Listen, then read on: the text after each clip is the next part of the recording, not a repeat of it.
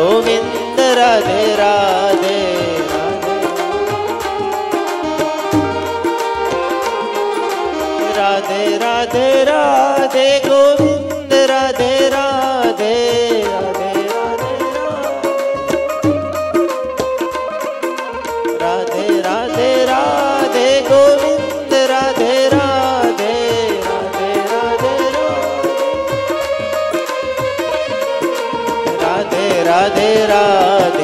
गोविन्द राधे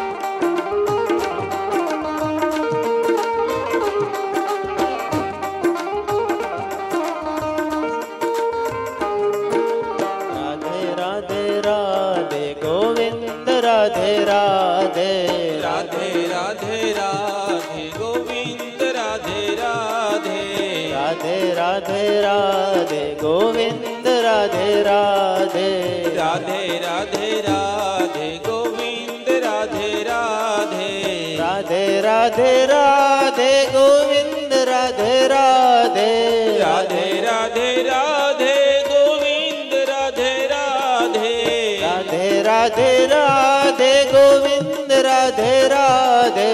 રાધે રાધે રાધે ગોવિંદ રાધે રાધે.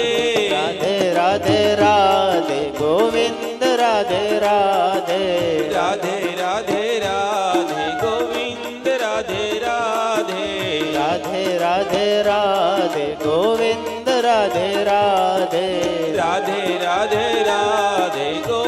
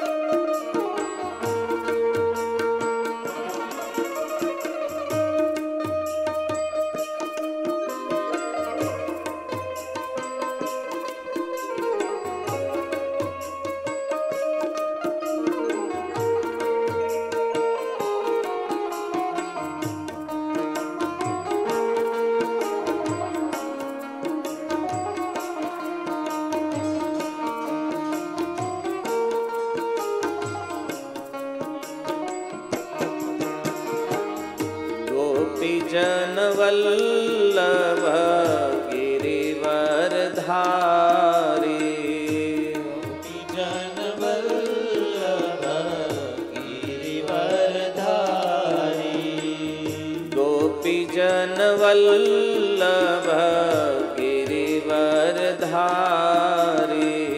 गोपीजन वल्लभ गिरिवरधारी गोपीजन वल्लभ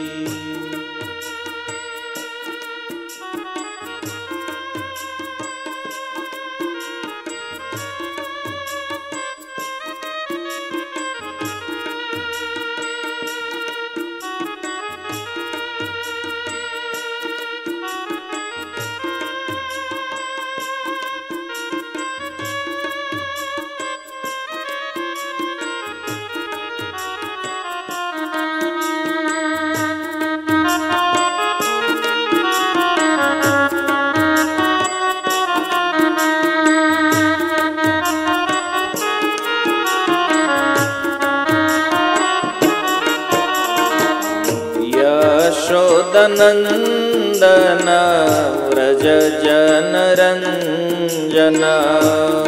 यशोदनन्दन व्रज जनरञ्जन यशोदनन्दन व्रज जनरञ्जन यशोदनन्दन व्रज जनरञ्जन य नन्दन व्रज जनरञ्जन यशोदनन्दन व्रज जनरञ्जन यशोदनन्दन व्रज जनरञ्जन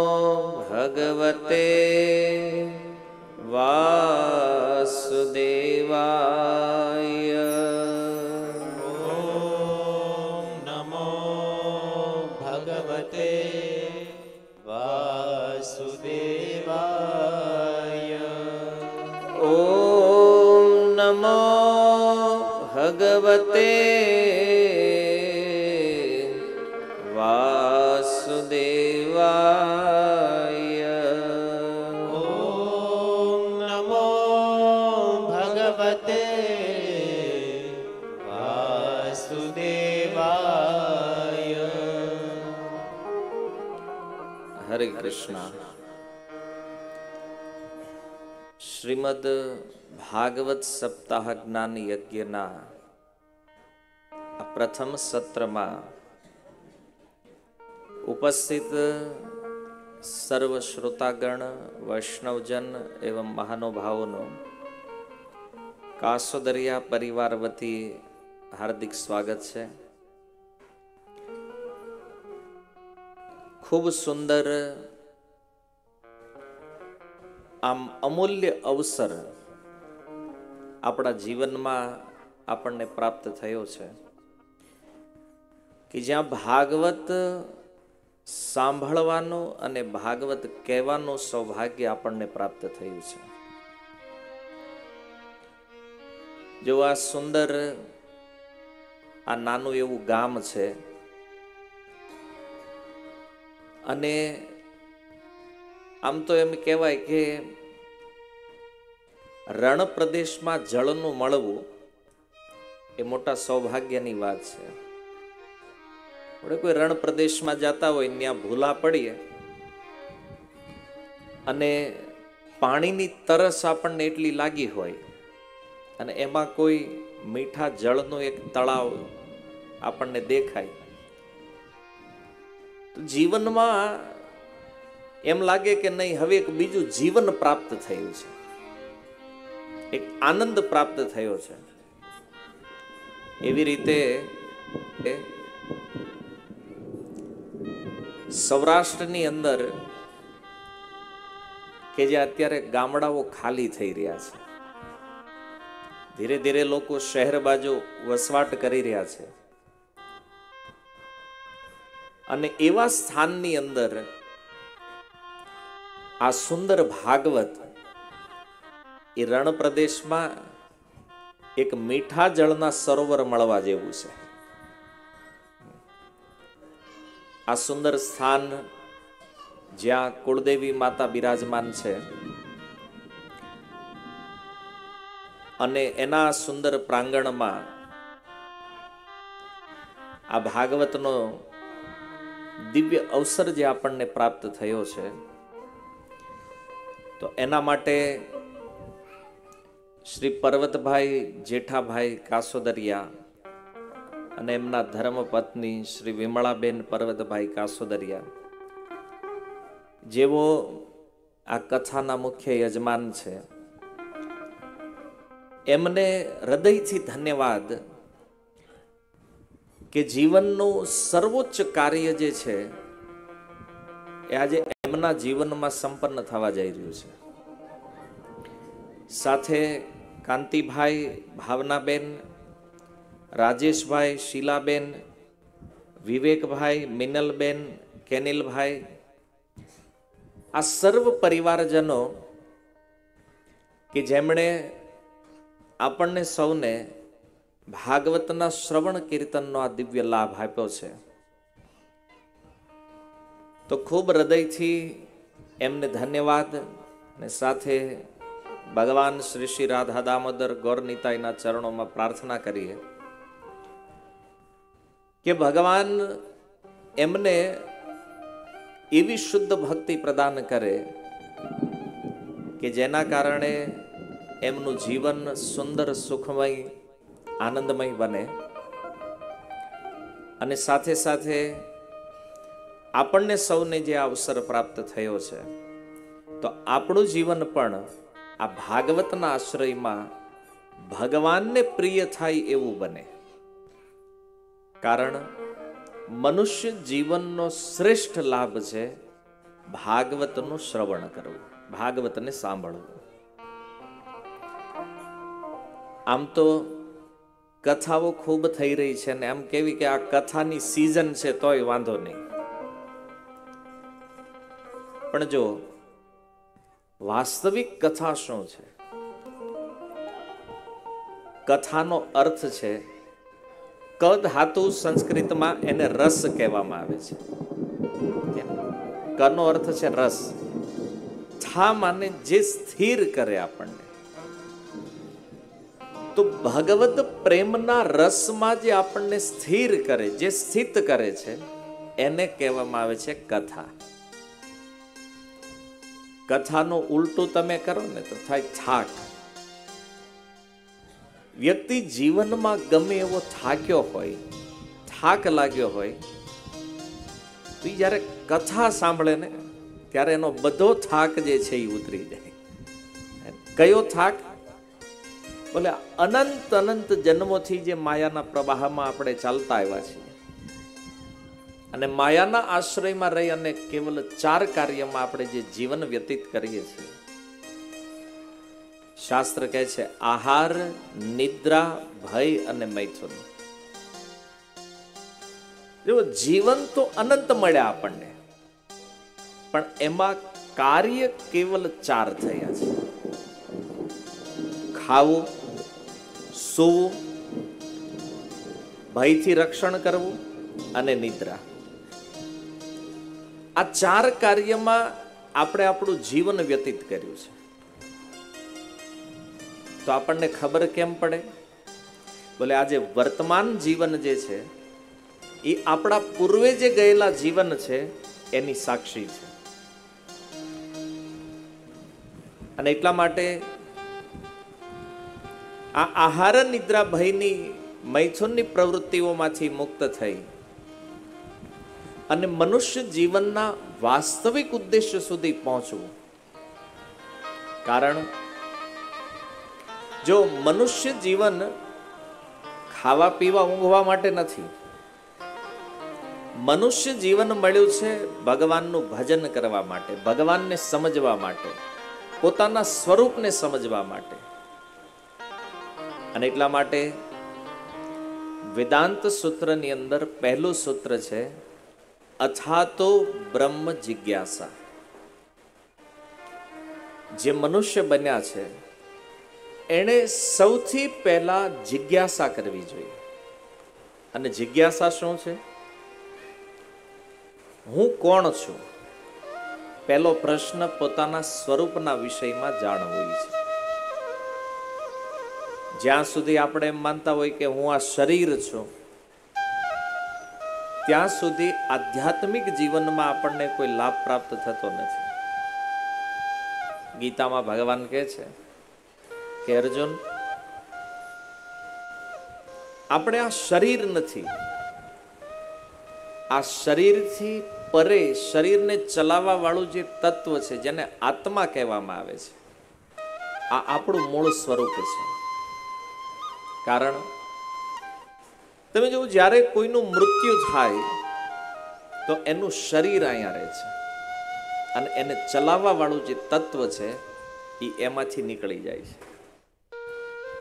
જેને આપણે જોઈ શકતા નથી, વિચારી શકતા નથી, સાંભળી શકતા નથી, એવું એક અચિંત્ય તત્વ જે આ શરીરમાંથી નીકળી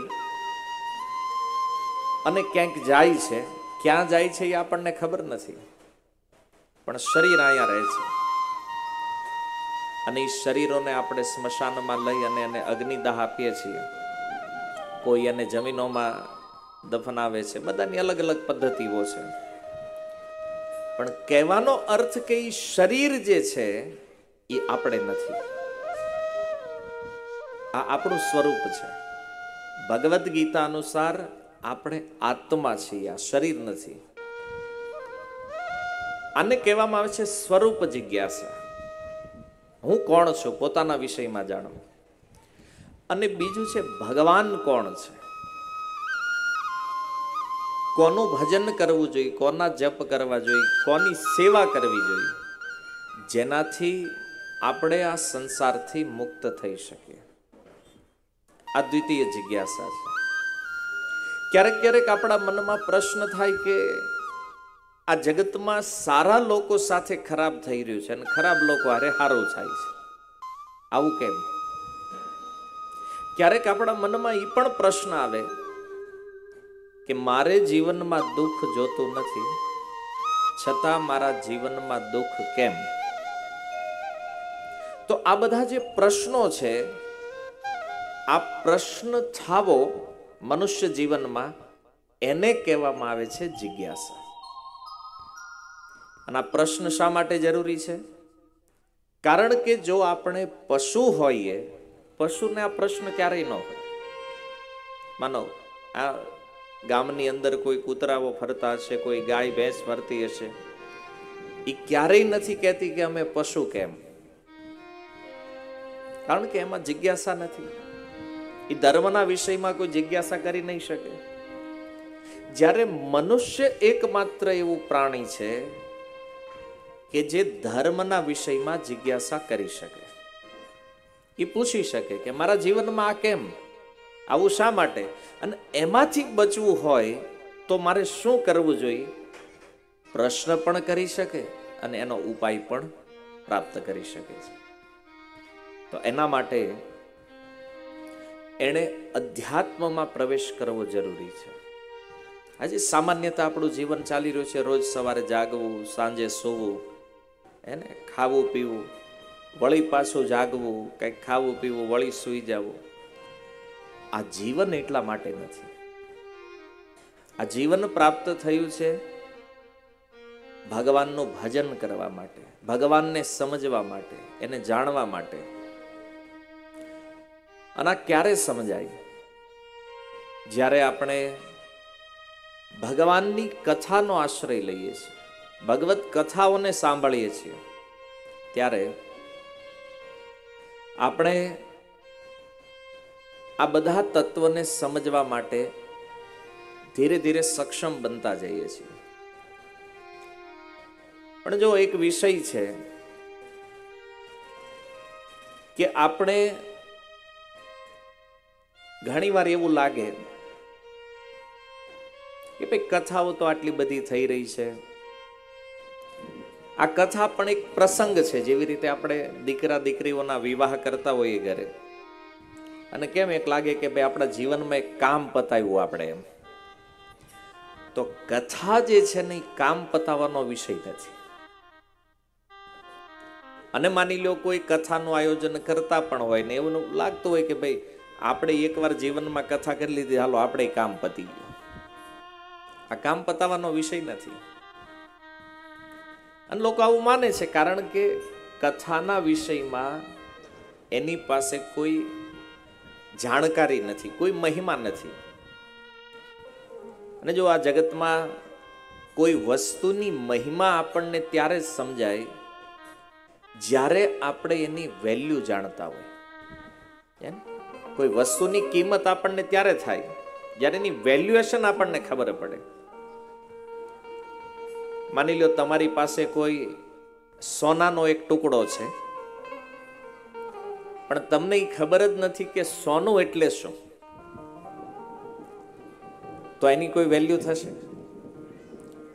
પણ જેવું તમને ખબર પડે કે ભાઈ આનો ભાવ તો માર્કેટમાં બહુ ઊંચો છે.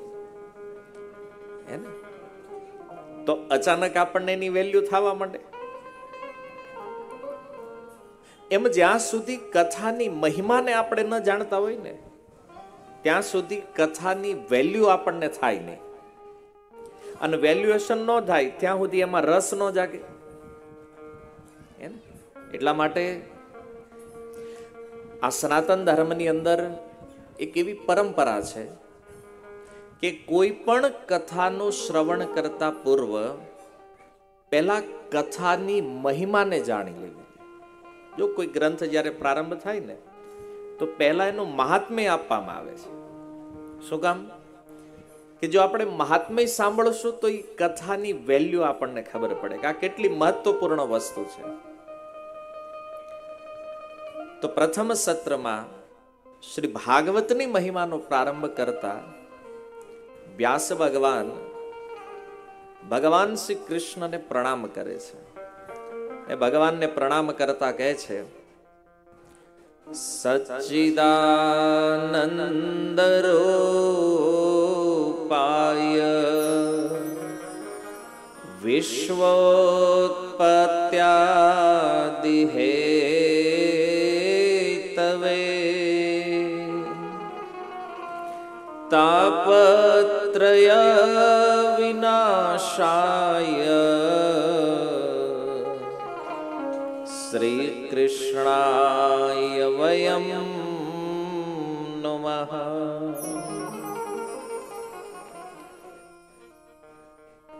કે જે સચ્ચિદાનંદ રૂપાય જે ભગવાન સતચિત્ત આનંદ સ્વરૂપ છે વિશ્વોત્પત્યાદિ હેતવે જે વિશ્વની ઉત્પત્તિ, સ્થિતિ અને લયનો હેતુ છે. જો આ જગતમાં કોઈ વસ્તુ છે, કોઈ સર્જન થયું છે, તો એનો કોઈ હેતુ હોય છે, એનું કારણ છે. તો વ્યાસદેવ કે છે વિશ્વોત્પત્યાદિ હેતવે. આ વિશ્વની ઉત્પત્તિ, એનું પાલન અને એનો લય. એનું જે કારણ છે એ ભગવાન કૃષ્ણ છે.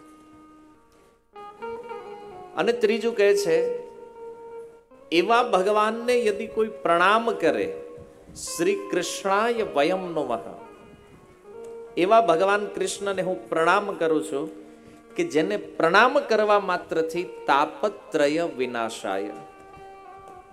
જીવનમાં જે ત્રણ પ્રકારના દુઃખ છે આધિ દૈવિક આધિ ભૌતિક અને આધિ આધ્યાત્મિક આ ત્રણેય પ્રકારના દુઃખ કેવલ કૃષ્ણને પ્રણામ કરવાથી નાશ થઈ જાય જો ભગવાનના પ્રણામની પણ એક અતિ સુંદર મહિમા છે.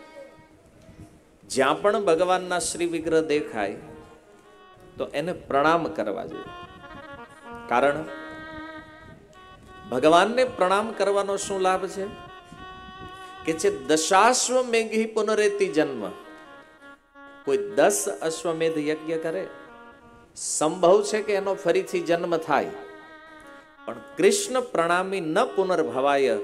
એકવાર જેણે શ્રદ્ધાથી ભગવાન કૃષ્ણને પ્રણામ કર્યા છે, આનો ફરીથી ક્યારેય જન્મ થતો નથી. જો પ્રણામની મહિમા છે, અને એટલા માટે વ્યાસ ભગવાન કૃષ્ણને પ્રણામ કરતા કહે છે, શ્રી કૃષ્ણાય વયમ નમઃ. હું પ્રણામ કરું છું એમ નહીં, વયમ બહુવચનમાં અમે પ્રણામ કરીએ છીએ. અર્થાત, વ્યાસદેવ પોતે એના શિષ્યો સહિત, એના જે કોઈ આશ્રિત છે એના સહિત, એ ભગવાનને પ્રણામ કરે છે. કેમ? કારણ કે જે મોટા હોય, વડીલ હોય, એનો એ ધર્મ છે કે પોતાના આશ્રિત વ્યક્તિઓની મુક્તિનો પણ ઉપાય કરે. તો વ્યાસ ભગવાને વિચાર કર્યો કે હું કૃષ્ણને પ્રણામ કરું છું અને એ મુક્ત થશે, તો મારા આશ્રિત જે લોકો છે, એને પણ મુક્ત કરવા છે, એની પણ મુક્તિ થવી જોઈએ. શ્રી કૃષ્ણાય વયમનો નમઃ બધા મળીને ભગવાનને પ્રણામ કરે છે. તો આ સુંદર પ્રણામ કરી અને કથાનો પ્રારંભ કરતા કહે છે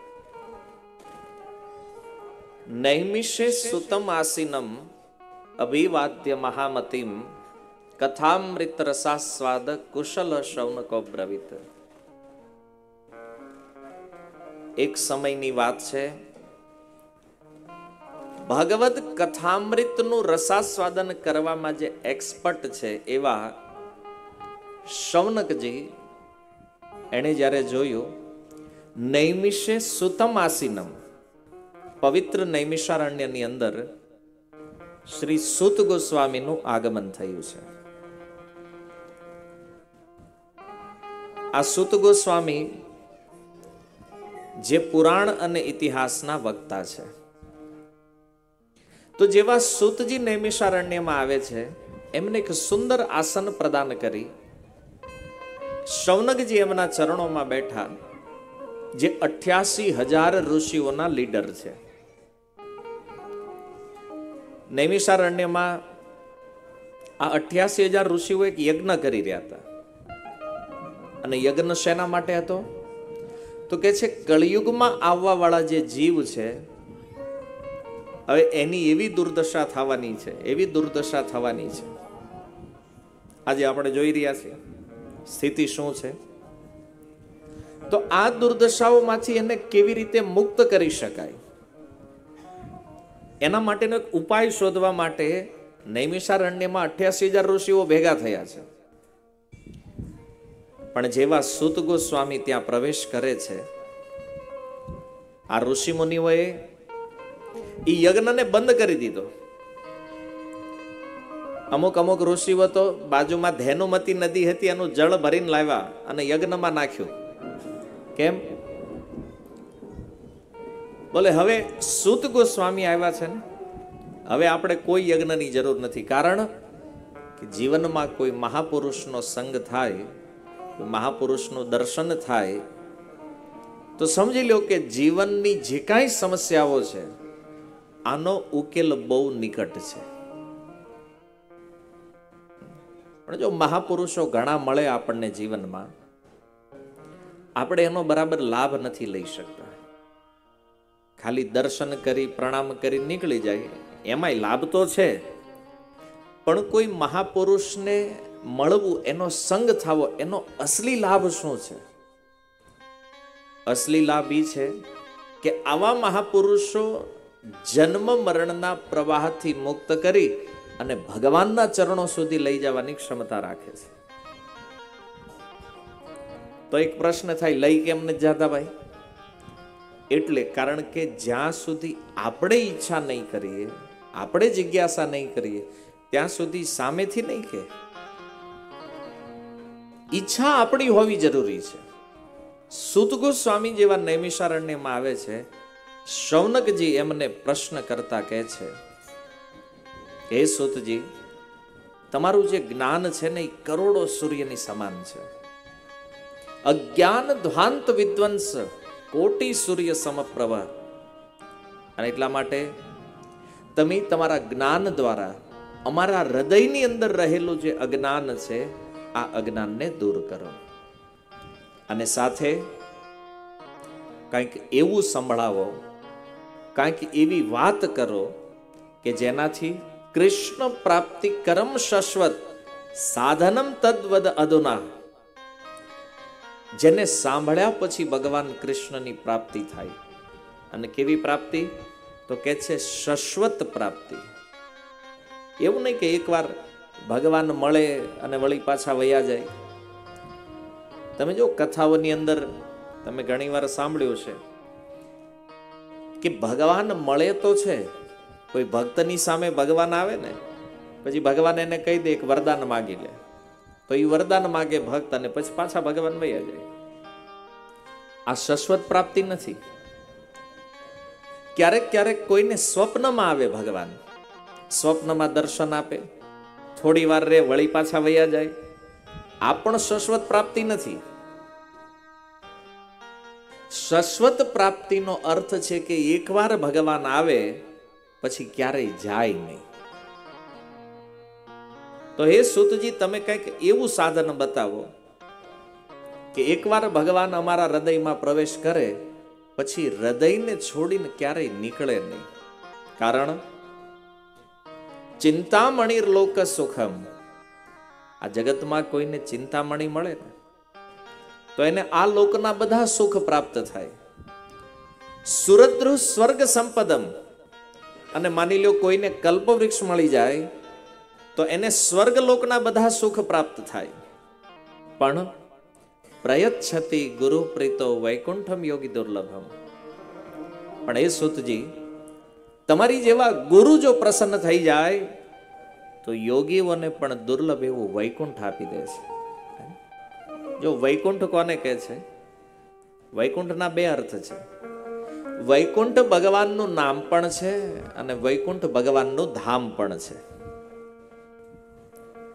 જો આપણે ભગવાનને પ્રાપ્ત કરવા હોય તો પણ ગુરુને પ્રસન્ન કરવા પડે.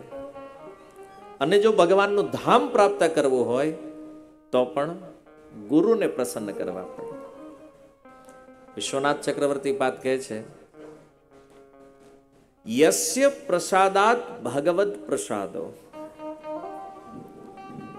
જેની કૃપાથી ભગવાનની કૃપા પ્રાપ્ત થાય છે. યસ્ય પ્રસાદાન ન ગતિ કુતોપી. અને જો ગુરુ કૃપા ન કરે ને, એવા જીવ ઉપર ભગવાન પણ કૃપા કરતા નથી. વંદે ગુરુ શ્રી ચરણારવિંદમ. એવા ગુરુના ચરણોમાં હું વંદન કરું છું, પ્રણામ કરું છું. સૌનકજીના કહેવાનો ભાવ એ છે કે ગુરુ જો પ્રસન્ન થઈ ગયા તો ભગવાનને પ્રસન્ન થતા વાર લાગતી નથી. અને એટલા માટે કોઈ પણ સાધુ જ્યારે જીવનમાં મળે ને, તો એની પાસે આત્મકલ્યાણ વિશે એક પ્રશ્ન કરવો જોઈએ. પણ જો આજકાલ આપણે કોઈની પાસે પહોંચી જાય, પ્રશ્ન શું કરે? કે મહારાજ, તમે કહો ને અમારો ધંધો બરાબર હાલતો નથી, કેમ હરખું થઈ જાય? કોઈ કે અમારા છોકરાઓ માનતા નથી, કોઈ કે અમારા છોકરાના લગ્ન થતા નથી. એમ? આ જે બધી સાંસારિક સમસ્યાઓ લઈને આપણે જઈએ ને.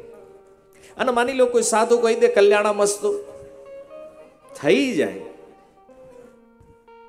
પણ આપણે વિચાર કરવાનો છે કે આપણે કેટલા છેતરાણા છીએ? જે સાધુ ભગવાન આપીએ કે એમ છે, એની પાસે જઈને આપણે શું માગ્યું? ધંધો. તો વિચાર કરો એ ધંધો આપણને જન્મ મરણથી નહીં મુક્ત કરી શકે. એ તો આપણા કર્મમાં, આપણા ભાગ્યમાં જે છે એ પ્રમાણે ચાલવાનું છે. કારણ કે જે સાધુઓ પાસે નથી ગયા એનો ધંધો હાલે છે. એવું થોડું દુનિયામાં બિઝનેસ નથી હાલતો. પણ સાધુ પાસે માગવાનો આ વિષય નથી. સાધુઓ પાસે જઈ બે જ પ્રશ્ન હોવા જોઈએ. એક આત્મકલ્યાણના વિષયમાં અને બીજું ભગવાનના વિષયમાં. અને આવા પ્રશ્ન જ્યારે તમે કોઈ સાધુઓ પાસે જઈને કરો ને, ત્યારે એ પ્રસન્ન થઈ જાય, પ્રશ્ન સાંભળીને. અહીંયા સુત ગોસ્વામીએ જ્યારે શૌનકજીના સુંદર પ્રશ્ન સાંભળ્યા, ત્યારે સુત ગોસ્વામી કહે છે, સુત ઉવાચ પ્રીતિ શૌનકચિત્તે તે યતો વચમિ વિચાર્ય ચ સર્વસિદ્ધાંત નિષ્પન્નમ સંસાર ભયનાશનમ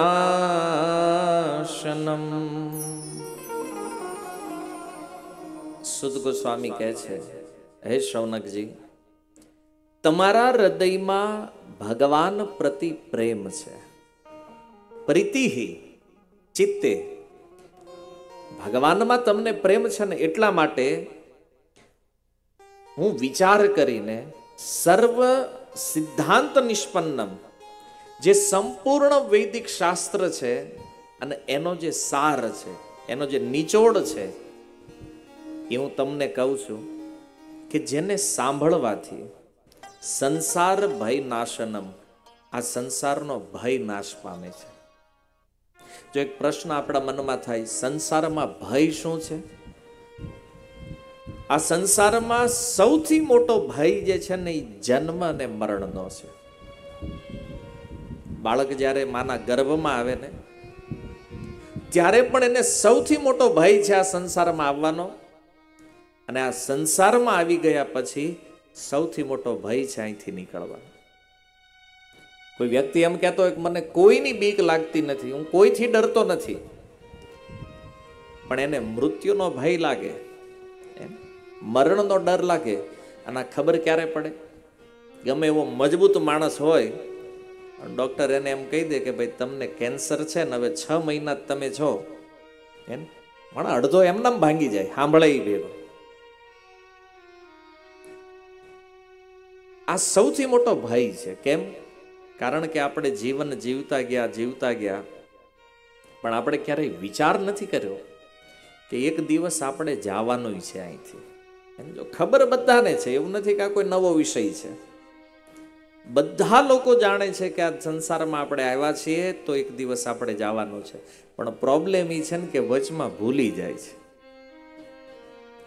અને ભૂલી જાય છે ને એટલે આ બધી માથાકૂટમાં એટલે પડી જાય છે પછી. અને આત્મકલ્યાણ વિષયક જે જિજ્ઞાસા છે એને ભૂલી જાય છે. પણ જો શૌનકજીનો પ્રશ્ન એવો સુંદર છે, જેને સાંભળી અને સુત ગોસ્વામી કહે છે કે હું તમને સંભળાવું એવું અદ્ભુત જ્ઞાન કે જેનાથી આ સંસારનો ભય નાશ પામે છે. જે ભગવાન કૃષ્ણની પ્રસન્નતાનું મુખ્ય કારણ છે. સાવધાન તનયા શૃણો સુતજી કહે છે, સાવધાન થઈને સાંભળો. અને જો સાધુ સમાજની અંદર એક ઉક્તિ પ્રચલિત છે, જ્યારે પણ કથા ચાલુ થાય ને, એટલે વક્તા એક એનાઉન્સમેન્ટ કરે, સાધુ સાવધાન. એમ? સાવધાન શું કામ? એલર્ટ થઈ જાઓ, કેમ?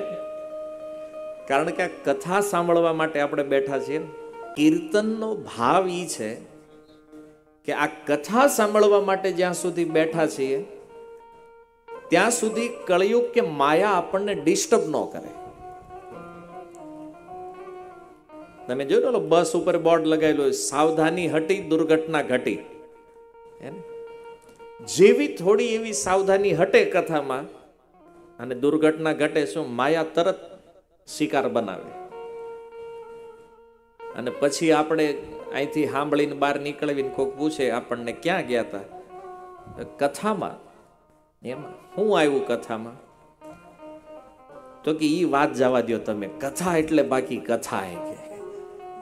પણ ઈ વાત હાજી વાત હાજી, પણ કથામાં હું આવ્યું એ તો કે કઈ એ તમે વાત જ જવા દો એ?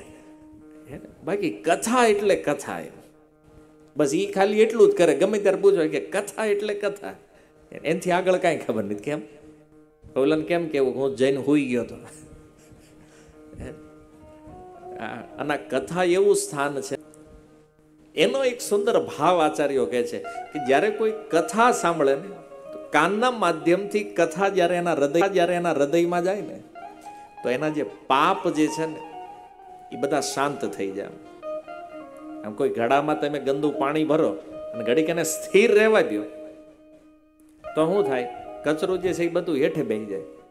એમ કથા જ્યારે કાનથી પ્રવેશ કરે ને ત્યારે ઓલા પાપ જે છે ને એ બધા શાંત થઈ જાય આમ અંદર સ્થિર થઈ જાય. અને પાપ જ્યારે આટા મારતા બંધ થઈ જાય ને, ત્યારે માણસને શાંતિનો અનુભવ થાય. એક સુખની અનુભૂતિ થાય. અને એ સુખ જે છે ને એવી નિદ્રા આપે પછી આપણને. એ ઘરે ક્યારેય ના આવે. કારણ કે ઘરે હોતા હોય ઉત્પાત હોય મનમાં. હે? કોને કેટલા દેવાના, કોને ત્યાં લેવાના ઓલો દેહેક નહીં પાછા? આ બધા ઉત્પાત અરે સુતા હોય.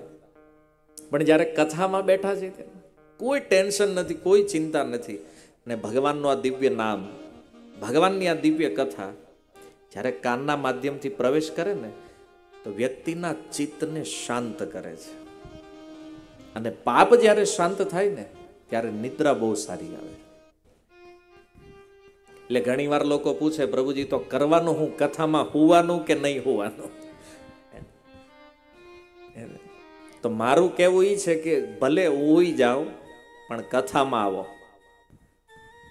એમ. ઘરે હોવું તમારે. અહીં હોવું અહીં આવીને હોવું. શું કામ? કારણ કે એમાં એક ફાયદો છે. કે કથામાં આવીને જો માણસ સૂતો, ક્યારેક જાગશે? પહેલા દિવસે, બીજા દિવસે, ત્રીજા દિવસે એને ક્યારેક તો એ જાગશે અને એકવાર જાગશે, પછી જીવનમાં ક્યારેય હુશે નહીં. અને કથા જ્યારે જગાડે ને, ત્યારે એની એવો જગાડે કે પછી જીવનમાં એ ઊંઘ ભૂલી જાય. એટલા માટે ભલે કથામાં આવીને હુવે તોય વાંધો નહીં. કારણ એ તસ્માદ પરમ કિંચિત મન શુદ્ધેન વિદ્યતે. જન્માંતરે ભવેત પુણ્યમ તદા ભાગવતમ લભે. સુતજી કહે છે એ શૌનકજી મનને શુદ્ધ કરવા માટે એતસ્માત કિંચિન મન ન વિદ્યતે. કથા ભાગવતથી શ્રેષ્ઠ અન્ય કોઈ ઉપાય નથી. જો મનને શુદ્ધ કરવા માટે લોકો ઘણી ઘણી ટ્રાય કરતા હોય. શુદ્ધિકરણની એક પ્રોસેસ હોય. જેમ સ્નાન દ્વારા શરીર શુદ્ધ થાય. દાન દ્વારા ધન શુદ્ધ થાય. એવી રીતે મનને શુદ્ધ કરવું હોય તો કથા જરૂરી છે. ઘણા લોકોના મનમાં પ્રશ્ન છે અને ઘણા ઘણા સમાજ સુધારકો જે છે એને પ્રોબ્લેમ છે. કથા શું કામ? કથામાં આટલો બધો ખર્ચો શું કામ? એની વાંધો, ભલે કરવાનો એમ નથી. જે કરે છે એને વાંધો નથી. વાંધલા મનમાં આકાર લે. મને તમારે આ દુનિયામાં કંઈક કરવું છે, તો એનો સંકલ્પ ક્યાં થાય પહેલા? મનમાં. અને મનનો સંકલ્પ આ દુનિયામાં કર્મનું સ્વરૂપ લે છે. કર્મના રૂપમાં એ થાય છે. તો આજે આપણે જોઈએ છીએ કર્મનો જે બગાડ થયો છે છે ને? એ અધ્યાત્મ હરિકથા દ્વારા થયા છે. છતાં પણ કોઈ માયાથી ભ્રમિત જેના હૃદયમાં અહંકારનું સ્થાન વિશેષ છે. આવા લોકોને એમ લાગે છે, નહીં, આ જરૂરી નથી. અમે જે કરીએ છીએ એ બરાબર છે. અને બોલે, ક્યાં સુધી? જ્યાં સુધી કથા શું છે એ ખબર નથી. કથાની કિંમત ખબર નથી અને ત્યાં સુધી એને એવું લાગે કે, નહીં, આ જરૂરી નથી. સૌથી વધારે જરૂરી આ છે. હા. એવા લોકોને આવું લાગે શું કામ કે કથા જરૂરી નથી? એ લોકો હાવ ખોટા નથી. એનું પણ એક કારણ છે કે વર્તમાન સમયમાં કથાઓના જે સ્વરૂપ બન્યા છે, જે પ્રમાણે લોકો કથાઓ કરી રહ્યા છે, એમાં કથા તો કાંઈ હોતી નથી, માત્ર મનોરંજન વધારે હોય છે.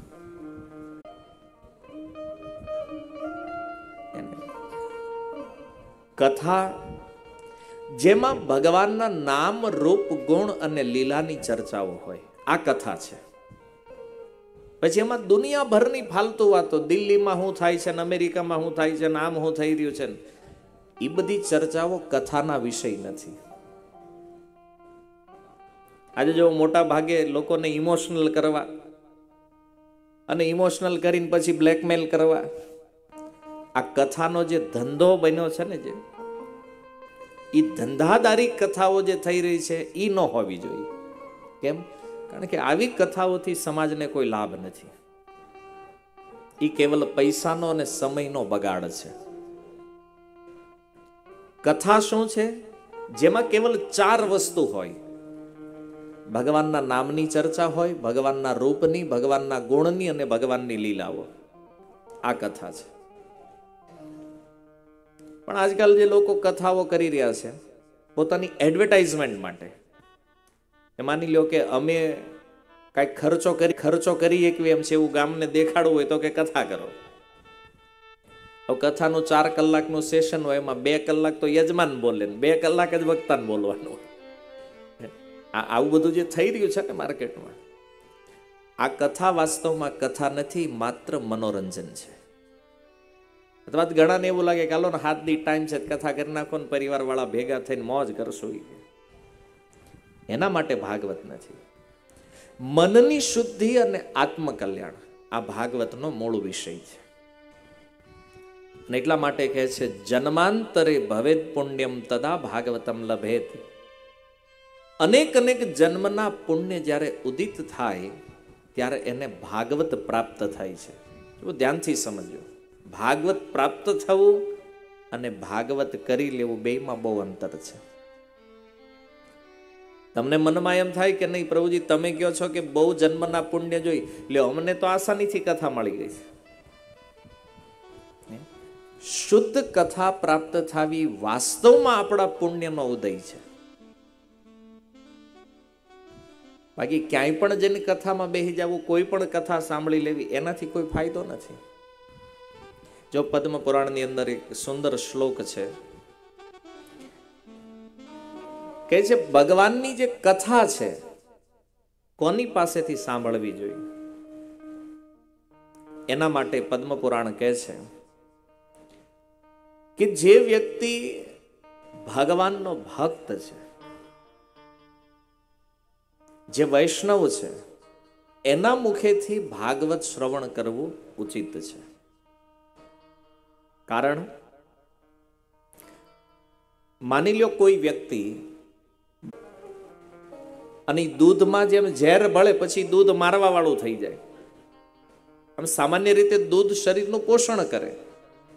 પણ જ્યારે કોઈ સાપ એ દૂધને પી લે ને, ત્યારે એ જ દૂધ વ્યક્તિને મારવા વાળું બને. એમ જે વ્યક્તિઓ ધંધાદારી કથાકારો છે, એના મુખેથી જ્યારે કોઈ કથા સાંભળે છે ને ત્યારે આ સાપનું એઠું દૂધ પીવા જેવું છે. કથા છે પરમ કલ્યાણકારી. પણ યોગ્ય વ્યક્તિથી જો શ્રવણ કરવામાં ન આવ્યું કે છે, શૃણવન નૈવ હિ કર્તવ્યમ, સર્પ ઉચ્ચિષ્ટ યથાપય. એટલા માટે આવી કથાઓ ક્યારેય સાંભળવી ન જોઈએ. તો કોની પાસેથી સાંભળવી જોઈએ? તો કે છે જે ભગવાનના ભક્ત છે. જે પરંપરામાં છે, જે વૈષ્ણવ છે, એની પાસેથી યદિ કોઈ કથા સાંભળે, તો એના હૃદયમાં ભગવાન પ્રતિ પ્રેમ જાગે છે. ભગવાન પ્રત્યે ભક્તિ જાગે છે અને પોતાના જીવનને સુખરૂપ બનાવી શકે છે. તો આવી આ સુંદર કથા સુતજી કહે છે, જ્યારે સુખદેવ ગોસ્વામી મહારાજ પરીક્ષિતને આ કથા સંભળાવવા માટે ગંગાજીના તટ ઉપર વિરાજમાન થયા. હજી કથાની શરૂઆત કરે, ત્યાં દેવતાઓ અમૃત લઈને આવ્યા. અમૃત લાવી અને સુખદેવ ગોસ્વામીને પ્રણામ કરીને કહે છે સુખદેવજી, આ અમૃત જે છે ને એ પરીક્ષિતને પીવડાવી દો કેમ? તો કે એને સાત દિવસમાં મરવાનું છે ને. આ અમૃત પાન કરાવી દો એટલે એનું મૃત્યુ નહીં થાય. સુખદેવજીએ વિચાર કર્યો કે આ એમનામ આવ્યા નથી કેમ? કારણ કે દેવતાઓ પોતાનું કામ કઢાવવામાં બહુ એક્સપર્ટ હોય. હા ધંધાદારી ખરા, એટલે વેપારી કાંઈક દેહે બદલામાં કાંઈક લેહે. આ અમૃત લઈને આવ્યા છે, તો નક્કી અને કાંઈક જોરીત જે છે ને એવી સિક્યુરિટીમાં રાખે છે સ્વર્ગમાં. કોઈને હાથમાં આવતું નથી એમના એને પ્રાપ્ત કરવામાં પણ કેટલી મહા મહેનત થઈ છે. અને આવું અમૃત લાવીને સીધું પરીક્ષિત મહારાજને ઓફર કરી લ્યો. સુખદેવજી કે, બદલામાં હું જોતું જ બોલે, હરિ કથા અમૃત.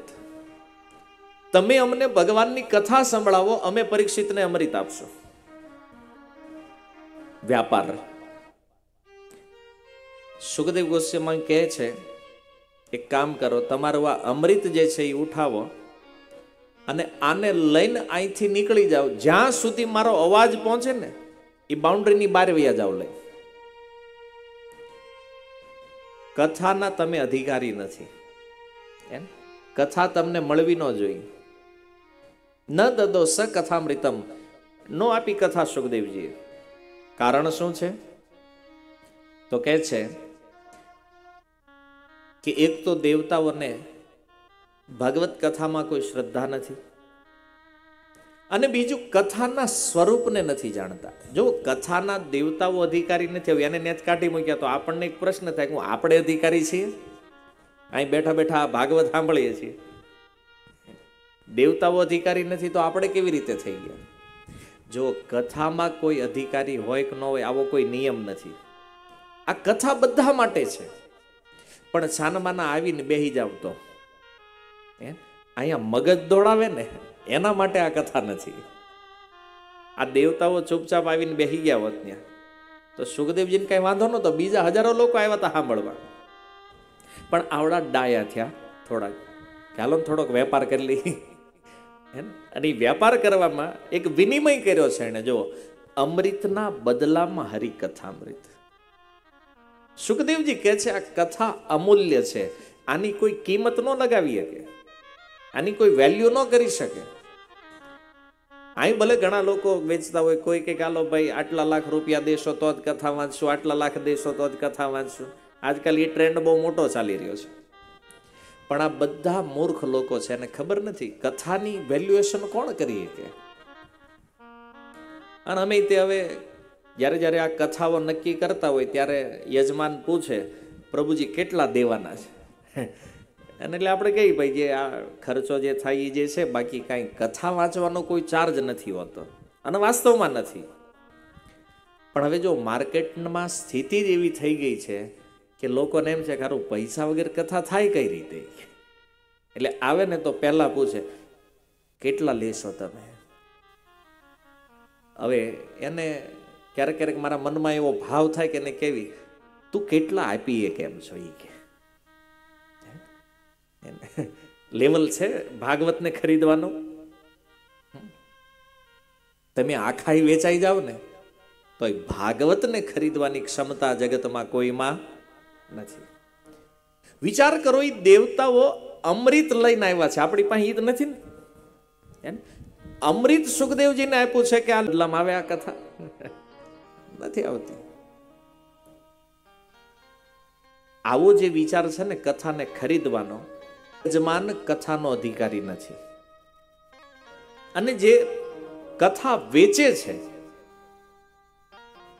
તો એ પણ કથાનો અધિકારી નથી. આની સિવાયના જેટલા લોકો છે એ બધા કથાના અધિકારી છે. આ બધાને કથા મળશે. વ્યાપાર બુદ્ધિ ન હોવી જોઈએ કથામાં. કથાનું જે વ્યાપારીકરણ છે ને એ કથાનું દૂષણ છે. શુદ્ધ દૂધમાં કોઈ ઝેરનું એક બિંદુ નાખી દે, આ એના જેવું છે. પછી આવી જે કથાઓ છે આનાથી કોઈ કલ્યાણ નથી થતું. એ બસ સાત દિવસનો ટાઈમ પાસ એક મનોરંજન છે આ. સુખદેવ ગોસ્વામી કહે છે, ક્વ સુધા, ક્વ કથા લોકે, ક્વ કાચ, ક્વ મણિર્વાહન ક્યાં એ સ્વર્ગનું થર્ડ ક્લાસ અમૃત અને ક્યાં ભગવાનનું હરિ કથામૃત આ બેની તો કોઈ તુલના નથી? કાચ અને મણીની ક્યારેય તુલના થઈ શકે? નહીં થઈ શકે. તો પછી કથાની તુલના કોની સાથે થઈ શકે? આવો આ દિવ્ય ભાગવત ગ્રંથ સાત દિવસ પરીક્ષિત મહારાજે આ ભાગવત સાંભળ્યો ગંગાજીના તટે અને સાતમા દિવસે પરીક્ષિત મહારાજ ભગવાનના ધામમાં બેઠા હતા. આવું આ દિવ્ય ભાગવત હવે સાત દિવસમાં પરીક્ષિતની મુક્તિ થઈ તો બ્રહ્મલોકમાં બધાને આશ્ચર્ય થયું કે ભગવાનના ધામને પામવા માટે તો જન્મો જન્મ લાગે. અને આ પરીક્ષિતને સાત દિવસમાં ભગવાનનું ધામ મળ્યું. આ તો બહુ મોટું આશ્ચર્ય છે. તો બ્રહ્માજી કહે છે, તમને આશ્ચર્ય થતું હોય તો પછી તુલના કરી લો.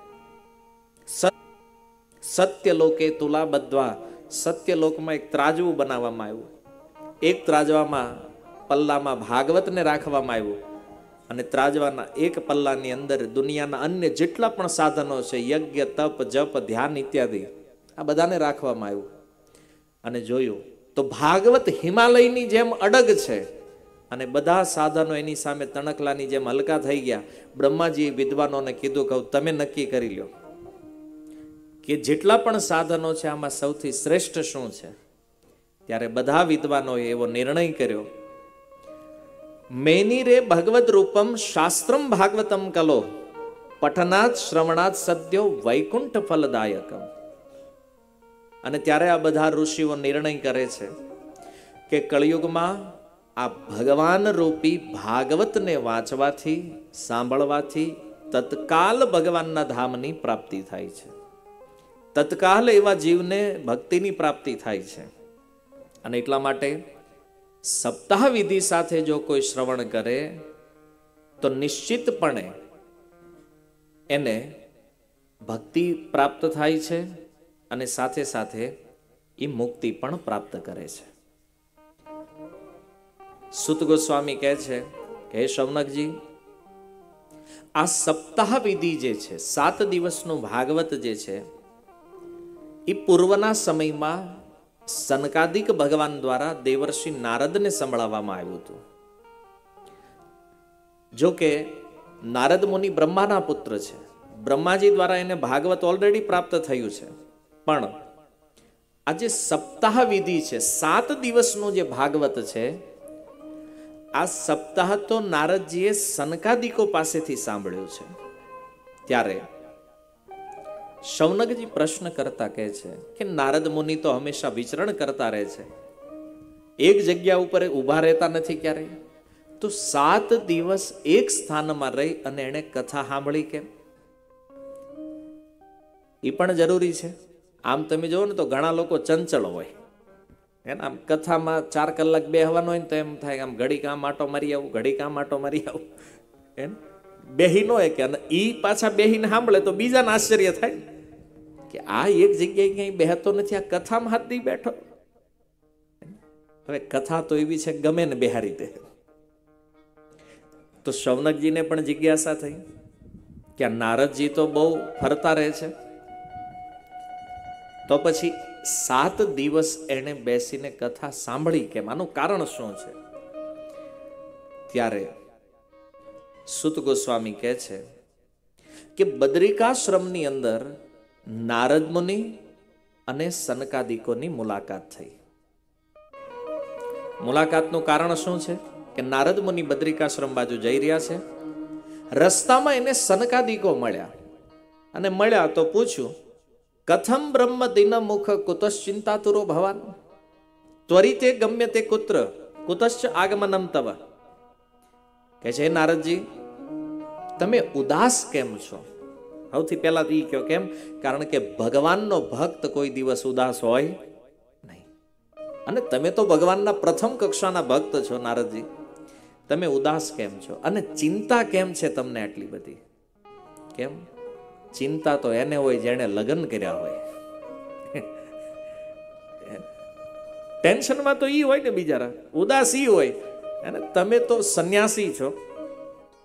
અને સંન્યાસી હોવા છતાં આટલી ચિંતા? અને તમારી સ્પીડ જે છે બદ્રિકાશ્રમ બાજુ જવાની એ સ્પીડથી અમને ખબર પડે છે કે તમે કંઈક ઉતાવળમાં છો. તો બતાવો, આટલી ઉતાવળે તમે ક્યાં જઈ રહ્યા છો? અને તમે આવો છો ક્યાંથી? એમ?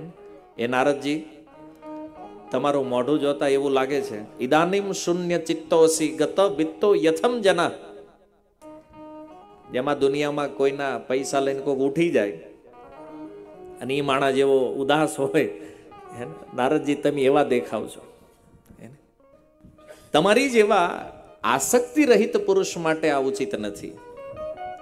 બતાવવાનું કારણ શું છે? ત્યારે નારદ મુનિ કહે છે, અહમ તો પૃથ્વીમ યાતો જ્ઞાતવા સર્વોત્તમ મામિતી. કે છે, હું પૃથ્વી ઉપર ગયો તો. શું કામ? મને લાગ્યું કે પૃથ્વી શ્રેષ્ઠ સ્થાન છે.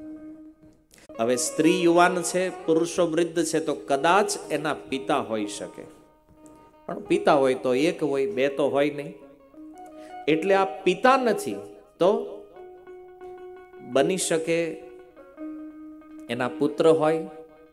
એ પણ સંભવ નથી કારણ કે પુત્ર હોય તો કઈ પુત્ર વૃદ્ધ અને મા યુવાન આવું તો હોય નહીં. આ પણ વિપરીત છે. નારદજી જ્યારે મનમાં અનેક તર્ક વિતર્ક કરી રહ્યા છે. એ સમયે એ યુવતીની દ્રષ્ટિ અચાનક નારદ મુનિ ઉપર પડી.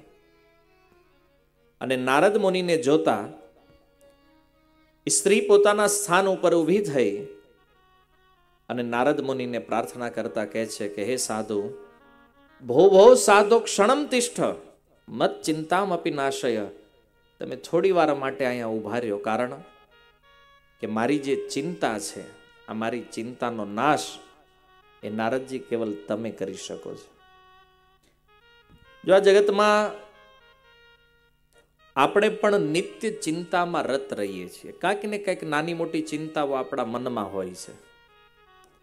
પણ કોઈ ભગવાનના શુદ્ધ ભક્તનો જ્યારે સંગ થાય, શુદ્ધ ભક્તનું દર્શન થઈ જાય, તો એ નિશ્ચિત છે કે આપણી બધી ચિંતાઓનો નાશ થવાનો છે.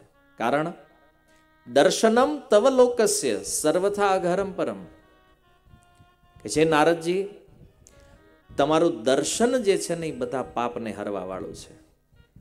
નરોત્તમદાસ ઠાકુર કહે છે, દર્શને પવિત્ર કરે એ તો મારા ગુણ. ભગવાનના જે શુદ્ધ ભક્ત હોય ને, એનું જીવનમાં ખાલી દર્શન થઈ જાય તો દર્શન કરવા માત્રથી આપણા બધા પાપ દૂર થઈ જાય છે. સાંભળવામાં તમને આશ્ચર્ય લાગશે, પણ આ સત્ય છે કે શુદ્ધ ભક્તનું દર્શન આપણને તમામ પાપથી મુક્ત કરવા વાળું છે. અને એની વાણી જો પ્રાપ્ત થઈ જાય, માની લો તત્ક્ષણ કોઈ સાધુ કંઈક સંભળાવે છે, તો કહે છે, બહુધા તવ વાક્ય ન દુઃખ શાંતિ ભવિષ્યતી.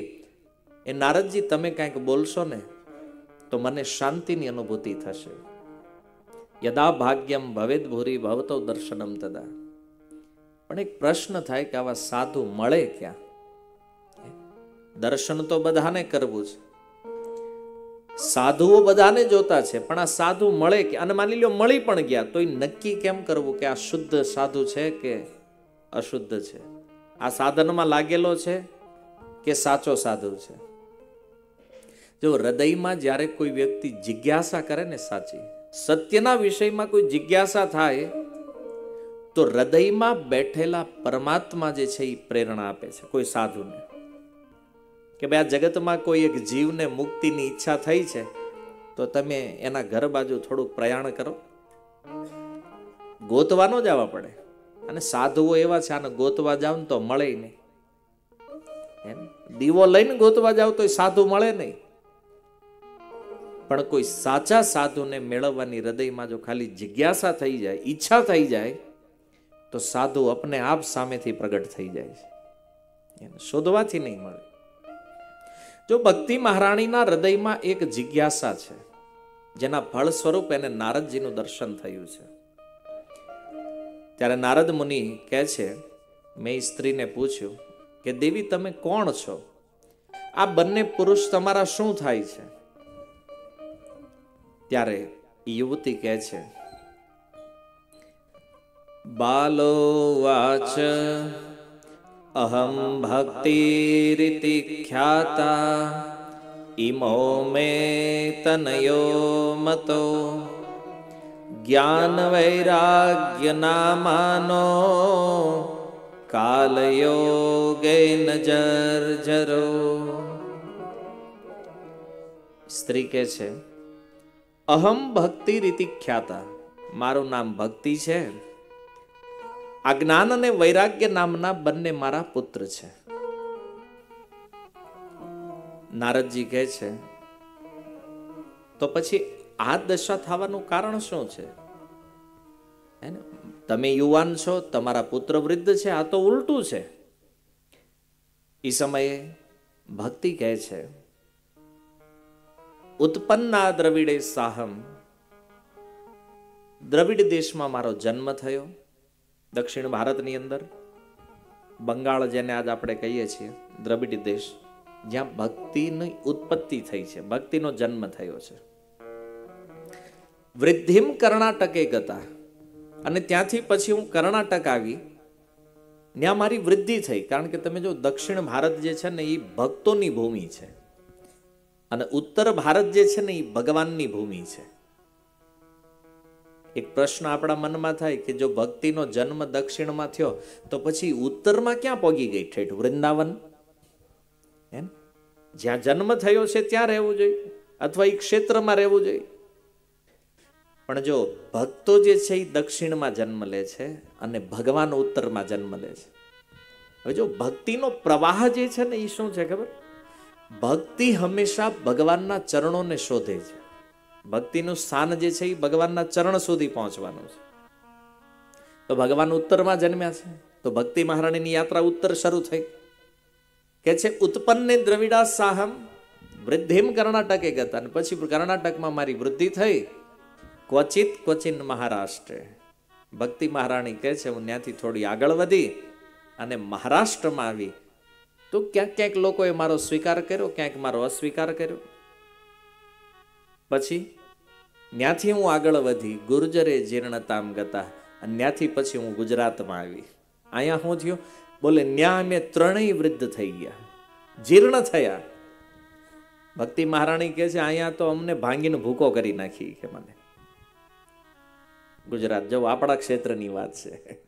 હે કેમ ભક્તિ મહારાણી આવું કહે છે? ગુજરાતમાં એવું શું થયું? જો ગુજરાતની અંદર લોકોને ભક્તિમાં ભાવ ઘણો, ભાવ બધાને, પણ જ્ઞાન નહીં બીજાને. અને એટલે ગમે, મારે આમ જ ભજન કરવું છે. જે મનમાં આવ્યું એ કરવું આ ગુજરાત. અને એનો અર્થ શું છે? ભક્તિ મહારાણીનું જીર્ણ થવું. ભક્તિ જીર્ણ થઈ, ભક્તિ જીર્ણ થઈ છે. ભક્તિ મહારાણે જોયું કે ગુજરાતની અંદર આપણું કાંઈ થાય એમ નથી. ત્યાંથી એણે નિર્ણય લીધો કે હવે ક્યાંય ફરવું નથી, એક કામ કરો, સીધા વૃંદાવન વયા જાય. આ ભક્તિ મહારાણી પોતાના પુત્ર જ્ઞાન અને વૈરાગ્યને લઈ અને વૃંદાવન આવે છે. પણ વૃંદાવનની અંદર આવીને શું થયું? તો હે નારદજી, તમે કંઈક ઉપાય કરો. મને બતાવો આનું કારણ શું છે? ત્યારે નારદ મુનિ કહે છે કે હે ભક્તિ સાંભળો, આ કળિયુગ છે અને કળિયુગના કારણે જ્ઞાન અને વૈરાગ્યની ઉપેક્ષા થઈ રહી છે. વૃંદાવન તો ભગ, જ્યાં જ્ઞાન વૈરાગ્યની કોઈ કિંમત નથી. ઉદ્ધવ જેવા જ્ઞાની વૃંદાવનમાં ફેલ છે. ઉદ્ધવજી જે બૃહસ્પતિના શિષ્ય છે, સ્વર્ગમાં ભણવા ગયા હતા. બોલો, પૃથ્વી ઉપર કોઈ સ્કૂલ નહોતી, આ ઉદ્ધવજીને ભણાવીએ કે એવી સ્વર્ગમાં મોકલ્યા ભણવા. અને સ્વર્ગમાં પણ એમના ભગવાન કૃષ્ણ પ્રત્યેના પ્રેમને જોયો ને, ઉદ્ધવજીના મનમાં થયું કે આપણું બધું જ્ઞાન ફેલ છે અહીંયા. આવું જે બ્રજ વૃંદાવન. નારદજી કહે છે, હે ભક્તિ દેવી, આ વૃંદાવનના કારણે તમે તો યુવાન થઈ ગયા છો. પણ જ્ઞાન વૈરાગ્યના કોઈ ગ્રાહક આ ક્ષેત્રમાં છે? નહીં. ત્યારે ભક્તિ કહે છે કે જો જ્ઞાન અને વૈરાગ્ય આની વૃદ્ધાવસ્થા દૂર નહીં થાય, તો હું વૃંદાવનને છોડીને પણ વહી જઈશ. છે. પછી આ જગતમાં એનો ઉદ્ધાર થઈને જ રહે છે. નારદજીએ સંકલ્પ લીધો અને ત્યારે કલીના સદ્રશ કોપી યુગો નાસ્તિ વરાનને કે છે ભક્તિ આ કળિયુગના કારણે તમારી આ દશા થઈ છે. પણ મારી એક વાત સાંભળો. કળિયુગની સમાન આ જગતમાં બીજો કોઈ યુગ નથી. કારણ કે કળિયુગ જે છે ને, એ બીજા લોકો માટે બહુ ખરાબ છે. પણ જેને ભગવાનનું ભજન કરવું છે ને, એના માટે આ સોનાનો યુગ છે. કારણ કે જેવું ભજન અને ભક્તિ સરળતાથી કળિયુગમાં થાય આવું અન્ય યુગમાં થતું નથી. અને એટલા માટે તસ્મિન સ્વામ સ્થાપયિષ્યામી ગેહે ગેહે જને જને. કે છે, ભક્તિ મહારાણી, આ યુગમાં હું તમને એક એક ઘરમાં સ્થાપિત કરીશ. નારદજીનો સંકલ્પ છે ભક્તિ મહારાણી માટે.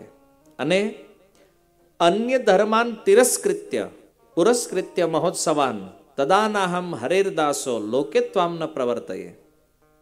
કે છે ભક્તિ મહારાણી, અન્ય બધા ધર્મને દબાવી, ભક્તિ વિષયક મહોત્સવોને આગળ રાખી.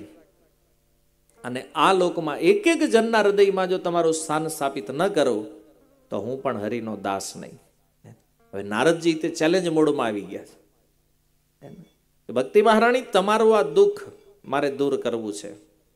અને એક સુંદર શ્લોક કહે છે, ત્વદ અન્વિતાશ્ચય જીવા ભવિષ્યંતી કલાવિહ.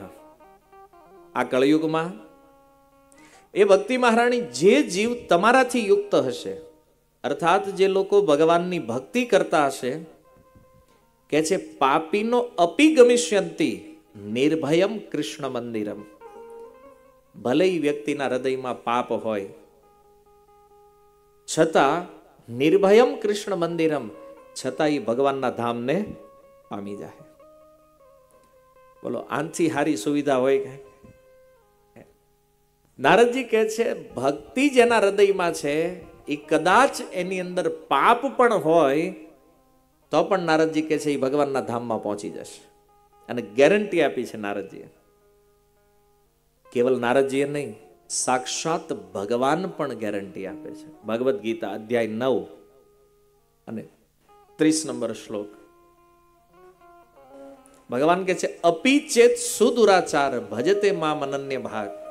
સાધુ સમંતવ્ય મંતવ્ય સમ્યક વ્યવસિતો હિસા ભગવાન કે છે, આ જગતમાં કોઈ મારું ભજન કરતો હોય અને એવા વ્યક્તિમાં માની લો કંઈક દુરાચાર દેખાતો પણ હોય,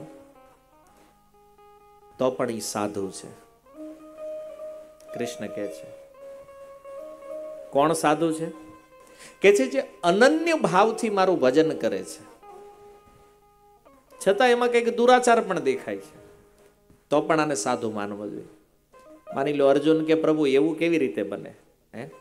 કે દુરાચાર કરતો હોય ને ભજન કરતો હોય ને પાછો એને સાધુ કોણ માનશે આને? ભગવાન કે ન માનો તો કાંઈ નહીં. ક્ષિપ્રમ ભવતી ધર્માત્મા. ભલે અત્યારે સાધુ નથી, પણ થોડાક સમયમાં એ ધર્માત્મા થઈ જાય કેમ? બોલે ભક્તિનો એવો પ્રભાવ છે કે વ્યક્તિના દુરાચારને દૂર કરી અને એમાં સદાચારને સ્થાપિત કરે છે. અને આ રીતે જો કોઈ અનન્ય ભાવથી ભગવાનનું ભજન કરતા રહે, તો એને ભગવાનના ધામમાં નિશ્ચિત વાસ મળે છે. તો આ રીતે ભક્તિ મહારાણી કહે છે, નારદજી, તમે ધન્ય છો. હવે તમે એક કામ કરો, મારા આજે બે પુત્ર જે છે ને, બસ એને એને તમે જગાડો, એને ઊભા કરો, એની વૃદ્ધાવસ્થા દૂર કરો. ભક્તિ મહારાણીના કહેવાથી નારદ મુનિ મુખમ સંયોજ્ય કરણાંતે શબ્દમ ઉચ્ચે સમુચ્ચરણ પોતાના મુખને બેના કાન પાસે લઈ જઈને કીધું, ઓ જ્ઞાન, જલ્દી જાગો. હે વૈરાગ્ય, જલ્દી જાગો. નારદ મુનિએ જગાડવાની ટ્રાય કરી, પણ જાગ્યા નહીં. ત્યારબાદ એણે વેદ ધ્વનિ કર્યો એના કાનમાં.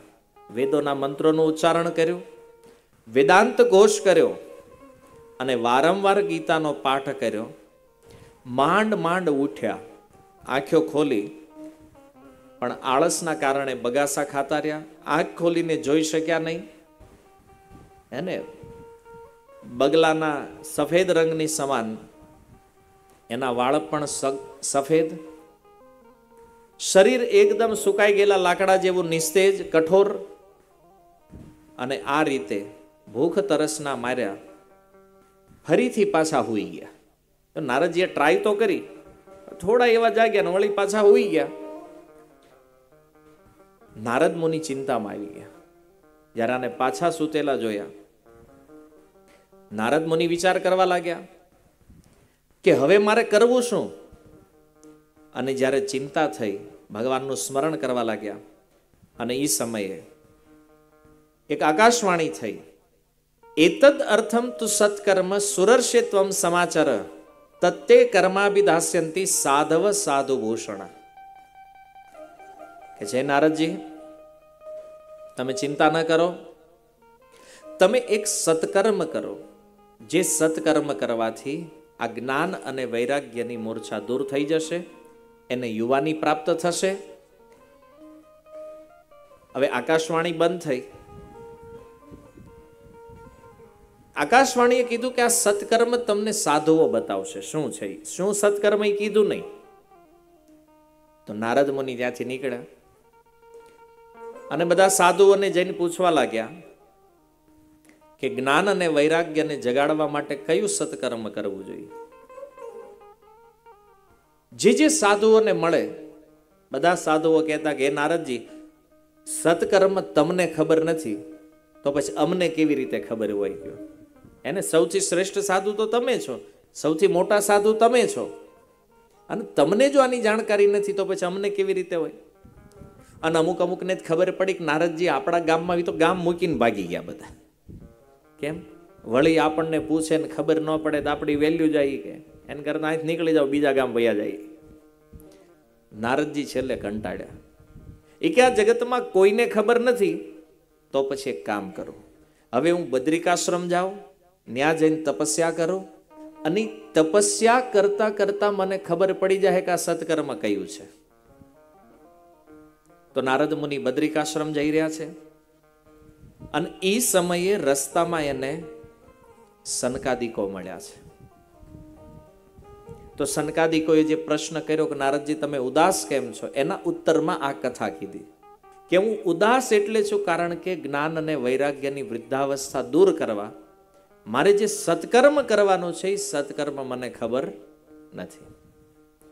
તો જ્યારે નારદજી આ વાત કરી સનકાદિકોને, ત્યારે સનકાદિકો કહે છે, મા ચિંતામ કુરુ દેવર્ષે, હર્ષમ ચિત્તે સમાવહ. કે છે નારદજી, તમે ચિંતા છોડી દો હવે તમે ખુશ થઈ જાઓ, હર્ષિત થઈ જાઓ, કેમ? ઉપાય સુખ સાધ્યોત્ર વર્તતે પૂર્વ એવહી આનો ઉપાય તો પહેલેથી જ વિદ્યમાન છે. આને કઈ ગોતવાની જરૂર નથી. પહેલેથી જ છે. તો સનકાદિકો કહે છે, નારદજી, તમે ચિંતા શા માટે કરો છો? તમે તો ભક્તિ શિરોમણી છો. ભગવાનના મહાન ભક્ત છો. તો આકાશવાણીએ જે સત્કર્મ કીધું છે એ સત્કર્મ અમે તમને બતાવશું. નારદજીને થયું હાશ, કોઈ એક સાધુ તો મળ્યો જેણે કીધું કે હા અમને ખબર છે? અત્યાર સુધી જેટલા મળ્યા એ બધા ના જ પાડી, અમને ખબર નથી. નારદજી કહે છે, જલ્દી બતાવો જલ્દી બતાવો, આ સત્કર્મ કયું છે?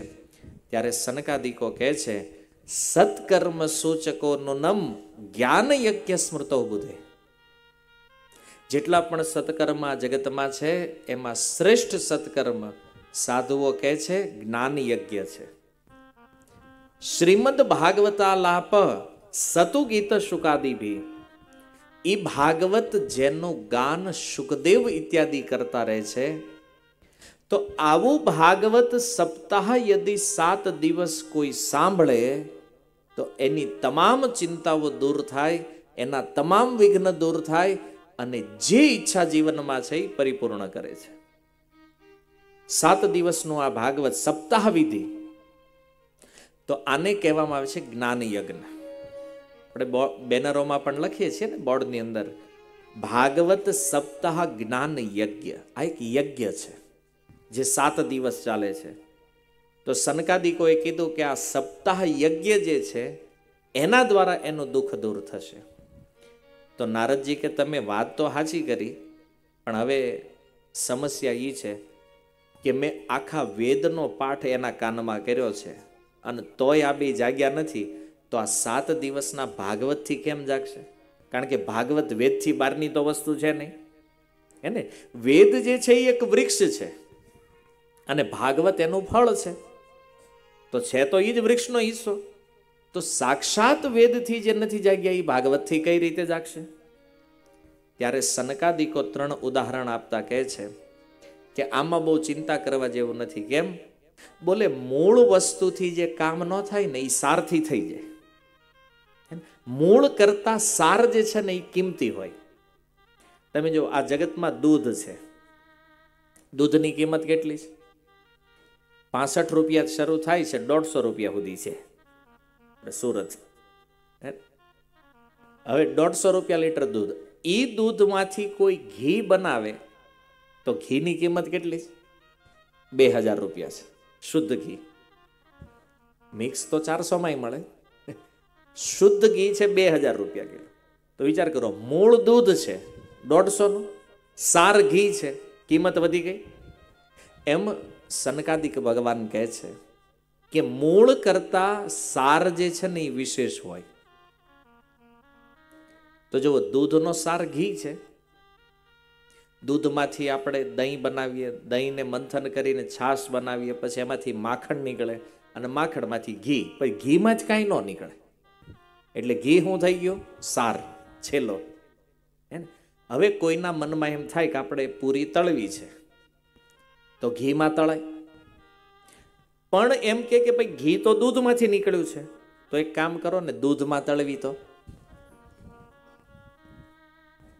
ઘી તો દૂધમાંથી જ નીકળ્યું છે ને?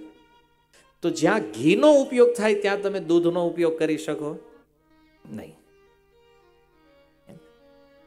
ઘીમાં જે પૂરી તળાય, એ દૂધમાં નહીં તળાય? એટલે સાર ઉપયોગી છે. પછી ભલે એમાંથી મીઠાઈ બનાવો, મોહનથાળ, લાડવા જે બનાવો એ પણ એ ઘીનું બને. તમે એમ કહો ઘીની જગ્યાએ દૂધ નાખો ડાયરેક્ટ. એ સંભવ નથી. એમ સનકાદિકો કહે છે કે સંપૂર્ણ વેદરૂપી વૃક્ષ જે છે, એનું સારરૂપ ફળ જે છે ને એ શ્રીમદ ભાગવતમ છે. એટલા માટે જે કામ સાક્ષાત વેદ નથી કરી ક્યાંને, એ કાર્ય કોણ કરે છે? એ ભાગવત કરે છે. ઘણીવાર કળિયુગમાં લોકો કહે છે કે પ્રભુજી અમારે ડાયરેક્ટ વેદ વાંચવા છે. તો તમે બતાવો ને ક્યાંક વેદ મળતા હોય તો. નો ડાઉટ વેદ બધે મળે છે માર્કેટમાં, બુક્સના રૂપમાં. પણ પહેલી વાત એ છે કે વેદને વાંચીને સમજી શકો નહીં.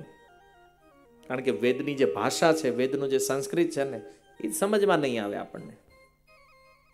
એમ કદાચ વેદ વાંચશો હોય તે, પણ વેદ એવો વિષય છે કે એને સમજવા માટે તમારે ગુરુ પાસે જવું પડે. પછી ગુરુ જ્યારે વેદ મંત્રનું ઉચ્ચારણ કરે, ત્યારે શિષ્યએ સાંભળવાનું હોય. બીજી વાર ગુરુજી વેદ મંત્ર ઉચ્ચારણ કરે, શિષ્ય ધ્યાનથી સાંભળે અને યાદ કરે.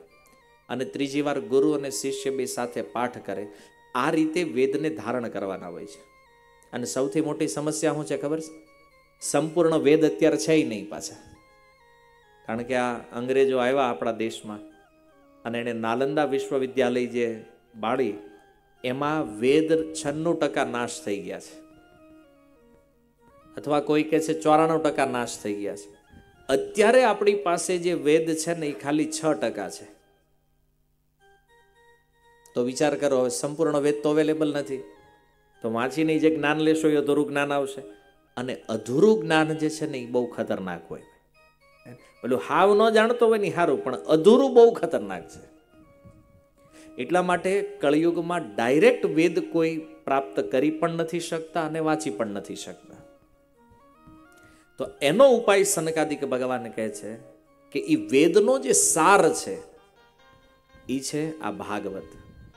કળિયુગમાં કોઈ ભાગવતનો આશ્રય લે છે, તો વેદ જે કાર્ય નહીં કરી શકે એની ભાગવત કરશે. સનકાદિકો કે છે વેદનો પાઠ એના કાનમાં કર્યો નથી જાગ્યા ને? તો કે ના, આ ભાગવતથી જાગશે. એમ? તો નારદજી કહે છે કે તમારી વાત તો સત્ય છે. કારણ કે તમારી જેવા સાધુઓનું દર્શન ક્યારેય વિફળ જાય નહીં. તો ભક્તિ જ્ઞાન અને વૈરાગ્યની સ્થાપના કરવા માટે મારે પણ આ સપ્તાહ યજ્ઞ કરવું છે?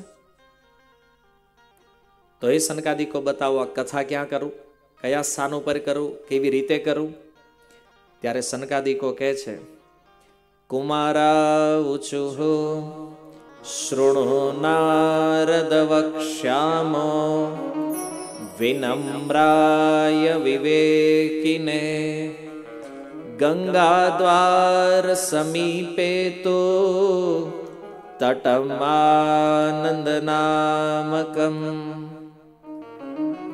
કે છે નારદજી ગંગા દ્વાર સમીપે ગંગા દ્વાર કે છે હરિદ્વારને સમીપે હરિદ્વારથી નિકટ ગંગાજીનો એક સુંદર તટ છે. જ્યાં સુંદર નવી રેતી પથરાયેલી છે. સુંદર વૃક્ષો છે, લતાઓ છે, જેનો મંડપ બનેલો છે.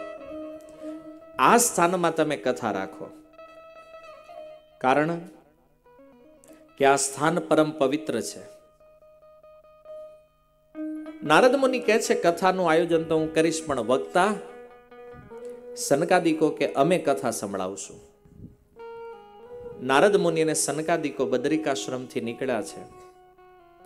એ ગંગાજીના સમતલ તટ ઉપર આવે અને ત્યાં નારદ મુનિ દ્વારા સુંદર કથાનું આયોજન થયું છે.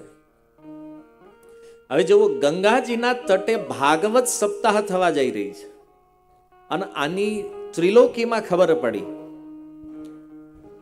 તો સૌથી પહેલા શ્રોતાઓ ત્યાં આવવાનો પ્રારંભ કરે છે. અને પ્રથમ શ્રોતા જે આવ્યા છે, એ કોણ છે? તો કે છે, શ્રીમદ ભાગવત પિયુષ પાનાય રસલંપટાહ, ધાવંતો અપ્યાયુ સર્વે પ્રથમમ એ ચ વૈષ્ણવા.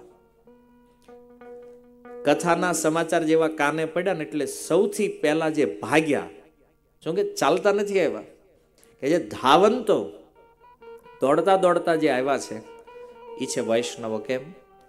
જો એક પ્રશ્ન છે, વૈષ્ણવ કોને કહેવાય? આપણે અહીંયા ગુજરાતમાં તો એક એવી પ્રથા છે કે તમે અમુક ફિક્સ સંપ્રદાયમાં જોડાયેલા હોવ તો તમે વૈષ્ણવ છો એમ. નહીં, વૈષ્ણવ સંસ્કૃત શબ્દ છે. વૈષ્ણવનો અર્થ છે જે વિષ્ણુના ભક્ત છે. ભગવાન વિષ્ણુના જે અલગ અલગ અવતારો છે. અને એ કોઈ પણ અવતારના જે ભક્ત છે, માનો કૃષ્ણના ભક્ત છે, તો એ વૈષ્ણવ છે. રામના ભક્ત છે, એ પણ વૈષ્ણવ છે. નરસિંહ ભગવાનના કોઈ ભક્ત છે, એ વૈષ્ણવ છે. વામનની કોઈ ભક્તિ કરે છે, એ પણ વૈષ્ણવ છે. તો વિષ્ણુ તત્વની જે ઉપાસના કરે, એને વૈષ્ણવ કહેવામાં આવે છે. અને આવા જે વૈષ્ણવો છે ને, એની ખાસિયત શું છે ખબર? એ ભગવાનની કથા માટે એટલા લાલાયિત હોય, એટલા લાલાયિત હોય છે કે એને ખબર પડે ને ક્યાંક કથા થાય છે, એટલે દોડવા જ માંડે. આપણને એક પ્રશ્ન થાય કે કથામાં એવું શું છે?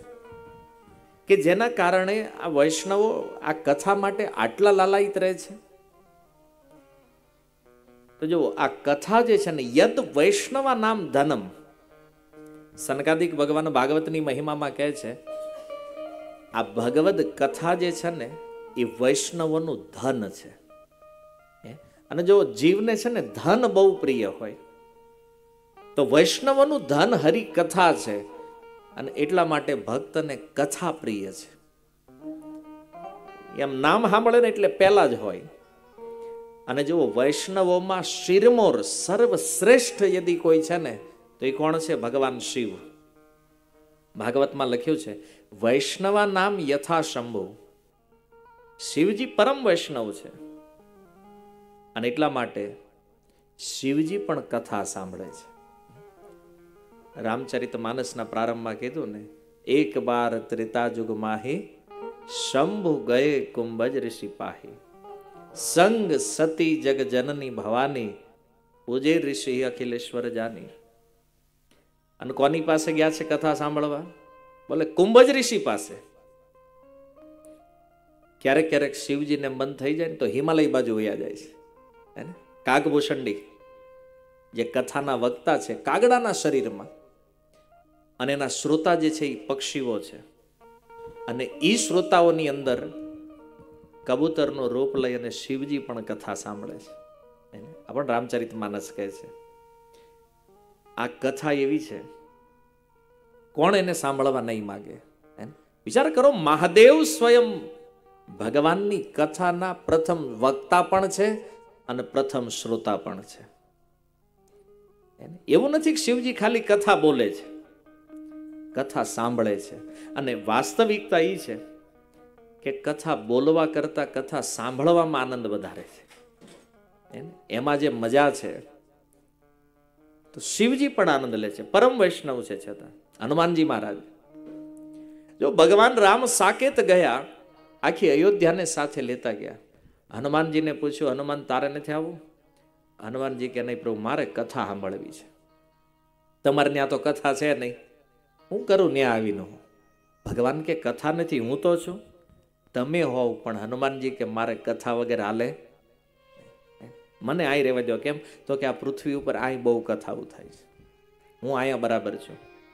તો ભગવાન રામ કે ક્યાં સુધી રહીશ બોલે, જ્યાં સુધી છેલ્લો વક્તા રહેશે આ પૃથ્વી ઉપર, ત્યાં સુધી હું રહીશ જો હનુમાનજી મહારાજ કથાના પરમ પ્રેમી છે. સુખદેવ ગોસ્વામી. પણ કથાના પરમ, એકથી એક ભગવાનના ભક્ત જોવો તમે. આ બધા કથા પ્રેમી લોકો છે. તો જે વૈષ્ણવો છે, સર્વે પ્રથમમ એ ચ વૈષ્ણવા. સૌથી પહેલાં એ લોકો આવ્યા અને ત્યારબાદ કે છે, ભૃગુ વશિષ્ઠ ચ્યવન, ગૌતમ, મેઘાતિથિ, દેવલ, દેવરાત, પરશુરામ, વિશ્વામિત્ર, શાકલ માર્કંડે દત્તાત્રેય, પીપલાદ, યોગેશ્વર, વ્યાસ, પરાશર, છાયાશુક, જાજલી, જહનો. આ બધા ઋષિમુનિઓ પોતપોતાના પુત્ર પત્ની અને શિષ્ય સહિત કથા સાંભળવા માટે. જો અહીંયા એક સિદ્ધાંત છે કે જ્યારે જ્યારે પણ આપણને કથાનું આમંત્રણ મળે ને, તો કથા સાંભળવા એકલા ક્યારેય ન જવું જોઈએ. સપરિવાર, જો આ જેટલા ઋષિમુનિઓ છે, જેને પત્ની પુત્ર હતા એને લઈને આવ્યા, જેણે વિવાહ નહોતા કર્યા એવા ઋષિમુનિ પોતાના શિષ્યોને લઈને આવ્યા, એકલા કથા સાંભળવા નથી જતા. શું કામ? આપણા ગૃહસ્થ માટે એ જરૂરી છે કે બે જણા જો કથા સાંભળવા ગયા હોય, તો બેયને સમાન રૂપે ભગવાનમાં પ્રેમ થાય. અને આવું થાય ને તો ગૃહસ્થ જીવન બરાબર હાલે, ગૃહસ્થ જીવનમાં ભક્તિ પણ બરાબર હાલે. નહીતર થોડુંક ગડબડ થાય એકને ભજનમાં રસ હોય ને એકને ભોગમાં રસ હોય, હે તો બધું ડિસ્ટર્બ મંડે થાવ. હે ને, એટલે જાવું જોઈએ હારે. અને આ જો શિવજી આદર્શ ગૃહસ્થ છે અને ભગવાન શિવ શીખવાડે છે સંગ સતી જગ જનની ભવાની. શિવજી કથા સાંભળવા ગયા ને, સતીને હારે લઈને ગયા છે.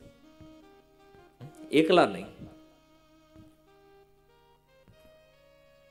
ઉપરાંત વેદ, વેદાંત, મંત્ર, તંત્ર, સત્તર પુરાણ, છ શાસ્ત્ર, મૂર્તિમંત સ્વરૂપ લઈ અને કથામાં ઉપસ્થિત થયા છે. ઘણીવાર લોકોના મનમાં આવી જ્યારે વાતો ભાગવત કે આપણા શાસ્ત્રોમાં સાંભળે ને, તો અન્ય ધર્મના જે લોકો છે, એના મનમાં એવું થાય કે ભાઈ તમારા શાસ્ત્રોમાં તો બધું આવું જ લખ્યું છે, ગપ, ગોળા ખોટવી શાસ્ત્ર કોઈ દિવસ મનુષ્યનું રૂપ લઈને કથા સાંભળવા કેવી રીતે જઈએ?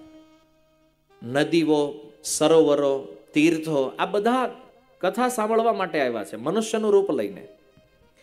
તો એક પ્રશ્ન થાય કે નદી કોઈ દિવસ હ્યુમન ફોર્મમાં આવે? મનુષ્ય રૂપમાં આવે? આ તો અંધશ્રદ્ધા છે, આ તો વાત ખોટી છે. પણ તમે જુઓ, પ્રકૃતિની અંદર હરેક વસ્તુના ત્રણ સ્વરૂપ છે. આધિ દૈવિક, આદિ ભૌતિક અને આદિ આધ્યાત્મિક. નદીઓ એમાં જે પાણી છે ને એનું ભૌતિક રૂપ છે. નદીનું કોઈ હ્યુમન ફોર્મમાં દેવતાઓના રૂપમાં હોવું, જેમ કે ગંગાજી, જેના પુત્ર છે પિતામહ ભીષ્મ તો એનું જે હ્યુમન ફોર્મ જે છે, દેવતાઓનું શરીર જે છે, એનું આદિ દૈવિક રૂપ છે. એટલા માટે ક્યારેય એ વિચાર ન કરવો જોઈએ કે ભાઈ અહીંયા શાસ્ત્રમાં જે લખ્યું છે, તો આ વાત ખોટી છે કે આ વાત કદાચ ઉચિત નથી, એવું નથી. જો આપણા શાસ્ત્રોમાં જે લખ્યું છે એ પરમ સત્ય છે. કદાચ એવું બને કે શાસ્ત્રની વાત આપણા દિમાગ સુધી ન પહોંચતી હોય. આપણે શાસ્ત્રને ન સમજી શકતા હોય, એનો અર્થ એવો નથી કે આ અંધશ્રદ્ધા છે.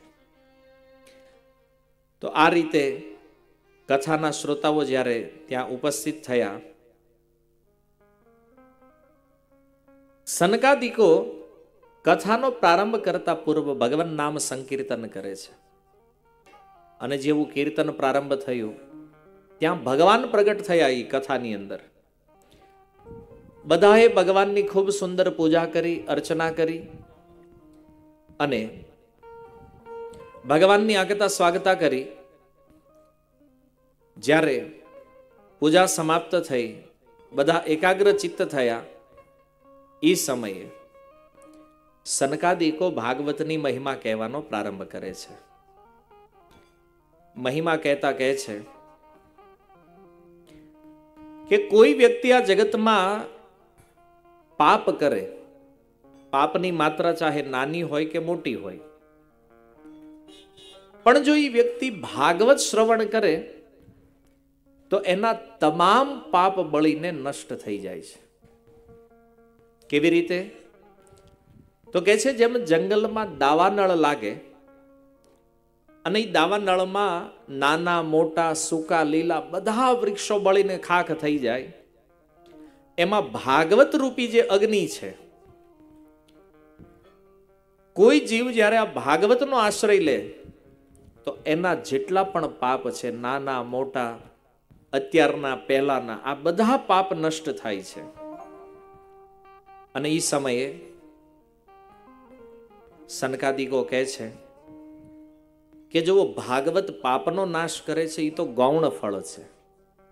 મુખ્ય ફળ શું છે? બોલે ભગવાન જ્યારે પોતાના ધરાધામને છોડી અને પોતાના ધામમાં જઈ રહ્યા હતા એ સમયે ઉદ્ધવજી ભગવાનને પ્રાર્થના કરતા કહે છે કે, હે પ્રભુ, તમે તો હવે જઈ રહ્યા છો, તો પછી આ સંસારમાં તમારા ભક્તનું પોષણ કોણ કરશે? ધર્મ કોની શરણમાં રહેશે? ત્યારે પ્રભાસ ક્ષેત્રની અંદર ઉદ્ધવજીના વચન સાંભળી અને ભગવાન વિચાર કરે છે કે મારે મારા ભક્તના અવલંબન માટે કોઈ વ્યવસ્થા કરવી જોઈએ. હે શૌનકજી, તિરોધાય પ્રવિષ્ટોયમ શ્રીમદ ભાગવતાર્ણવમ. ઉદ્ધવજીના વચન સાંભળી અને ભગવાન કહે છે કે જ્યારે જ્યારે હું અવતાર લઈને આવું ને ત્યારે શું કરું છું? જ્યારે મારું લીલા કાર્ય પૂર્ણ થાય તો હું મારા ધામમાં વયો જાઉં છું. પણ આ વખતે મારે મારા ધામમાં જવું નથી. તો આ વખતે હું કંઈક નવી લીલા કરીશ. અને ઉદ્ધવજીના જોતા જોતા ભગવાન શ્રી કૃષ્ણએ ભાગવત સમુદ્રમાં પ્રવેશ કરી દીધો. તિરોધાય પ્રવિષ્ટોયમ. ભગવાન પ્રવિષ્ટ થયા ભાગવતની અંદર. અને એટલા માટે તમે જુઓ, ભાગવત જે છે ને, એ કોઈ પુસ્તક નથી, કોઈ સામાન્ય ગ્રંથ નથી.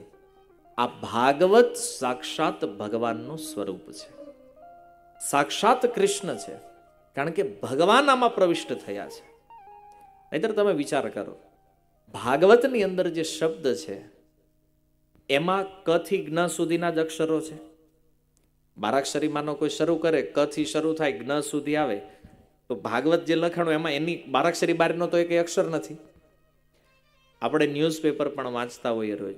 એમાં પણ તમે જુઓ તો એમાં પણ બારાક્ષરી સિવાય તો કોઈ અક્ષર છે નહીં બીજો. એ જ કથી જ્ઞ સુધીના અક્ષરો છે. તો ભાગવત જ્યારે આપણે વાંચીએ કે સાંભળીએ છીએ, તો એનાથી આપણને શુદ્ધ ચેતના પ્રાપ્ત થાય છે. એનાથી આપણું ચિત્ત શુદ્ધ થાય છે. આપણી મતિ ભગવાનમાં લાગે છે. જ્યારે ન્યૂઝપેપરો વાંચવાથી આવું થતું નથી. અક્ષર તો અક્ષર છે બેમાં પણ જો ભાગવતની અંદર ભગવાનનો પ્રવેશ થયો છે, અને એટલા માટે આ ભાગવત જે છે ને શબ્દ બ્રહ્મ છે. આપણો જે વિશ્વાસ, આપણી જે શ્રદ્ધા છે ને ભાગવતમાં, એનું કારણ શું છે? આ શબ્દ બ્રહ્મ છે. જ્યારે બોલ્યા, કેવલ અક્ષર છે. એટલા માટે આ ભાગવત સાક્ષાત ભગવાનનું સ્વરૂપ છે એટલે તમામ પાપોને નષ્ટ કરવાની ક્ષમતા ભાગવતની અંદર છે. કોઈ વ્યક્તિ જેના જીવનમાં દુઃખ છે, જેના જીવનમાં દરિદ્રતા છે, જેના જીવનમાં દુર્ભાગ્ય છે, કામ ક્રોધ જેવા શત્રુઓ પર વિજય અપાવી અને સમસ્ત પાપને ધોવાવાળું આ ભાગવત જો આ ભાગવત ન હોત, તો હે નારદજી બતાવો કે ભગવાનની જે માયા છે, આનાથી પીછો છોડાવો તો દેવતાઓ માટે પણ દુર્લભ છે. એને તો પછી મનુષ્ય આ માયાથી કેવી રીતે મુક્ત થઈ શકે? પણ એના માટે પણ આ ભાગવત વિધાન છે. સુત ગોસ્વામી કહે છે એ શૌનકજી જ્યારે સનકાદિક મુનિઓ આ રીતે ભાગવત સપ્તાહની મહિમાના વખાણ કરી રહ્યા હતા, ત્યારે સભામાં એક મોટું આશ્ચર્ય થયું. શું આશ્ચર્ય થયું? સુત ગોસ્વામી કહે છે, ભક્તિ સુતો તો તરુણો ગૃહિત્વા, પ્રેમે કરૂપા સહસા વિરાસી શ્રી કૃષ્ણ ગોવિંદ હરે મુરારે નાથે તિનામા નિમોહોર્વદંતી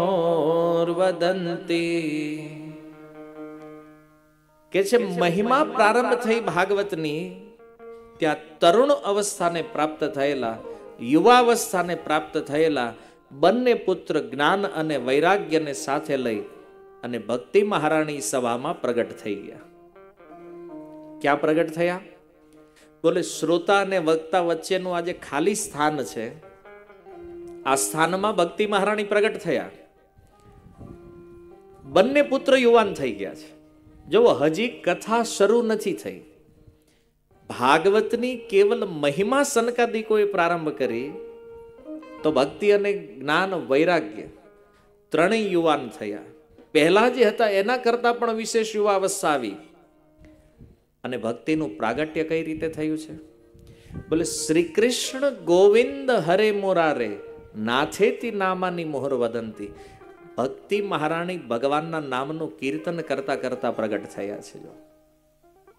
કોઈ વ્યક્તિના હૃદયમાં ભક્તિ પ્રગટ થાય, એનું પ્રમાણ શું છે? બોલે એની જીહવા ઉપર ભગવાનનું નામ આવે છે. આ ભક્તિ મહારાણીના પ્રાગટ્યની નિશાની છે. ભક્તિ જેના હૃદયમાં આવે ને એના મુખમાં હરિનામ ક્યારેય બંધ થઈ શકે? કારણ કે એનું પ્રાગટ્ય જે રીતે થયું છે. ભગવાનના નામને ગાતા ગાતા આ યુવાન ભક્તિ છે. જો ભક્તિના પણ અવસ્થાના અલગ અલગ પ્રકારો છે બાળપણ ભક્તિનું છે, ભક્તિની યુવાવસ્થા પણ છે અને ભક્તિની વૃદ્ધાવસ્થા પણ છે. પણ યુવાન ભક્તિ કઈ છે? બોલે જે ભક્તિ ગાય છે અને નાચે છે. આપણે કહીએ ને, નાચે ને ગાય કોણ? બોલે યુવાનો. આમ વૃદ્ધ થઈ ગયા હોય પછી એટલું ન ફાવે બહુ. પણ યુવાન ભક્તિનો પરિચય છે. ભગવાનના નામનું સંકીર્તન. ભગવાનના નામને ગાવું અને ભગવાનના નામના કીર્તનમાં નાચવું. આ છે સંકીર્તન. આ યુવા ભક્તિનો પરિચય છે. અને જ્ઞાન વૈરાગ્ય સહિત ભક્તિ મહારાણી કીર્તન કરે. શ્રી કૃષ્ણ ગોવિંદ હરે મોરારે, હે નાથ નારાયણ વાસુદેવા.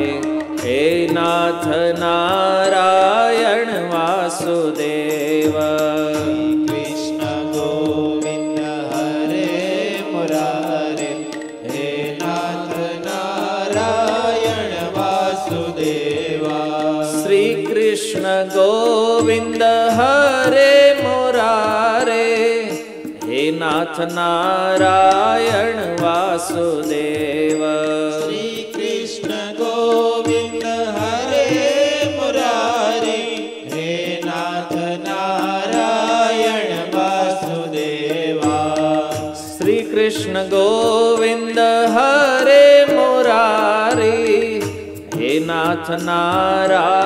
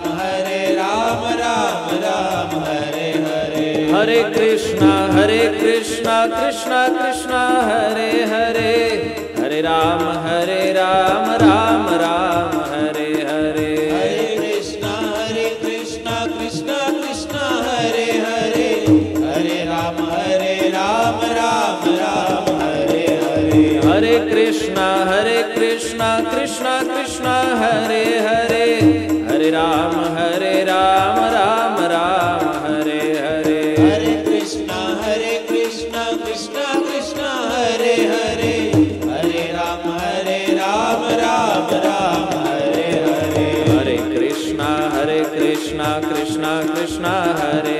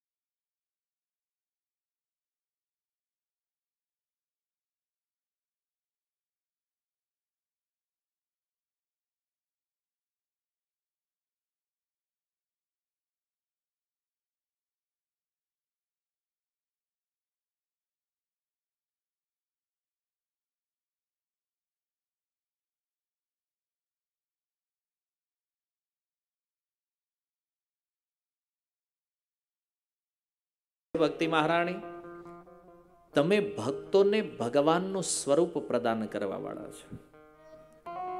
જો આ જગતમાં ભગવાન કોઈને મળે છે ને તો એ કેવલ ભક્તિથી મળે છે. ભગવાનને કોઈ જાણે છે તો કેવલ ભક્ત જાણે છે. ગીતામાં કહે છે ભગવાન, ભક્ત્યા મામ અભિજાનાતી. અર્જુન, મને કોઈ મારા પૂર્ણ રૂપમાં જાણે છે ને તો કેવલ મારા ભક્તો છે. અને ગંગા સતી પોતાના ભજનમાં કહે છે હે ભક્તિ રે વિનાના ભગવાન રીજે નહીં પાનબાઈ. ભગવાનને પ્રસન્ન કરવા હોય ને, તો ભક્તિ સિવાય અન્ય કોઈ માર્ગ નથી. અને એની સિવાય કોઈ ઉપાય નથી.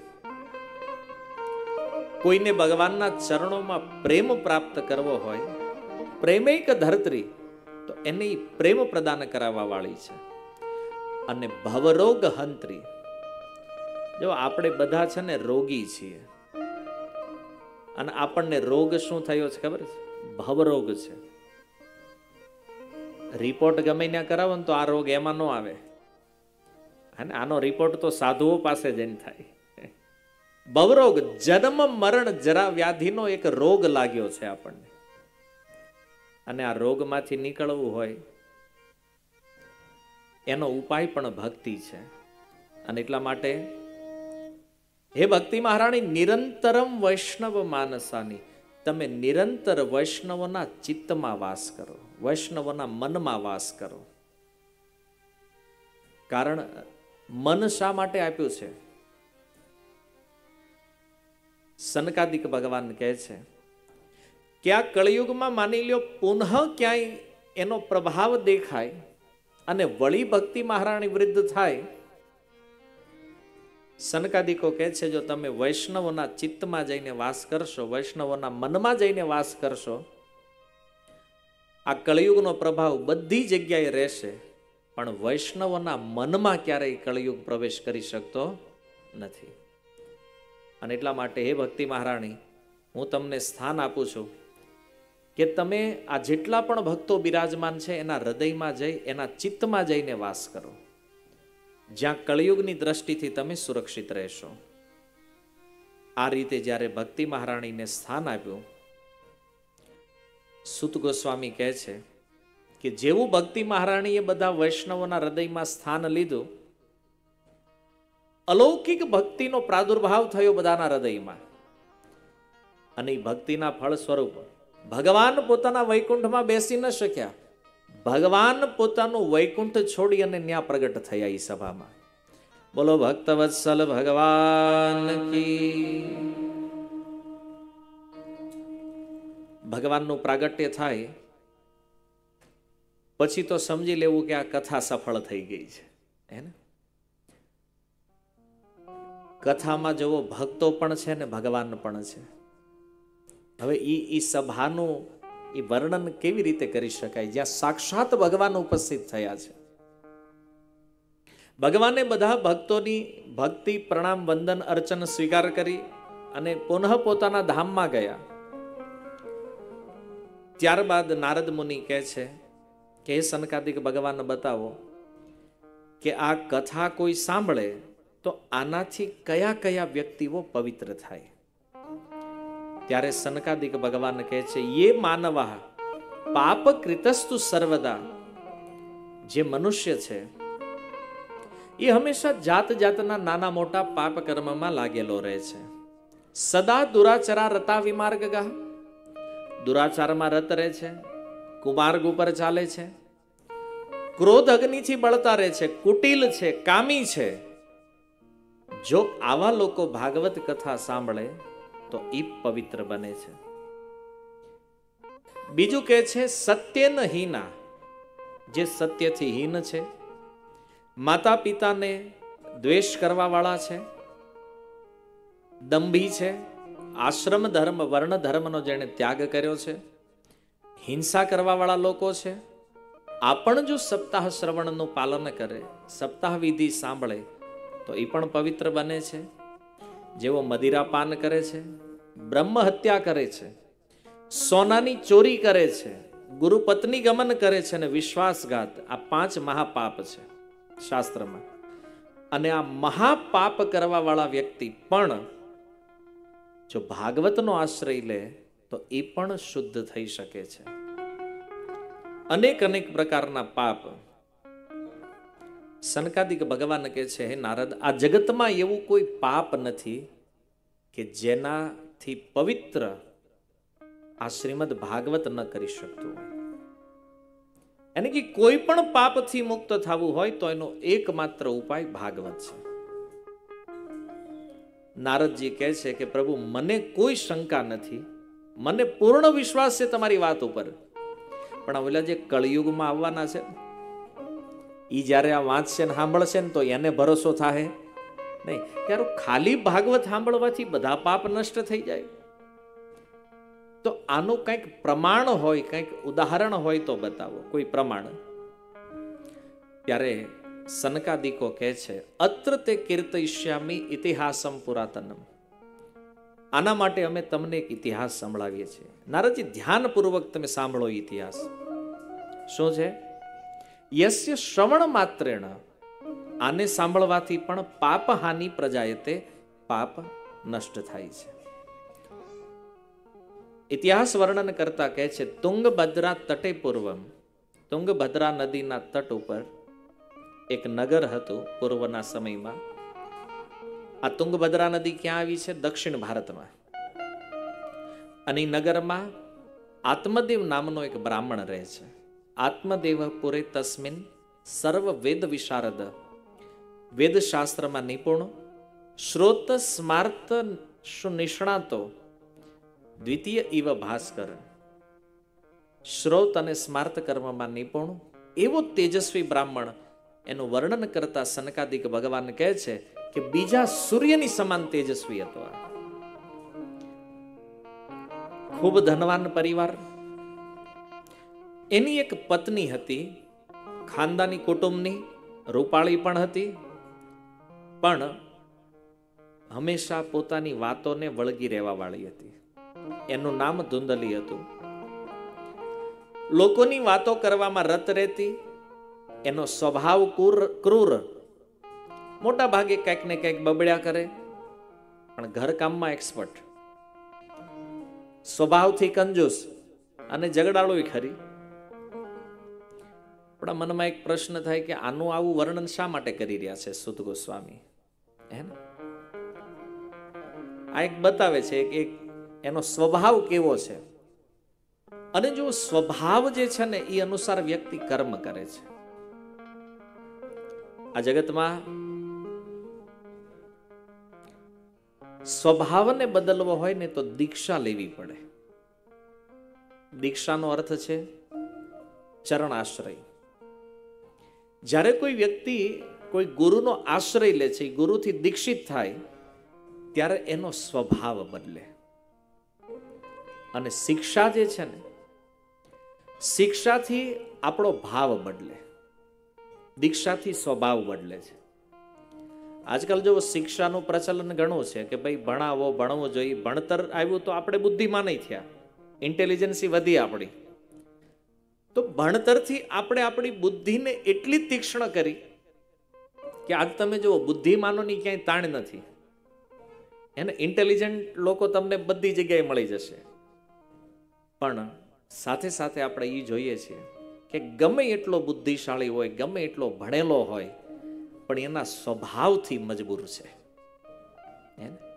ભણતર જીવનમાં આવે, પણ આપણે ગુજરાતીમાં કહેવત છે કે ભણતર સાથે જો ગણતર નો આવે ને તો આવું ભણતર નકામું છે. હે તો શિક્ષાથી બુદ્ધિ શાર્પ થઈ આપણે બુદ્ધિમાન ખૂબ બન્યા છીએ. પણ આ બુદ્ધિનો ઉપયોગ ક્યાં કર્યો છે આપણે? પાપ કરવામાં. તમે વિચારો, બુદ્ધિ જેમ બધી, શિક્ષણ વધ્યું, તો પાપ પણ વધ્યું છે. તમે જુઓ, ચોરી કરે છે આજ કોઈ વ્યક્તિ. ખૂબ ભણેલા લોકો છે, તોય ચોરી કરે છે. આઈએએસ લેવલના વ્યક્તિઓ, આઈપીએસ લેવલના વ્યક્તિઓ હોય, એને ખૂબ ભણીને પહોંચ્યા છે. છતાં તમે ન્યૂઝમાં વાંચો છો, રિશ્વત લે છે. કોઈ અધિકારીઓ બન્યા હોય ભણીને છતાં લાંચ રિશ્વતમાં પકડાઈ, ભ્રષ્ટાચાર વધ્યો છે. કેમ? કારણ કે એણે શિક્ષા લીધી છે. પણ શિક્ષણ સાથે જે ગણતર, જે દીક્ષા જરૂરી, જે સ્વભાવ પરિવર્તન, એ શિક્ષા ન કરી શકે. એના માટે આ ભાગવત જરૂરી છે. એના માટે અધ્યાત્મ જરૂરી છે. જો સ્વભાવને બદલવો હોય તો? નહીતર તો વિચાર કરો કે ભણતરથી જો બધું પ્રાપ્ત થતું હોત, તો ભણેલો વ્યક્તિ ક્યારેય ક્રાઇમ કરે ખરો? આજ મોટા ભાગના ક્રાઇમ જે થઈ રહ્યા છે કોણ કરે છે? જો કે જેની બુદ્ધિ બહુ વધી છે, જેની ઇન્ટેલિજન્સી વધી છે, પણ એને ખબર નથી કે આ બુદ્ધિનો પ્રયોગ ક્યાં કરવો. તો આવા વ્યક્તિ ગમે એટલા બુદ્ધિમાન હોય, પણ એના સ્વભાવથી વશ છે. એને તમે સુધારી ન એકો મહાભારતની અંદર જુઓ. ભગવાન કૃષ્ણ જ્યારે સંધિદૂત બની ગયા,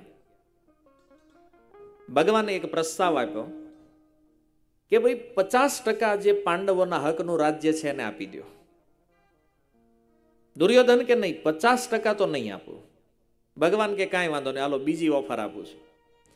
પાંચ ગામ કેવલ, પાંચ ભાઈઓ છે ને, પાંચ ગામ આપી દો ખાલી. પાંડવો જીવી લેશે એનું જે છે દુર્યોધન કે પાંચ ગામ પણ નહીં, સોયની અણી મૂકે એટલી ભૂમિ યુદ્ધ વગર નહીં મળે. જાઓ, જેને જે કરવો એ કરો. ત્યારે વિદુરજી કહે છે, દુર્યોધન, સાક્ષાત દ્વારકાધીશ. તને સમજાવી રહ્યા છે આ સોદો ખોટો નથી, પાંચ ગામ આપવામાં શું વાંધો છે? કર્ણએ કીધું, પાંચ ગામ આપી દે, દુર્યોધન, આ વાત સાચી છે, તું દ્વારકાધીશની વાત માની લે. દુર્યોધન કહે છે, તમે મને ગમે એટલું કહો, પણ હું માનવાનો નથી. વિદુરજી કહે છે, તને ધર્મની ચિંતા નથી? દુર્યોધન કહે છે, જાનામી ધર્મમ. એ વિદુરજી, એવું નથી, મને ધર્મ ખબર નથી. હું ધર્મને જાણું છું તો? નચમે પ્રવૃત્તિ, પણ મારી એમાં પ્રવૃત્તિ નથી. જાનામી અધર્મમ, હું અધર્મને પણ જાણું છું. નચમે નિવૃત્તિ, મારી એમાં નિવૃત્તિ નથી. ધર્મને હું પકડી એકતો નથી ને અધર્મને હું છોડી એકતો નથી. વિદુરજી કે, અદ્ભુત છે.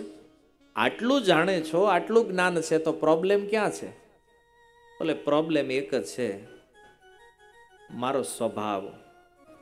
દૈવ મને અંદરથી કોક ના પાડે છે. કે રહેવા દે, આ ડીલ કરવી? નથી. વિદુરજી કે, "ઈ અંદર કોણ છે? બોલે, દૈવ. મારું ભાગ્ય, મારો જે સ્વભાવ જે છે ને એ મને ના પાડે છે. તો જો આ દુનિયામાં એવું નથી, લોકોમાં જ્ઞાન નથી. હે ને? જ્ઞાન તો ઘણા લોકો પાસે છે. ઘણા મોટા મોટા જ્ઞાનીઓ છે. પણ એ જ્ઞાન જે છે ને જીવનમાં એપ્લાય થતું નથી. અને અહીંયા વ્યક્તિ ફસાય છે.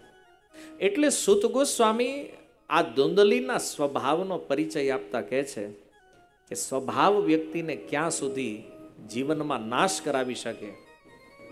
અને જે દીક્ષા દ્વારા પોતાના સ્વભાવને પરિવર્તિત કરે છે આ વ્યક્તિ પતિત થયા પછી પણ પોતાનો ઉદ્ધાર ક્યાં સુધી કરી શકે છે? ભોગવિલાસની સામગ્રી તો પર્યાપ્ત હતી આ બ્રાહ્મણના ઘરે, પણ કહે છે એને કોઈ પુત્ર નથી. બધું છે પુત્ર નથી. અને બ્રાહ્મણ બહુ દુઃખી થયો. એવું નહોતું એણે ટ્રાય નથી કરી.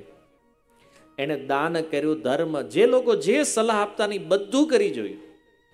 અને આમ કરતા કરતા પોતાનું અડધું ધન જે છે એ ખર્ચી નાખ્યું, છતાં એને કોઈ પુત્ર થયો નહીં ત્યારે. એ બ્રાહ્મણ નક્કી કરે છે કે હવે હું વનની અંદર જઈને આત્મહત્યા કરી લઉં.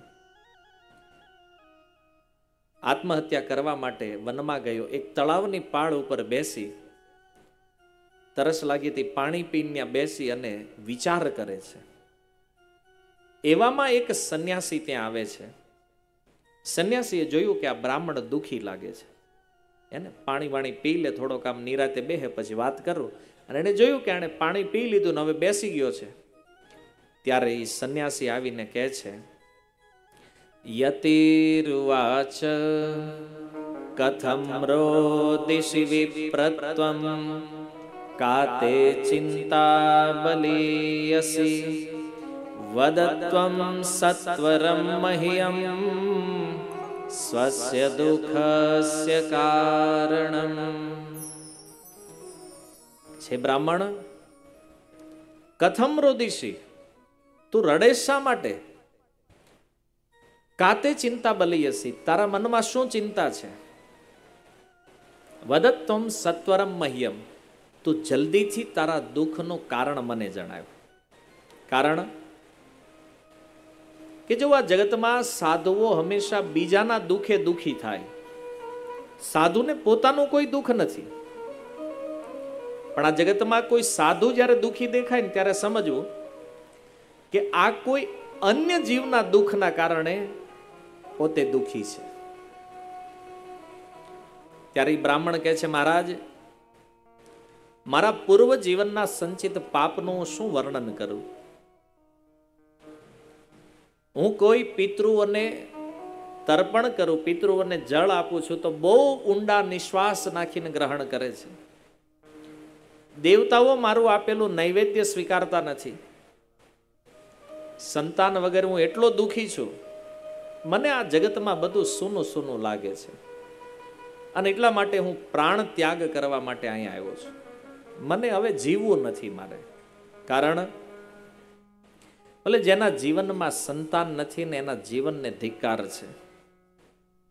આ બ્રાહ્મણ કહે છે, કારણ કે સંતાનમાં મોહ છે ને, બાકી જેને છે એને પૂછો. કેટલી ચિંતા છે, એને મોટા થઈને હારા થાહે કે નહીં? ધંધો હરખો આંકશે કે નહીં? હરેક માતા પિતાને ચિંતા છે. પણ આ બ્રાહ્મણ કહે છે કે મારા જીવનમાં એકમાત્ર દુઃખ જે છે એ આ સંતાન નથી. અને એના કારણે અન્ય જેટલી વસ્તુ છે એ પણ મને સુખ આપી શકતી નથી. આને કે છે અભાવ.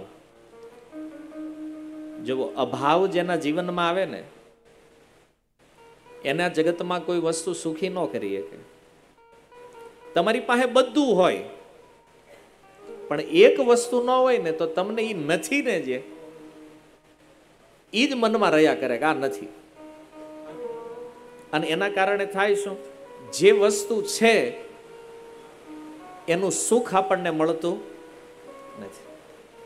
એના જીવનમાં ધન છે, સંપત્તિ છે, સારું પરિવાર છે, સારો કુળ છે વેદપાઠી બ્રાહ્મણ છે, ખાલી એક પુત્ર નથી.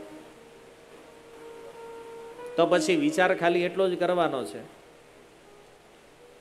કે ભાઈ, ચાલો, પુત્ર નથી તો કાંઈ વાંધો નહીં. બાકીની વસ્તુ છે, એનો તો આનંદ લઈ ન લઈએ કે. અભાવમાં માણસને આ દશા થઈ જાય. ત્યારે એ સંન્યાસી કહે છે, મુંચા જ્ઞાનમ પ્રજારૂપમ. એ બ્રાહ્મણ, તું આ અજ્ઞાન જે છે ને એ છોડી દે. આ બાળક માટે જે મોહ તારી અંદર પ્રગટ થયો છે ને, બલિષ્ઠા કર્મણો ગતિ કર્મની ગતિ બહુ બળવાન છે. કેમ? કારણ કે કાળ કર્મના માપ દ્વારા જગતમાં જીવોને આમ તેમ ગુમાવતો રહે છે.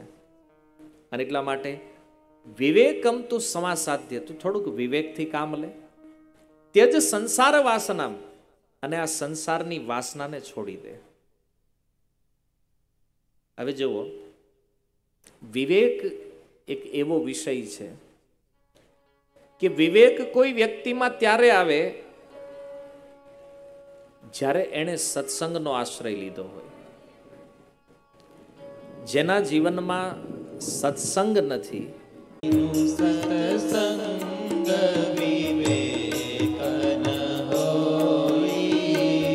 બિનો સતસંગ વિવેક.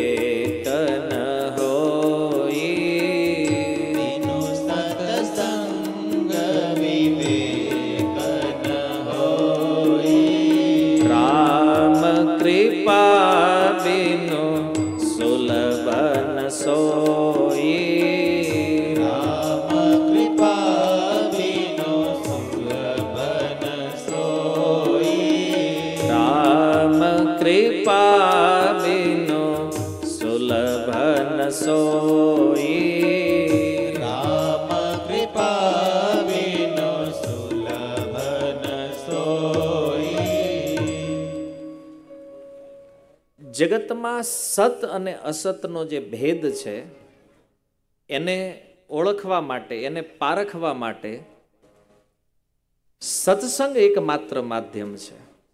અને સત્સંગના આશ્રયમાં કોઈ વ્યક્તિ સમજે કે આ જગતમાં જે વસ્તુ કે વ્યક્તિ પાછળ હું જે ભાગી રહ્યો છું ને એ મારો મોહ છે, મારું અજ્ઞાન છે. કેમ?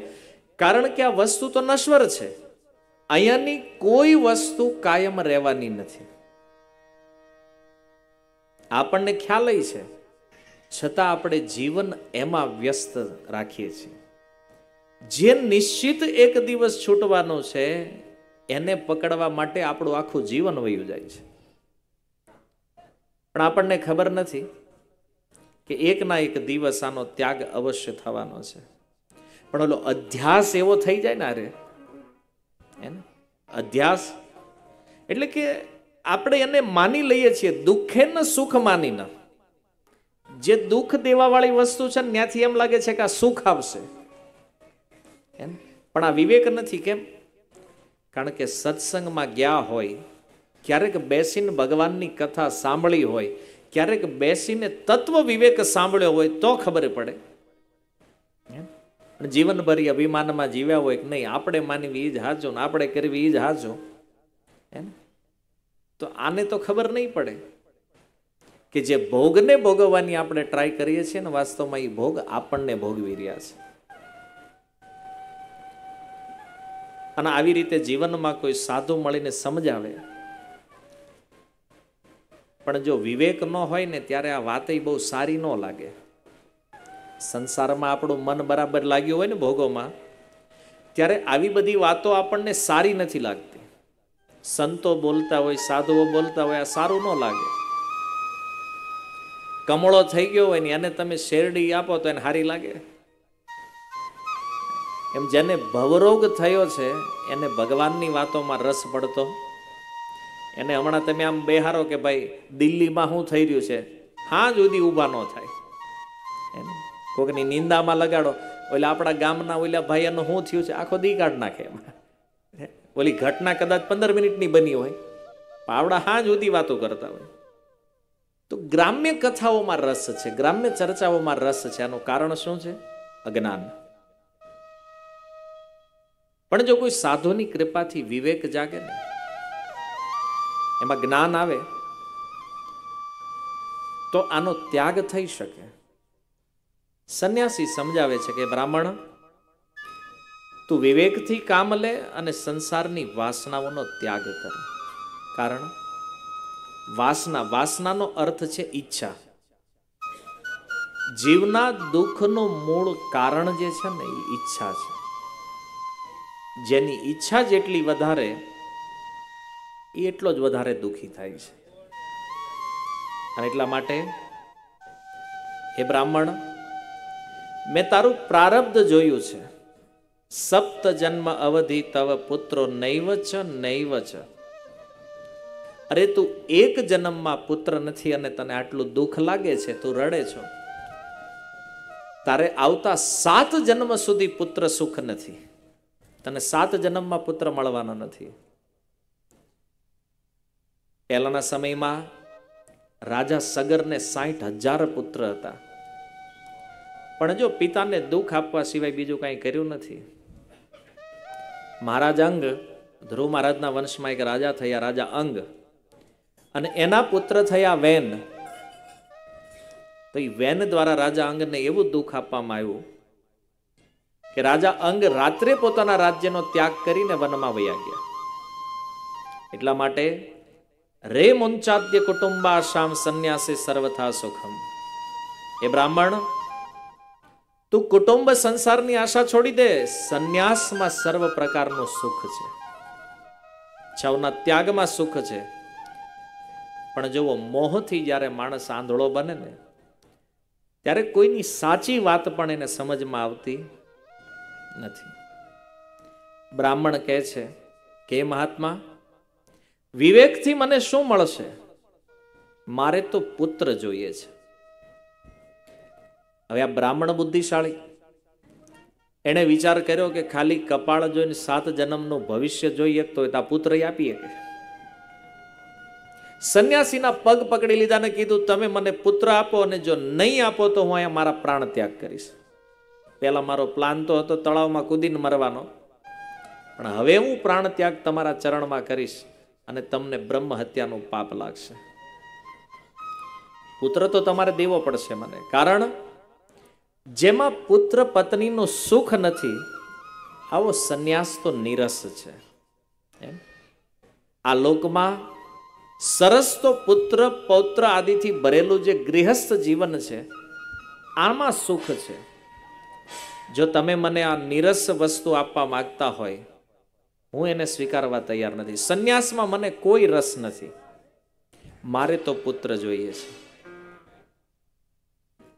બ્રાહ્મણનો આવો આગ્રહ જોયો. સંન્યાસી કહે છે કે જો હઠ કરવાથી કોઈ ફાયદો નથી, રાજા ચિત્રકેતુએ પણ પુત્ર માટે હઠ કરી બહુ દુઃખ ભોગવવું પડ્યું છે એણે તે. અને જેના પ્રયત્નને દૈવ કચડી નાખે. માની લે હું તને પુત્ર આપી દઉં, પણ એ પુત્ર તને સુખ નહીં આપે. એનાથી તારે દુઃખ વેઠવું પડશે. તો આવી સ્થિતિમાં તને શું કહું? સંન્યાસી બહુ સમજાવવાનો પ્રયાસ કરે છે. પણ એણે જોયું કે આ બ્રાહ્મણનો દ્રઢ આગ્રહ છે. ત્યારે એણે કીધું, કાંઈ નહીં, હું તને એક ફળ આપું છું. આ ફળ તું તારી પત્નીને જઈને ખવડાવજે, એનાથી તને એક પુત્રની પ્રાપ્તિ થશે. પણ સાંભળ, સાથે નિયમ પણ છે. સત્યમ શોચમ દયા દાનમ એક વક્તમ તું ભોજનમ. વર્ષાવધિ સ્ત્રીયા કાર્યમ તેન પુત્રોથી નિર્મલ. તારે જો શુદ્ધ પુત્ર પ્રાપ્ત કરવો હોય, સંસ્કારી પુત્ર પ્રાપ્ત કરવો હોય, તો આ જે નિયમ મેં આપ્યા છે, તારી પત્નીને કે જેનું પાલન કરે. આજે પણ જો બાળક જ્યારે ગર્ભમાં હોય, ત્યારે ઘણા લોકો ટ્રાય કરે છે કે બાળક સંસ્કારી આવે. એને બધાને સંસ્કારી બાળક જોઈએ છે. કોઈ એવું નથી કહેતા કે આતંકવાદી જેવું આવે તો એ વાંધો નહીં હાલશે એ કે આવવા દો તો. એ આવીને થઈ જાય એ વાત જુદી છે, પણ આવી ડિમાન્ડ કોઈની હોતી નથી. પણ પુત્ર સારો પ્રાપ્ત કરવો હોય તો શું કરવું જોઈએ? તો એના માટે પણ શાસ્ત્રમાં વિધિ છે કે જ્યારે કોઈ ગર્ભાધાન કરે, પહેલો સંસ્કાર છે ગર્ભાધાન. એ પણ વૈદિક મર્યાદા, વૈદિક વિધિ દ્વારા થવું જોઈએ. અને ત્યારબાદ પુંસવન સંસ્કાર આવે. ત્રીજા મહિને, સાતમા મહિને સીમંતોનયન સંસ્કાર.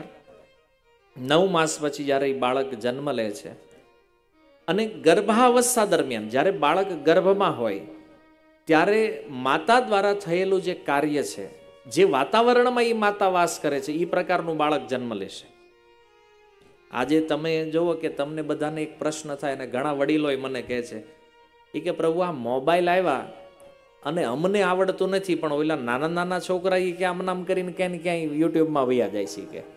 હે ને? આને કોણે શીખવાડ્યું છે એ કે આ બધું? પણ જો આનો ઉત્તર એ છે કે આજે જે કોઈ બાળક જન્મ લે છે, જે ગર્ભમાં રહે છે, તો બહારનું વાતાવરણ તો મોબાઈલનું છે એની વાત જવા દો પણ એની માતાએ જ સૌથી પહેલો ટાઈમ પાસ મોબાઈલમાં કર્યો છે. એમ તો બાળક જે છે એ તો માતાની આંખથી જ જોવે છે દુનિયાને. તો માતા જ આખો દી મોબાઈલમાં લાગેલી છે, તો બાળક આવીને જ કરવાનું છે.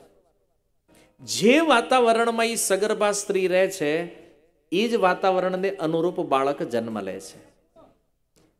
અત્યારે આપણને એમ લાગે બધા જ બાળકો ઇન્ટેલિજન્ટ આવી રહ્યા છે, હોશિયાર આવી રહ્યા છે. એ કોઈની હોશિયારી નથી, આ વાતાવરણની અસર છે. જે ટેકનોલોજીના યુગમાં એ ટેકનોલોજી શીખીને જ આવે છે ડાયરેક્ટ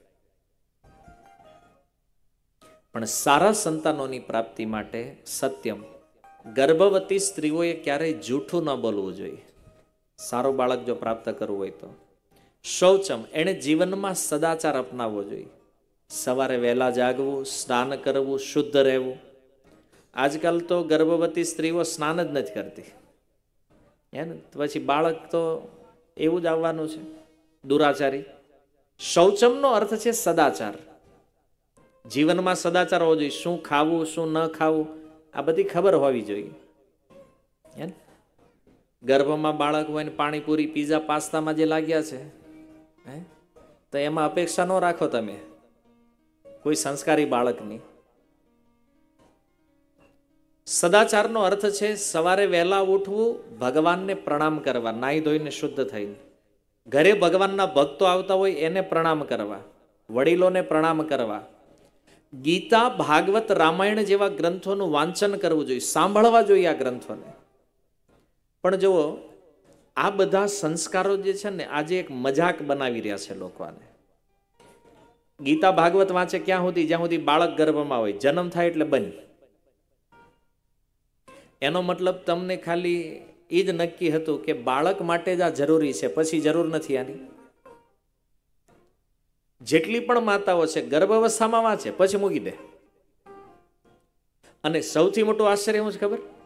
હવે જુઓ, તમે ગર્ભાવસ્થા દરમિયાન ગીતા ભાગવત રામાયણ વાંચ્યું, સાંભળ્યું, અને બાળક ભગવાનનો ભક્ત બન્યો. મંદિરે જવા માંડ્યો, સત્સંગમાં જવા માંડે પછી એને ના પાડે.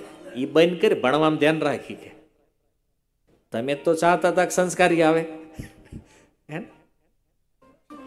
પણ એ મોટો થાય, ભક્તિ કરે ભાઈ ના પાડે. અને અમુક અમુક તો ત્યાં પોગી ગયા છે. એના બાપા એને કહેજો બેટા, તારે રેસ્ટોરન્ટમાં જવું હોય તો વાંધો નહીં.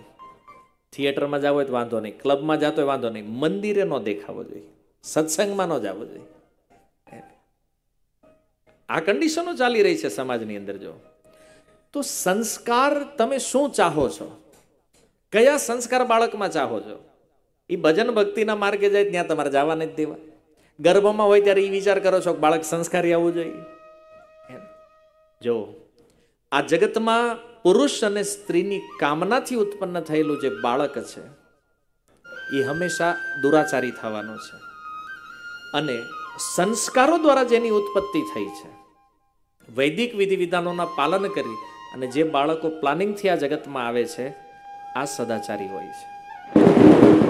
અહીંયા જુઓ. સંન્યાસી જ્યારે આશીર્વાદ આપી રહ્યા છે એ બ્રાહ્મણને,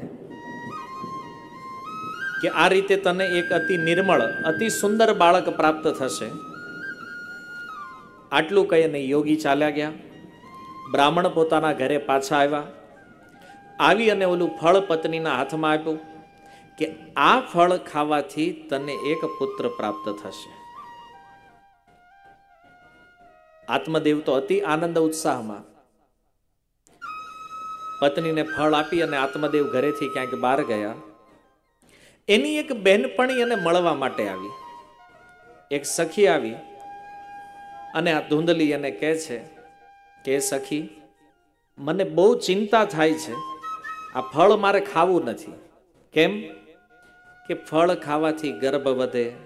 ગર્ભ વધે તો પેટ વધે. અને પેટ વધે પછી કાંઈ ખવાય પીવાય નહીં. અશક્તિ આવે તો કે આ ઘરનું કામ કેવી રીતે થાય મારાથી? જો આ ધૂંધલીના વિચાર. ધૂંધલીનો અર્થ છે બુદ્ધિ. અને બુદ્ધિ જ્યાં સુધી ભગવાનમાં ન લાગી હોય ને ત્યાં સુધી ધૂંધળી હોય. ધૂંધળીનો અર્થ કે વસ્તુને એના યથાર્થ રૂપમાં જોઈ શકતી નથી. આત્મદેવ જે છે ને એ આત્મા છે, જીવ. એને કે આપણું સ્વરૂપ છે. અને જ્યાં સુધી આ ધૂંધલીના કંટ્રોલમાં આત્મા છે, ત્યાં સુધી શું થાય છે? બોલે એ બુદ્ધિ જે પ્રમાણે એને ફેરવે એ પ્રમાણે જીવ ફરે છે. આત્મદેવે તો કીધું, ફળ ખા, સુંદર પુત્ર થશે. પણ એના વિચાર જોવો નસીબ જોગે ક્યાંક લૂંટારાવો ગામ ઉપર આવ્યા, તો આખું ગામ ભાગી જશે. હું તો ગર્ભવતી છું હું કેવી રીતે ભાગી શકીશ? માની લ્યો આવું ન થયું. સુખદેવજીની જેમ ગર્ભ અંદર જ રહી ગયો. બહાર જ નો આવ્યો બાળક તો. અને કદાચ એનો જન્મ પણ થઈ ગયો. પણ જન્મ થતી વખતે ગર્ભ જો ત્રાસો થઈ ગયો. બાળક ગર્ભમાંથી બહાર નીકળ્યો નહીં, તો મારું તો મૃત્યુ થઈ જશે. અને હું એટલી સુકુમાર સ્ત્રી છું, આ પ્રસૂતિની પીડા મારાથી તો સહન થાય નહીં. અને માની લ્યો આવું કાંઈ ન થયું. બાળકનો જન્મ પણ થયો. પછી હું તો ખાટલામાં પડી હશ. મારી નણંદને કામ કરવા મારે બોલાવવી પડશે. અને નણંદ ઘરે આવશે ને મારા ઘરેથી એક એક વસ્તુ એના ઘર ભેગી કરશે. આ ધોંધલીના વિચાર છે. હા, આમાં મારું નથી, હું સીધું સંસ્કૃતનું ગુજરાતી તમને કહી રહ્યો છું. મંદાયામ મય સર્વસ્વમ નનાંદા સમ હરેત તદા. મારી નણંદ બધું એના ઘર ભેગું કરશે. અને આવું પણ કાંઈ ન થયું, પણ આ સત્ય, શૌચ, આ બધા જે નિયમ આપ્યા છે, આ નિયમ આપણીથી ફોલો થાય એમ નથી.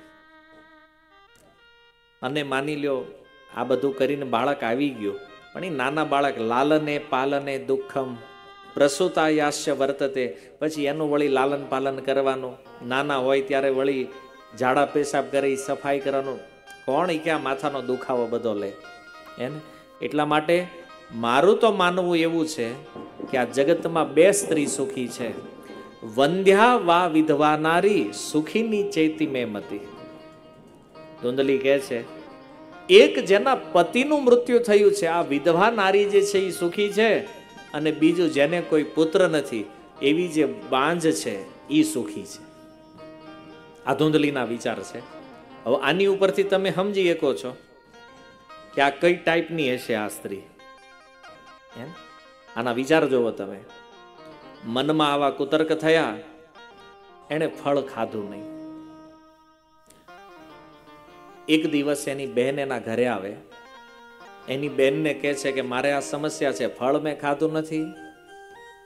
અને મારા પતિ મને પૂછશે, ફળ ખાધું તો હું શું જવાબ આપીશ?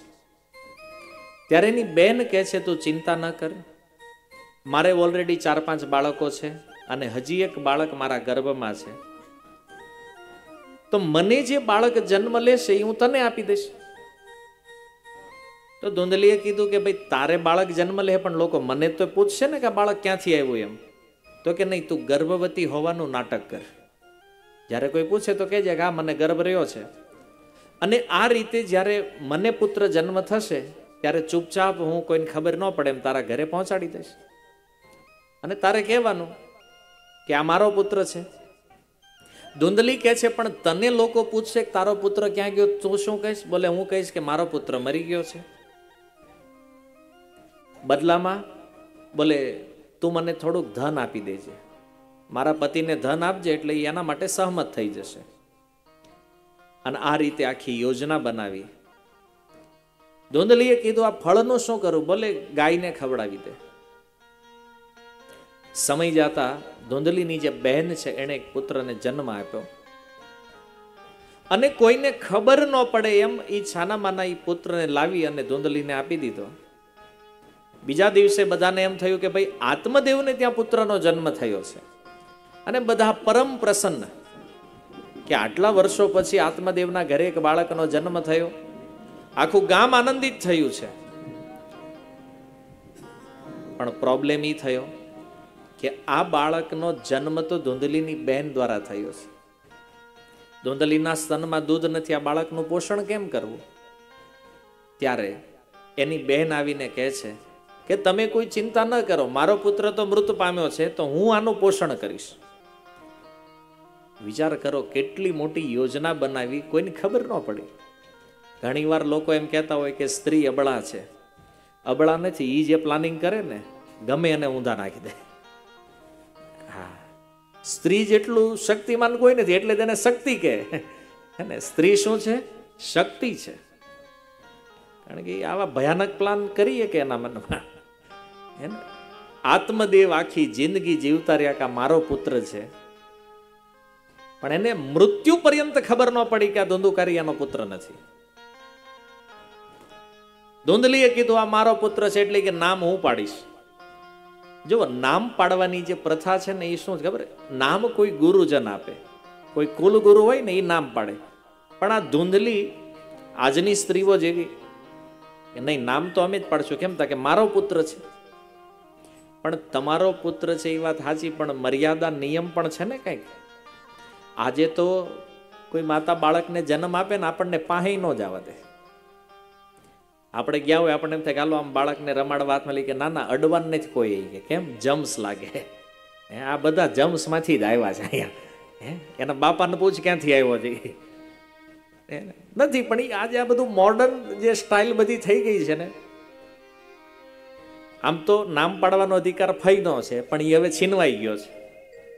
ફઈનો વારો નથી આવતો બીજા હે એને મમ્મી નક્કી કરે, નામ હું રાખવું છે. આ ફઈ પહેલા અધિકાર કુલ ગુરુઓનો હતો કે ગુરુજનો નામ પાડતા, ભગવાનના નામ ઉપરથી. પણ આજકાલ પોતે નામ પાડવા માંડ્યા ને એટલે એવા નામ પડે ને કે એનો અર્થ જ ખબર ન હોય આપણને. જો આ ધૂંધલી એનું નામ હતું, એણે એના પુત્રનું નામ પાડ્યું ધૂંધુકારી. આ કોઈ નામ છે? ધૂંધુકારી. પણ કીધું કાંઈ નહીં, હવે એની માતાને જે ગમ્યું, કારણ કે બીજાનું તો સાંભળવાલ હતી નહીં. એનું નામ થયું ધુંધુકારી.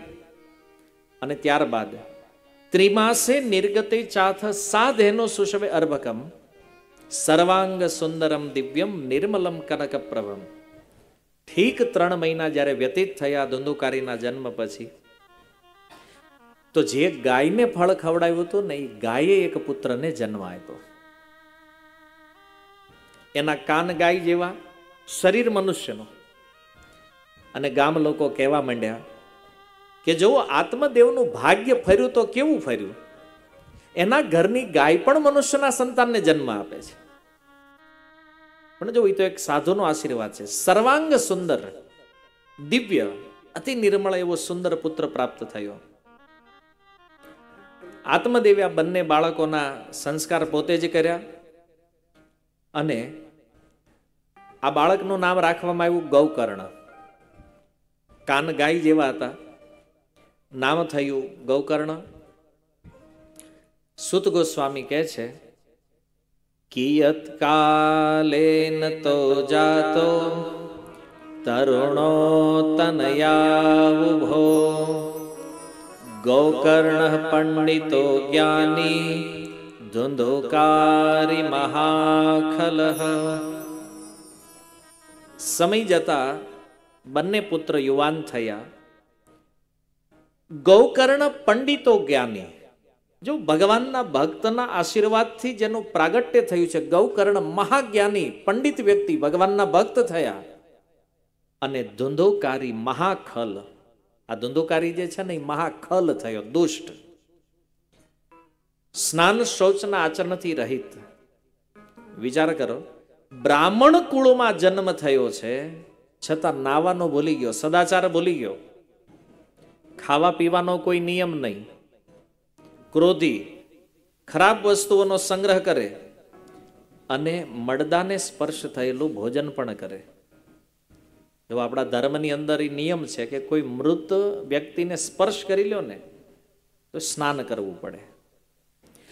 આ બ્રાહ્મણ પરિવારમાં જન્મ લઈ અને કોઈ મર્દાને સ્પર્શેલું સ્મશાનમાં જે ભોજન રાખવામાં આવ્યું, આ ભોજન ખાઈ જતો. હિંસક ચોરી કરવી, લોકો સાથે દ્વેષ કરવો, એનો સ્વભાવ બન્યો. કોઈના ઘર બાળી નાખે, કોઈના છોકરાઓને રમાડવા લઈ જાય ને કૂવામાં નાખી દે. શસ્ત્ર ધારણ કરતો, આંધળા અને ગરીબ લોકોને ખૂબ દુઃખ આપતો અને ચાંડાળો પ્રત્યે આને બહુ અનુરાગ હતો. હાથમાં એક ફંદો રાખતો અને હંમેશા કૂતરાની ટોળી વારે ફરતો રહેતો. વીસ બાવીસ કૂતરા રહેતા એની હારે. આજકાલ વર્તમાન સમયમાં લોકોને કૂતરા પાળવાનો શોખ જાગ્યો છે પાછો. ઘણા ઘરમાં રાખે કૂતરા, ઘણા ગાડીઓમાં રાખે, ઘણા બેડરૂમમાં રાખે કૂતરા. પદ્મ પુરાણ કહે છે, કૂતરાનો કોઈ સ્પર્શ કરે તો પણ એ સીધો નરકનો અધિકારી થાય છે. એટલું અપવિત્ર પશુ છે કૂતરો. એને અડવું એ પાપ છે. જ્યાં આપણે શું કરીએ છીએ? ખોળામાં લઈને આટા મારતા હોય, કૂતરાને. જો મૂંગા પશુઓ છે, એની ઉપર દયા કરો. કૂતરું ક્યાંક ભૂખ્યું દેખાય તો એને રોટલો નહીં રહો. એને ખવડાવો, એનો વાંધો નહીં. પણ એને સ્પર્શ ક્યારેય કરવો જોઈએ? એને ઘરમાં ક્યારેય ન લાવવું જોઈએ? અને આજકાલ તો આમ લાગે મોર્નિંગ વોકમાં નીકળ્યા હોય ને આગળ કૂતરું હાલતું હોય. ને ભાઈએ હાથમાં હાકળ પકડી હોય, આ ધંધોકારીના ભાઈઓ બધા. ખીચામાં એક પ્લાસ્ટિકની થેલી હોય. વળી કૂતરું ક્યાંક જાડા પેશાબ કરે તો એ થેલીમાં લેવાનું. જાહેરમાં તો દંડ થાય. હે? પાછો ખીચા મૂકીને ઘરે આપણને ખબર ન પડે આમાં માલિક કોણ છે કે નોકર કોણ છે. પેલો માલિક કૂતરાની સેવા કરે છે કૂતરો માલિકની કરે છે? આ વાસ્તવમાં સદાચારથી વિરુદ્ધ છે. પણ જો આજે ફેશનના નામે, સ્ટેટસના નામે લોકો આ ધર્મ આચરણ કરી રહ્યા છે. ધીરે ધીરે વેશ્યાઓની સંગતિમાં રહેવા લાગ્યો અને વેશ્યાઓની સંગતિના કારણે એણે પોતાના પિતાનું જેટલું ધન હતું, આ બધું ધન નષ્ટ કરી નાખ્યું. જોલા સંન્યાસીએ કીધું હતું કે પરાણે પુત્ર પ્રાપ્તિનો પ્રયાસ કરીશ, આનું દુઃખ ભોગવવું પડશે. પણ આ માન્યો નહીં. એને થયું કે ચાલો પુત્ર કદાચ ગમે એવો થશે, થોડોક બગડેલો હશે, નાલાયક હશે, પણ વધી વધીને તો પૈસા વાપરી જાય બીજું હું. પુત્ર તો કેવા થશે? પણ આજે દશા એવી થઈ, ઘરમાં તમામ ધન સમાપ્ત કરી નાખ્યું એણે. અંતે ઘરના જેટલા વાસણ હતા ને એ બધા વેચી નાખ્યા. અને આ ધૂંધલી અને આત્મદેવને ખૂબ માર્યા. એકદા પિતરો તાડ્ય પાત્રાણી સ્વયં આહરત માતા પિતાને મારી અને ઘરનો બધો સામાન વેચી નાખ્યો. જ્યારે બધું ધન ખલાસ થયું, ત્યારે આત્મદેવ વિલાપ કરવા લાગ્યા છે. વિલાપ કરતા કરતા કહે છે, વંધ્યત્વમ તો સમીચીનમ કુપુત્રો દુઃખદાયક. આના કરતા તો આની માં વાંજણી હોત તો સારું તો કેમ? કારણ કે કુપુત્ર હંમેશા દુઃખદાયી હોય છે. વિચાર કરો તો એ તો હતી. પુત્ર નો તો મોજથી જ જીવન હાલતું હતું. પણ હાથે કરીને દુઃખ ઘરે લાવ્યો છે. જ્યારે કોઈને સંતાન ન હોય ને, ત્યારે એવા રડતા હોય, એવા રડતા હોય ને એવા આમ ગરીબ દિનહીન થઈને રહેતા હોય. આપણને એમ થાય કે આને બિચારાને એક પુત્ર થઈ જાય ને તો સારું પણ જુઓ, નથી એમાં પણ કદાચ તમારું સુખ છે. કેમ? તો વૃદ્ધાશ્રમમાં જે મા બાપ છે ને, એને જઈને પૂછો એકવાર કે પુત્ર હોય સારું કે ન હોય સારું એમ? તો એ એ લોકો તમને જવાબ આપશે? કેમ? શાસ્ત્ર કહે છે, કુપુત્રો દુઃખદાયક. દીકરા જો ખરાબ થાય ને, આ બહુ દુઃખદાયી હોય છે. બહુ દુઃખ આપવા વાળા છે. અને ક્યારેક ક્યારેક આ દુઃખના કારણે પણ માતા પિતાએ આત્મહત્યા કરવી પડતી હોય છે. જો શાસ્ત્ર કહે છે, પુત્ર કુપુત્ર કા ધન સંચય? પુત્ર જો કુપુત્ર હોય તો પછી પૈસા ભેગા કરવાનો કોઈ મતલબ નથી. કેમ? કારણ કે ઉડાઈ જ દેવાનો જ બધા. ભેગા કરીને શું કરશો? યાર એ વાપરી જ નાખવાનો છે. અને પુત્ર સુપુત્ર કા ધન સંચય? માની લ્યો પુત્ર સારો થયો, તોય ભેગા કરવાની જરૂર નથી. કેમ? તો કે એનું એ કરી જ લે હારો છે તો. પણ આજે ગૃહસ્થને એક જ ચિંતા છે કે આગળ હું થાહે, હું કરશું? ચિંતા ન કરો. તમે ગમે એટલું કરીને જાહો ને, પણ પાછળ હું થવાનું છે એ તમને ખબર નથી. આત્મદેવને તો જીવતા જીવ બધું ગયું. અને વિલાપ કરતા કરતા પોતાની જાતને કહે છે, ક્વ તિષ્ઠામી, ક્વ ગચ્છામી, કોમે દુઃખમ વ્યપોહેત. હું ક્યાં રહું, ક્યાં જાઉં? એને મારું આ દુઃખ કોણ કાપશે? આ ધુંધુકારીના ઉત્પાતના કારણે પ્રાણાન ત્યજામી દુઃખે ન. હા, કષ્ટમ મમ સંસ્થિતમ. આના દુઃખના કારણે મારે એક દિવસ પાછું મરવું પડશે. આત્મદેવને જીવનમાં ફરીથી મરવાનો વિચાર આવ્યો છે જો એક સમય હતો, જ્યારે પુત્ર નહોતો એટલે એણે મરવું હતું. અને આજનો એક દિવસ છે કે આજ પુત્ર છે એટલે મરવું છે. અને એ સમયે ગૌકર્ણજી ત્યાં આવે છે. આવીને પૂછ્યું, પિતાજી, કેમ દુઃખી છો તમે? બોલે, આ તારા ભાઈના ધંધા જો. આખા ઘરનો સત્યાનાશ કર્યો છે એણે. ત્યારે ગૌકર્ણજી બહુ સુંદર ઉપદેશ આપતા કહે છે, અસારહ ખલુ સંસારો દુઃખ રૂપી વિમોહક, સુત કસ્ય ધનમ કસ્ય સ્નેહવાદ જ્વલતે નિશમ. જય પિતાજી, આ સંસાર જે છે ને અસાર છે. આ સંસારમાં કોઈ સાર નથી, કેમ? તમે જે કાંઈ કરશો, જે કાંઈ પ્રાપ્ત કરશો, એને કાળ એક દિવસ નષ્ટ કરી દેવાનો છે. આપણને એવું કે આપણે ખૂબ ધન ભેગું કર્યું છે, પછી શું પછી શું? એક દિવસ બધું નાશ. જેવું મૃત્યુ આવશે, બધું શૂન્ય. અને જો કાળ નષ્ટ નહીં કરે, તો આ જગતના બીજા જીવો નાશ કરી દે આજ આપણને એમ લાગે કે આપણી પાસે ઘણું છે.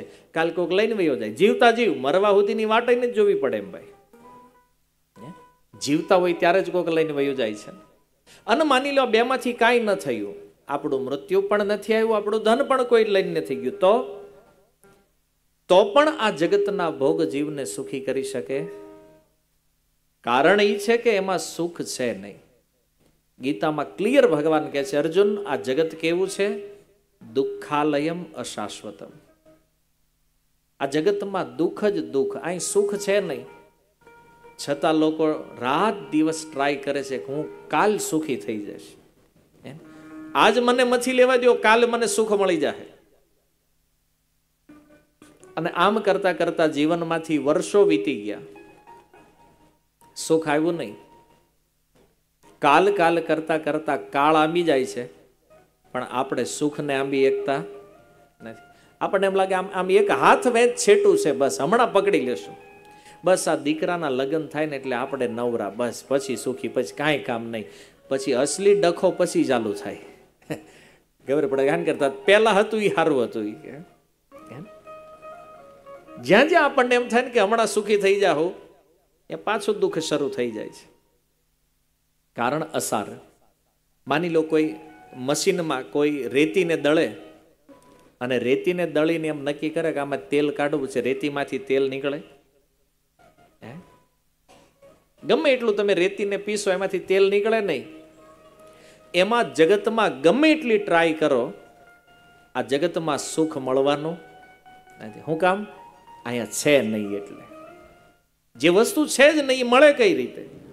બોલે, નહીં, પણ તોય અમને તો એવું લાગે છે ને કે અહીંયા સુખ છે. બોલે નશ્વર સુખ છે. થોડી વાર મળે અને વળી પાછું વયું જાય. આખું અઠવાડિયું કોઈ મહેનત કરે ને એક રવિવારની રજા મળે.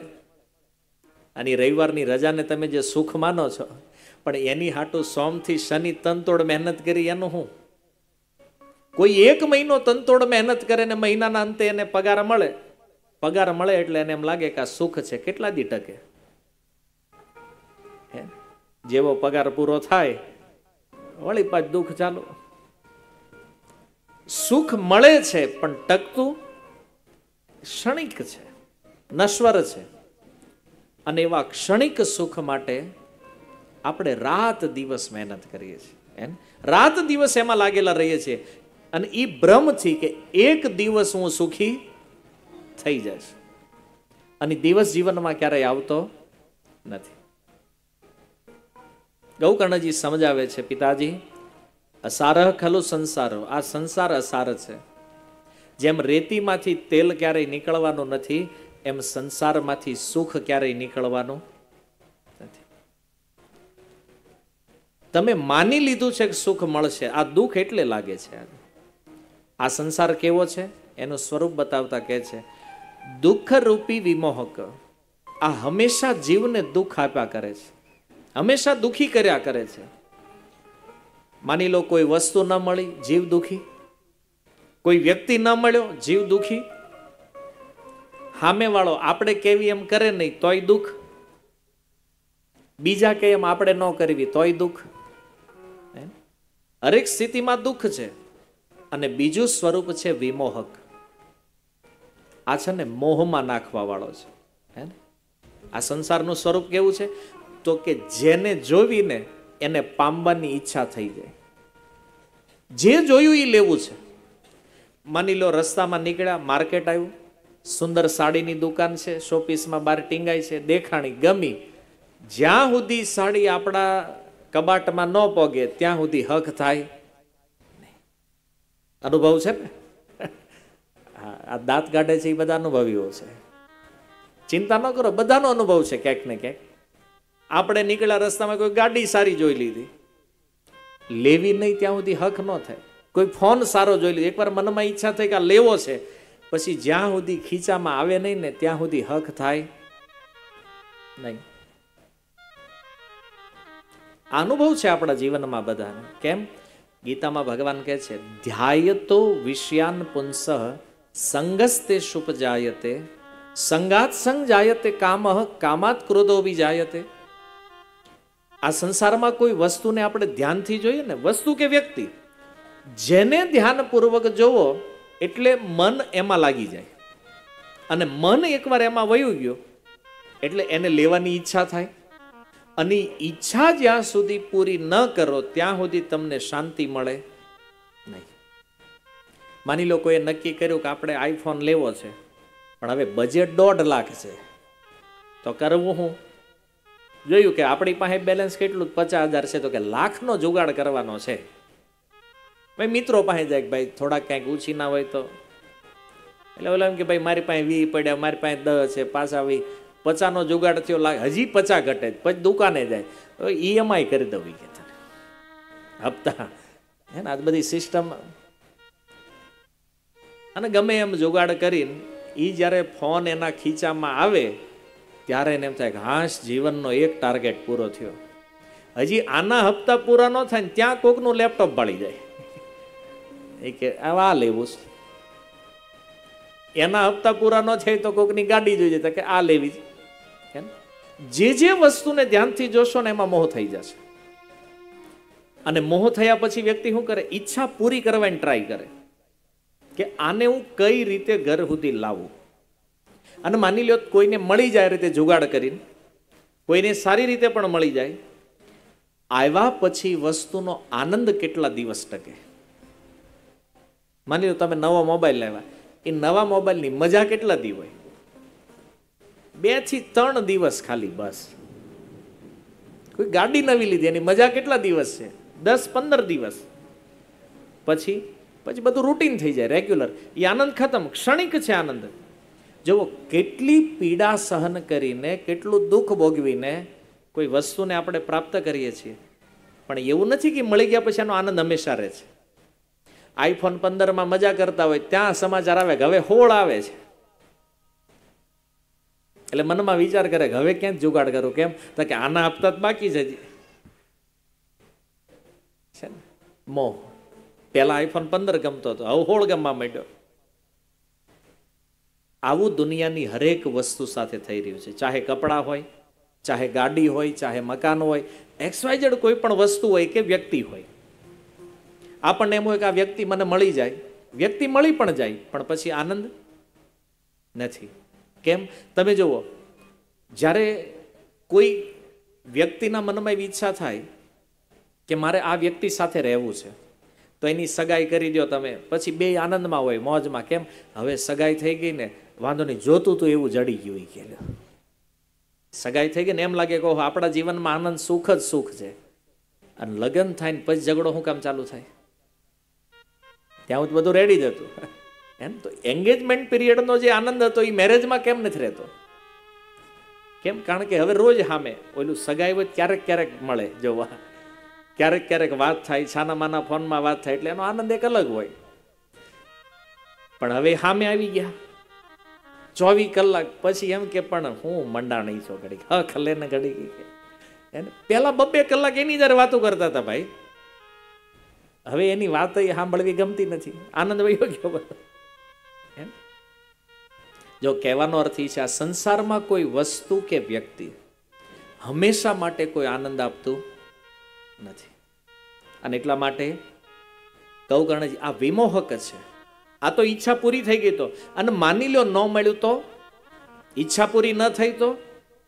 તો ભગવાન કહે છે ક્રોધાત ભવતી સમોહ, સમોહાત સ્મૃતિ વિભ્રમ, સ્મૃતિ ભ્રંશાદ બુદ્ધિનાશો બુદ્ધિનાશાત પ્રણશ્યતિ. જેની ઈચ્છા પૂરી ન થાય ને એને ક્રોધ આવે. તમે માર્ક કરજો, જીવનમાં જ્યારે જ્યારે તમે ક્રોધિત થયા હોય, જ્યારે જ્યારે તમને ગુસ્સો આવ્યો હોય ને, તો એનું કારણ શું છે ખબર? તમારી કોઈ ઈચ્છા પૂરી નથી થઈ. તો જ તમને ક્રોધ આવે. કોઈકે તમને કાંઈક કીધું છે, પણ તમે એનું માન્યા નથી. અથવા તમે કોઈને કાંઈક કીધું છે એ તમે કેમ કરતા નથી, માનતા નથી, તો ક્રોધ આવે. ક્રોધનું કારણ છે ઈચ્છાઓ. પૂરી ન થાય ને એટલે વ્યક્તિ ક્રોધિત થઈ જાય. અને ક્રોધિત વ્યક્તિ જે છે એ સંમોહિત થાય. ક્રોધાત ભવતી સંમોહ. સંમોહ શું છે? એની બુદ્ધિ મોહિત થઈ જાય. સંમોહાત સ્મૃતિ વિભ્રમ અને જેની બુદ્ધિ સંમોહિત છે, એને ચિત્ત ભ્રમ થાય. એની બુદ્ધિ ભ્રમિત થઈ જાય.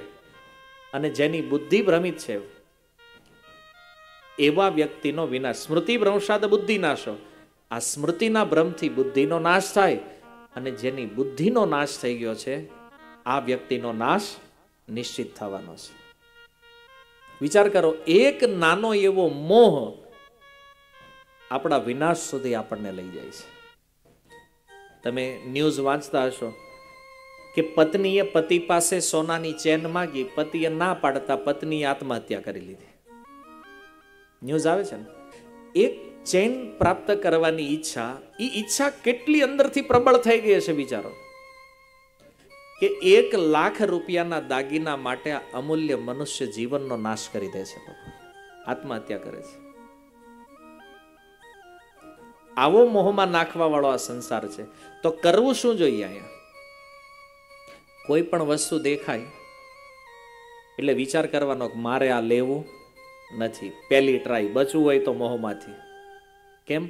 ઈચ્છાને પૂરી કરવામાં જેટલું કષ્ટ થાય ને, એટલું કષ્ટ ઈચ્છાને ત્યાગ કરવામાં નથી થતું. અને જ્યારે કોઈ ઈચ્છાનો ત્યાગ કરી દે ને, ત્યારે વ્યક્તિ સુખી થાય. તમને આમ પેલા અંદરથી ઈચ્છા થાય કે મારે આઈફોન લેવો જ પણ બધી બાજુ હાંદા મેળ કર્યો, પણ ખબર પડે ક્યાંય મેળ પડે એમ જ નથી. આ ઈચ્છા પૂરી થાય એમ જ નહીં, તો શું કરવું જોઈએ? તો નથી લેવો ભાઈ. હે ને? છોડી દો પછી જે વી પચીસ હજારમાં મળે એમાં રોડવી લઈશું. તો ઈચ્છાનો ત્યાગ જે છે ને એ જીવને એટલો દુખી નથી કરતો, જેટલું ઈચ્છા દુઃખી કરે છે. એટલા માટે ઈચ્છા જ્યારે થાય તો એને પૂરી કરવાની ટ્રાય નહીં કરો. ઈચ્છાનો ત્યાગ કરવાનો પ્રયાસ કરો. આજકાલ જે મોટિવેશન સ્પીકરો છે ને કે નહીં, તમારી જે ઈચ્છાઓ હોય એની બધી પૂરી કરી નાખો ભાઈ, પૂરી જ કરવી છે, પણ ક્યાં એમ નામ થાય મફતમાં? હે? હા, અમારી ઈચ્છા છે, લ્યો, અહીંયા પ્લેન ઉતારવું છે. થાય. હોવા જોઈએ ને ખીચામાં ઈચ્છાઓ પૂરી કરવા હાટું. હે? પણ નકરા વીડિયો બનાવી બનાવીને નાખ્યા જ કરે. તમારી બધી ઈચ્છા પૂરી કરી નાખો કે, એટલે તમે સુખી થઈ જાઓ. આજ સુધીમાં એવો એક વ્યક્તિ દુનિયામાં બતાવો જેની ઈચ્છા પરિપૂર્ણ થઈ ગઈ હોય.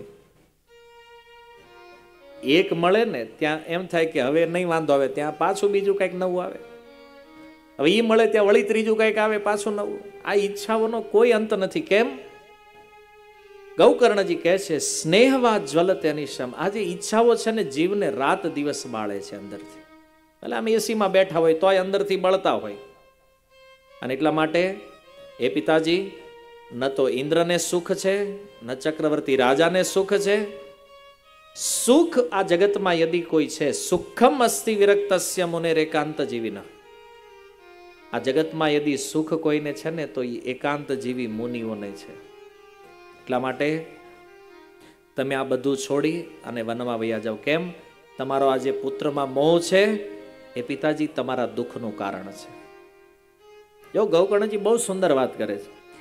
આપણે પણ દુઃખી શા માટે થઈએ છીએ ખબર? એ પુત્રને માનીએ છીએ કે મારો છે એટલા માટે. એ બગડી ગયો એ દુઃખનું કારણ નથી. પણ એમાં જે આપણી આસક્તિ છે કે આ મારો છે, પુત્રને મારો માનવાનું છોડી દો દુનિયામાં લાખો દીકરાઓ બગડ્યા છે. તો તમે કેમ રોતા નથી ત્યાં આપણને બીજા છોકરાઓ બગડ્યા એની ચિંતા નથી. આ મારો છે એ કેમ બગડ્યો? એ નો બગડવો. બાકી આ મારો છે એ જો છૂટી જાય ને, માની લ્યો ને દીકરો હતો જ નહીં. કાઢી મૂકો ઘરેથી. દુઃખ શું છે? પણ આ સાહસ નથી. આ નહીં કરીએ કે પણ એ બગડ્યો છે તો એ મારો છે જે એ મારું અંદરથી લાગી ગયું છે ને, આ દુઃખનું કારણ છે ગૌકર્ણજી કહે છે, પિતાજી, પુત્રના મોહનો ત્યાગ કરો, સુખ તો તમારી અંદર પડ્યું છે. તમારાને બહાર શોધવાની જરૂર નથી. આ આસક્તિ છોડી દો આત્મદેવ કહે છે, બેટા, હું શું કરું? એ હવે તું મને બતાવ. ગૌકર્ણજી કહે છે, પિતાજી, વનમાં જાઓ અને ભગવાનનું ભજન કરો. ગૌકર્ણજીએ બતાવેલા માર્ગ અનુસાર આત્મદેવે વનમાં જઈ અને ભગવાનનું ભજન કર્યું. સાઠ વર્ષની ઉંમર એને ભગવાનની પ્રાપ્તિ થઈ છે. પિતાના વનમાં ગયા પછી ધુંધુકારી એની માતા ધુંધલીને બહુ મારી અને કીધું, બતાવ્યું, ધન ક્યાં રાખ્યું છે? ધુંધલી કહે છે, હતું એટલું તું વાપરી ગયો. હવે ધન ક્યાં છે? બોલે, નહીં, તે છુપાવી રાખ્યું છે ધન. જ્યારે ધુંધલીને બહુ માર પડ્યો ત્યારે એણે પોતાના જ ઘરના કૂવામાં પડીને આત્મહત્યા કરી. તમે વિચાર કરો માતા પિતા તો બંને ગૌકર્ણના છે. તો ગૌકર્ણજીએ પિતાનો ઉદ્ધાર કર્યો, માનો કેમ ન કર્યો? એક પ્રશ્ન થાય. જો આ જગતમાં ઉદ્ધાર એનો થાય, જેની પોતાના ઉદ્ધાર કરવાની ઈચ્છા હોય, આપણે જો મુક્ત થવાની ઈચ્છા હોય, તો કોઈ સાધુ આવે આપણને માર્ગ બતાવે ને આપણને મુક્ત કરે. પણ આપણી જ જો મુક્ત થવાની ઈચ્છા ન હોય, તો આ જગતમાં આપણને કોઈ મુક્ત કરી શકે? આત્મદેવે જિજ્ઞાસા કરી, તો ગૌકર્ણએ એમને મુક્ત કર્યા. ધૂંધલીએ ક્યારેય આત્મદેવ આગળ જિજ્ઞાસા કરી નથી. અને જો બુદ્ધિ જ્યારે માયાથી આવૃત થાય ને, ત્યારે એમાં કોઈ જિજ્ઞાસા થતી નથી. એની દશા આવી ખરાબ હોય છે. માતા પિતા બંનેનું મૃત્યુ થયું. ગૌકર્ણજીને આ ઘટનાઓથી કાંઈ ફરક પડ્યો નહીં, કારણ કે તો સ્થિત પ્રજ્ઞ વ્યક્તિ છે. પોતાના એ ઘરને છોડી અને તીર્થયાત્રામાં નીકળી ગયા. આ બાજુ ધુંધુકારી પાંચ વેશ્યાઓને ઘરે લઈને આવ્યો. પ્રતિદિન આ વેશ્યાઓ કાંઈક ને કાંઈક ડિમાન્ડ કરે. ધુંધુકારી ચોરી કરે. એની ડિમાન્ડ પૂરી કરે. ધુંધુકારીએ વિચાર કર્યો કે એક એવી ચોરી કરું કે જીવનમાં ક્યારેય પછી કમાવાની માથાકૂટ જ ન રહે. રાજાને ત્યાં ચોરી કરી. રાજાનો ખજાનો લઈને આવ્યો અને આવીને આપ્યો, આલે પાંચેયને કીધું, લ્યો આ. હવે આજીવન વાપરો, ખૂટે એમ નથી. આવીની તો સૂઈ ગયો, મહેનત બહુ કરી હતી. પાંચેય સ્ત્રીઓએ વિચાર કર્યો કે આ ધન લૂંટીને લાવ્યો છે, રાજાના સૈનિકો આવીને આપણને પકડશે. મૃત્યુદંડ મળશે. એક કામ કરો, આને જ મારી નાખી. જે ધુંધુકારી પલંગ ઉપર સૂતો છે એ પલંગ હારે બાંધી દીધો એને. અને એ સ્ત્રીઓ મળીને એનું ગળું દબાવવા લાગી. બન્યું એવું કે અવાજ નીકળે નહીં, તો એક સ્ત્રીએ ચૂલામાં સળગતા દેતવા લાવી અને એનું મોઢું ભરી દીધું. અવાજ બહાર નો નીકળી શકે. અને બાંધી દીધો છે, હલી ચલી કે નહીં? અને આ રીતે તરફડી તરફડીને ધુંધુકારીનું મૃત્યુ થયું. પાંચેય સ્ત્રીઓ થોડા દિવસ એ સ્થાનમાં રહી. આજુબાજુવાળા પૂછતા કે ભાઈ, આ તમારા ભાઈ દેખાતા નથી? બોલી વિદેશ ગયા છે ધન કમાવા માટે. થોડા દિવસમાં આવી જાય અને એક રાત્રે કોઈને ખબર ન હોય, એમાં બધું ધન લઈ અને આ પાંચેય સ્ત્રીઓ ત્યાંથી પલાયન થઈ ગઈ. કમોત થયું છે ધુંધુકારીનું. પ્રેત બન્યો. ઘણીવાર લોકો એવું માને છે કે, ભાઈ, આવું ભૂત પ્રેત કાંઈ હોતું નથી ને અમે કાંઈ માનતા નથી.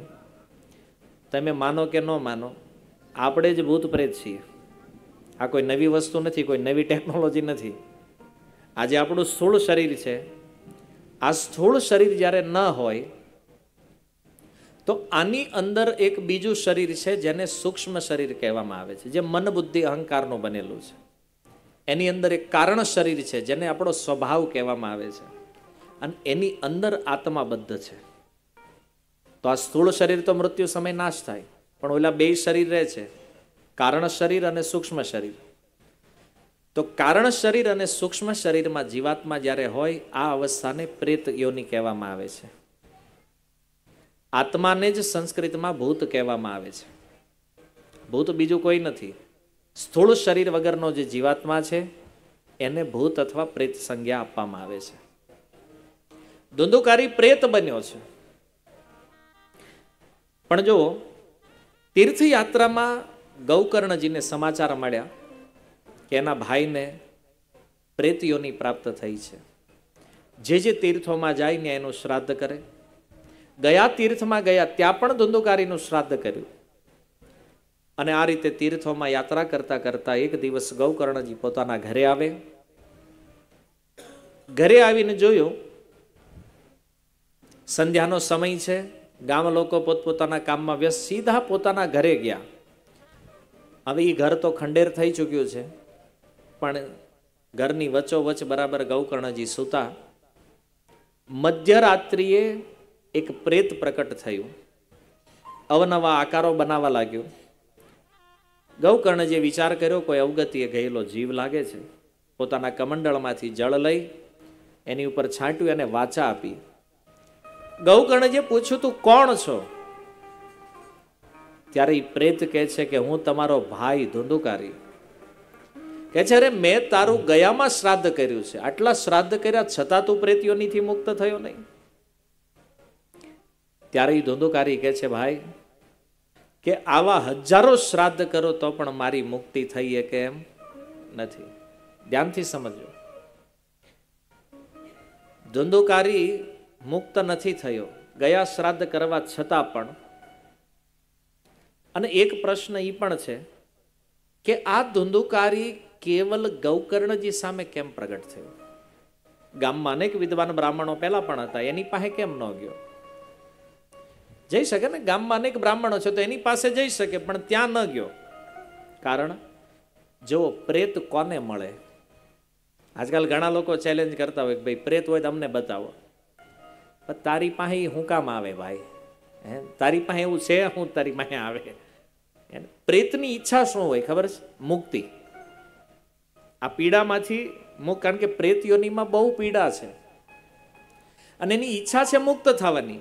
તો એ જાય કોની પાસે? જેને મુક્ત કરાવીએ કે એની પાસે જાય ને? ઘણા એમ કે અમારી પાસે કેમ નથી આવતું? પણ તું જ ભૂત જેવો છો. તારી પાસે આવીને કરે હું એ તું તારો ઉદ્ધાર કરીએ કેમ નથી?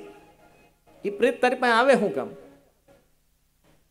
ગૌકર્ણજી એવા મહાભાગવત વ્યક્તિ છે. ધંધુકારી જાણે છે કે મારો ઉદ્ધાર કોઈ કરીએ કે, તો કેવલ ગૌકર્ણ કરીએ કેમ છે? અને એટલા માટે એ ગૌકર્ણજી પાસે ઉપસ્થિત થયું, પોતાનું દુઃખ બતાવ્યું. ગૌકર્ણજી કહે છે, તું અત્યારે વયો જા, હું કાલે કંઈક આનો ઉપાય વિચાર કરું છું. એ પ્રેત જ્યારે ગયું, સવાર થયું, લોકોને ખબર પડી ગૌકર્ણજી આવ્યા છે. બધા ગામના વિદ્વાનો, પંડિતો એમને મળવા માટે આવ્યા. ગૌકર્ણજીએ બધાને એક પ્રશ્ન કર્યો કે, ગયા શ્રાદ્ધ કરવાથી જેની મુક્તિ ન થાય, આની મુક્તિનો ઉપાય શું છે? શોધવા માંડો બધા. બધા બ્રાહ્મણોએ પોતી ખોલીને કીધું, આવો કોઈ જ ઉપાય નથી. અંતિમ ડેસ્ટિનેશન ગયા શ્રાદ્ધ છે. એક કામ કરો, ભગવાન સૂર્યને પૂછો, કારણ કે એ નિરંતર ભુવન કોષની પરિક્રમા કરે છે. આ સંસારના સાક્ષીરૂપ ભગવાન છે. એને ખબર હશે. ગૌકર્ણજીએ પોતાના યોગ બળથી સૂર્યદેવને સ્થિત કર્યા અને પૂછ્યું કે હે ભગવાન સૂર્યદેવ, બતાવો, ગયા શ્રાદ્ધથી જેની મુક્તિ ન થાય, એની મુક્તિનો ઉપાય શું છે? સૂર્યદેવના કિરણોમાંથી એક દિવ્ય ધ્વનિ નીકળી. બધા ગામ લોકો સાંભળી રહ્યા છે કે જેની મુક્તિ ગયા શ્રાદ્ધથી પણ ન થઈ હોય, એની મુક્તિ સપ્તાહ ભાગવત દ્વારા સંભવ છે. સાત દિવસનું આ ભાગવત એની મુક્તિ માટે પર્યાપ્ત છે. જો આજે પિતૃઓ પાછળ ભાગવત કરવાની વિધિ શું કામ છે? લોકો આજે પણ ગયા જઈને શ્રાદ્ધ તો કરે જ છે. તો પછી પાછું ભાગવત શું કામ કરે છે? કારણ કે એ ખબર છે કે કદાચ ગયા શ્રાદ્ધથી આપણા પિતૃ મુક્ત ન થાય, તો એની મુક્તિ ભાગવતથી તો થઈ જ જવાની છે. એટલે આ વિધિ બની પછી કે ભાઈ પિતૃઓ પાછળ ભાગવતથી શ્રેષ્ઠ અન્ય કોઈ સાધન નથી. ગામ લોકોએ ભાગવત કથાનું આયોજન કર્યું. આયોજન કરી અને એક બ્રાહ્મણને મુખ્ય શ્રોતા બનાવ્યા.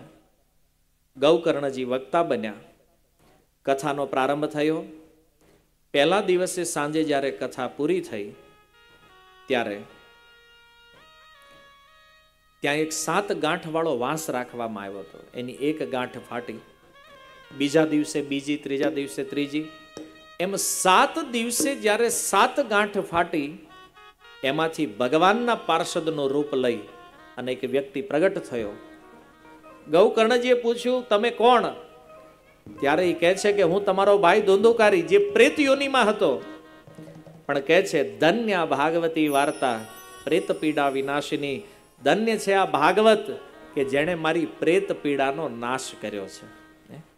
હું? એટલો દુઃખી થઈ રહ્યો હતો, પણ આ સાત દિવસ જે ભાગવત મેં સાંભળ્યું, આ સાત દિવસની કથા સાંભળવાથી મારી તમામ પીડાઓ નાશ થઈ છે અને આજ મને ભગવાનના પાર્ષદનું રૂપ પ્રાપ્ત થયું છે. સપ્તાહો અપી તથા ધન્ય કૃષ્ણ લોક ફલપ્રદ. અને ધન્ય છે આ ભાગવત, કે જે ભગવાનના ધામની પ્રાપ્તિ કરાવવા વાળું છે. આજે હું પણ ભગવાનના ધામમાં જઈ રહ્યો છું. એ ધોધુકારી ભાગવતની મહિમા કહે છે કે નાના મોટા બધા પાપ જ્યારે કોઈના કાનમાંથી ભાગવત પ્રવેશ કરે ને ત્યારે એ પાપ વિચાર કરવા માંડે કે હવે આપણે નવું ઘર ગોતવું પડશે. કેમ? કારણ કે આના કાનમાં તો કથા આવી છે એટલે હવે આપણે અહીંયા રહી એકવાના. નથી. જેમ સિંહ ગર્જના કરે અને જંગલના વરુઓ ભાગે, એમ ભાગવતના શબ્દ કોઈના કાને પડે, તો એના હૃદય સ્થિત જેટલા પાપ છે, આ બધા પાપ નષ્ટ થઈ જાય છે. સુંદર ભાગવતની મહિમા કરતા ધુંધુકારી કહે છે અસ્મિન વે ભારતે વર્ષે સુરીભીર દેવ સંસદે અકથા શ્રાવિણામ પુંસામ નિષ્ફલમ જન્મ કીર્તિતમ. બહુ સુંદર શ્લોક ધુંધુકારી કહે છે કે વિદ્વાનોએ દેવતાઓની સભામાં કીધું છે કે ભારત વર્ષમાં જન્મ લઈ અને જેણે ભાગવત નથી સાંભળ્યું, આનો તો જન્મ જ વ્યર્થ છે. ભારતમાં જન્મ શું કામ મળ્યો છે? બોલે ભાગવત સાંભળવા માટે. કેમ? તો કે છે, આ શરીર જે આપણને મળ્યું છે, મનુષ્ય દેહ મળ્યો છે, સનાતન હિન્દુ પરિવારમાં જન્મ મળ્યો છે અને આ મનુષ્ય દેહ મળ્યા પછી પણ જો આપણે આપણું કલ્યાણ ન કર્યું, તો આ મનુષ્ય જન્મ લેવાનો લાભ શું છે? આ શરીર, એનો નાશ તો નિશ્ચિત છે, શરીરની કોઈ કિંમત નથી. તમે જો આ શરીરની બહુ નિંદા શાસ્ત્રોમાં કરી છે, શરીર ખરાબ છે, આવું છે, તેવું છે, નષ્ટ થઈ જવાનું છે, મળમૂત્રનો ખાડો છે, મળમૂત્રની થેલીઓ અનેક વિશેષણો આપ્યા. પણ છતાં આ શરીર બહુ કામનું છે, કેમ? કારણ કે આ શરીરથી જો વ્યક્તિ ચાહે, તો ભગવાનની પ્રાપ્તિ કરી શકે છે. જો આ શરીરથી આપણને ભગવત ધામ મળ્યું કે ભગવાનની પ્રાપ્તિ થઈ, તો આપણું મનુષ્ય જીવન સફળ છે. અને જો ખાવા પીવા ઊંઘવામાં શરીર સમાપ્ત થઈ ગયું, તો સમજી લો કે આ સંસારમાં કૂતરા બિલાડાઓ મરે અને આપણે મરીએ. આમાં કોઈ બહુ અંતર નથી. ઓલાય ખાઈ પી ઊંઘીને મરી ગયા. આપણે ખાઈ પીને ઊંઘીને મરી ગયા. જો મરતા પહેલા આપણું કલ્યાણ ન કરી શક્યા, તો આ મનુષ્ય જીવન ફેલ. અને જો ભગવાનનું ભજન કર્યું, તો આની કિંમત અનેક ગણી વધી જાય. માની લો તમારા પિતા તમને લાખ રૂપિયા આપે ને એમ કે, ધંધો કરો માર્કેટમાં જઈને. જો તમે સારો ધંધો કરો, તો લાખના કરોડય કરો. અનગર લાખના બારય કરો. છે ને? તો ભગવાનના ભજન વગેરે મરવું એ લાખના બાર કરવા જેવું છે. અને ભગવાનનું ભજન કરીને મરવું એ લાખના કરોડ કરવા જેવું છે. એવા આપણે નક્કી કરવાનું છે કે આ શરીરનો ઉપયોગ કેવી રીતે કરવો છે. જ્યારે ધોંધુકારી આ રીતે વાત કરે છે, એ સમયે ભગવાનના પાર્ષદો એક વિમાન લઈને આવ્યા. વૈકુંઠથી એક વિમાન આવ્યું. ધુંધુકારીને એમાં બેસાડ્યા. અને વિમાન લઈને જેવું જવાની તૈયારી કરે, બધા લોકોએ બૂમાબૂમ કરી મૂકી, ઊભું રાખો ઊભું રાખો ઈ. ગૌકર્ણજીએ કીધું, ઊભું રાખો. કેમ? એ કે, કથા તો અહીં બેઠા એ બધાએ સાંભળી છે. તો વિમાન કેમ આની એક હાટું લઈને આવ્યા ભાઈ? બધા લોકોએ સાત દી ટાઈમ આપ્યો છે પૂરેપૂરો. કામ ધંધો મૂકીને. તો વિમાન આની એક હાટું કેમ? એનો ઉત્તર આપતા ભગવાનના પાર્ષદો કહે છે શ્રવણસ્ય વિભેદેન ફલભેદોત્ર સંસ્થિત શ્રવણમ તું કૃતમ સર્વે ન તથા મનનમ કૃતમ ભગવાનના સેવકો કહે છે હે માનદ આ ફળમાં જે ભેદ આવ્યો છે ને આનું કારણ શ્રવણ ભેદ છે સાંભળવાનો જે ભેદ છે, સાંભળ્યું તો બધા એ ખરખું છે, પણ જેવું આ કથાનું ચિંતન મનન ધૂંધુકારીએ કર્યું છે આવું આ પંડાળમાં બેઠેલા એકેય વ્યક્તિએ કર્યું નથી. એટલા માટે સાત દિવસ સાંભળ્યું તો આને વિમાન મળ્યું, પણ બીજા કોઈને મળ્યું નહીં. તો જુઓ, કથાનો વાંક નથી. વિમાન નથી આવતા હજી, અને વક્તાનો વાંક નથી. મેન રીઝન શું છે? શ્રોતા ક્લિયર હોવા જે જેવું સાંભળે એવું ફળ મળવાનું છે. તમે વિચાર કરો કે આ પ્રીતે સાત દિવસ નિરાહાર રહી આ કથાને સાંભળી, જે જે વિષયો એણે સાંભળ્યા એનું ખૂબ ચિંતન મનન કર્યું અને જેમ જેમ મનન કરતો ગયો, એમ એનું જ્ઞાન દ્રઢ થતું ગયો. જે જ્ઞાન દ્રઢ નથી થતું એ જ્ઞાન વ્યર્થ થઈ જાય છે. માની લો, અહીંયા તમે કથામાં બેન સાંભળી લીધું. જો એ જ્ઞાનને આત્મસાત ન કર્યું, એને દ્રઢ ન કર્યું આ તો ઘરે જાવ ત્યાં સુધી બોલાઈ જાય. કે આ જીવન ખાવા પીવા મોજ કરવા નથી, ભજન કરવા હાટું છે. આ પંડાળમાં હોય ત્યાં સુધી યાદ રહે. ઘરે જાવતા ભૂલી જાવ શું લાભ છે કથાનો ભાઈ બતાવો. કોઈ જ્ઞાન ત્યારે જીવનમાં કામ કરે જ્યારે જ્ઞાન દ્રઢ થાય છે. અને ધ્યાન નહીં હોવાથી શ્રવણનું. હવે તમે બેઠા છો કથા સાંભળવા માટે. હવે અહીંયા વરસાદ આવી રહ્યો છે, વીજળીઓ થઈ રહી છે કોઈક હાલે ચાલે છે. આપણું ધ્યાન જો એમાં લાગશે, તો પણ કથાનું ફળ પ્રાપ્ત થવાનું નથી. એ લખ્યું છે, ધ્યાન નહીં આપવાથી શ્રવણનું ફળ મળતું. શ્રવણનો અર્થ એવો નથી, ખાલી બેહીને સાંભળી લેવું. હાલો, ક્યારેક ક્યારેક કાન શબ્દો પકડે છે, તો વાંધો નહીં, પછી જવા દો બારોબારી. ધ્યાનપૂર્વક નહીં સાંભળો તો શ્રવણનું કોઈ ફળ મળવાનું નથી. સંદેહ કરવાથી મંત્રનું ફળ નષ્ટ થઈ જાય છે. કોઈ મંત્ર તમે જપ કરો છો, પણ એમાં તમને સંદેહ છે કે આપણને તારશે કે નહીં? તો એનું પણ ફળ નહીં મળે. ચિત્તના ભટકતા રહેવાથી જપનું કોઈ ફળ નથી. આપણું ચિત્ત આમ તેમ હોય અને આપણે જપ કરતા હોય, જપનું ફળ નહીં મળે. એટલા માટે હું તમને કહું છું, આજે તમે માળા કરો છો ચાલુ કથામાં એ ન કરવું જોઈએ. શું કામ? કારણ કે તમે ચાલુ કથામાં માળા કરો તો યા તો તમારું ધ્યાન જપમાં રહે ને કા કથામાં રહે. બેમાંથી એક જગ્યાએ. કેમ? મન આપણી પાસે એક જ છે. તો પ્રભુપાદ કહેતા કે આ બે કામ હારે કોણ કરે? કે જેને બે માથા હોય એ કરે. હે એક કથામાં રહે એક જપમાં રહે? જો એક સમય એક જ કામ કરો. કથા સાંભળો છો તો ધ્યાનથી સાંભળો. કેમ? નહીતર ફળમાં ભેદ રહેશે. પછી મને ન કહેતા કે પ્રભુજી કથા કરી હતી પરિપૂર્ણ ફળ તો મળ્યું નહીં? તો જો ક્વોલિફિકેશન શું છે? શ્રવણની. ભગવાનના પાર્ષદો કહે છે કે ચિત્ત જો ભટકતું રહેશે, તો જપનું ફળ નથી. વૈષ્ણવહીન દેશ જે સ્થાનમાં કોઈ ભગવાનના ભક્ત નથી રહેતા, અપાત્રને કરાવેલું શ્રાદ્ધનું ભોજન, અશ્રોત્રિયને આપેલું દાન અને આચારહીન કુળ, આ બધાનો એક દિવસ નાશ નિશ્ચિત થાય છે. એટલા માટે ગુરુના વચનોમાં વિશ્વાસ, દીનતાનો ભાવ, મનના દોષો ઉપર વિજય કથા ચિત્તમાં એકાગ્રતા, આ બધા નિયમોનું જ્યારે કોઈ પાલન કરે, ત્યારે એને સાંભળવાનું યથાર્થ ફળ પ્રાપ્ત થાય છે. તો જો આ શ્રોતાઓ જે બેઠા છે એ ફરીને ભાગવત કથા સાંભળે, તો સ્વયં ભગવાન અહીંયા ઉપસ્થિત થશે. આ બધાને તો ભગવાનના પાર્ષદો જ લેવા આવશે, એટલે કે અમે જ આવશું લેવા. પણ હે ગૌકર્ણજી, તમને સાક્ષાત ભગવાન લેવા માટે આવશે. તો ધંધોકારીને લઈને પાર્ષદો તો નીકળી ગયા. પછી હવે વિચાર કરો, વિમાન ભાળી ગયા હોય પછી ઘરે જવાનું નામ લે. હે, માની લો અહીંયા વિમાન આવ્યું હોય તમે પછી કયો, ઘરે જવું છે? હવે ઓલા કે, ગૌકર્ણજી એક કામ કરો, મંડપ રેડી છે, શ્રોતા રેડી પાછી કથા ચાલુ કરો એ કે ફરી ગૌકર્ણજી કે એવું નહીં? આપણે આવતા શ્રાવણ માસમાં કથા શરૂ કરશું પાછી.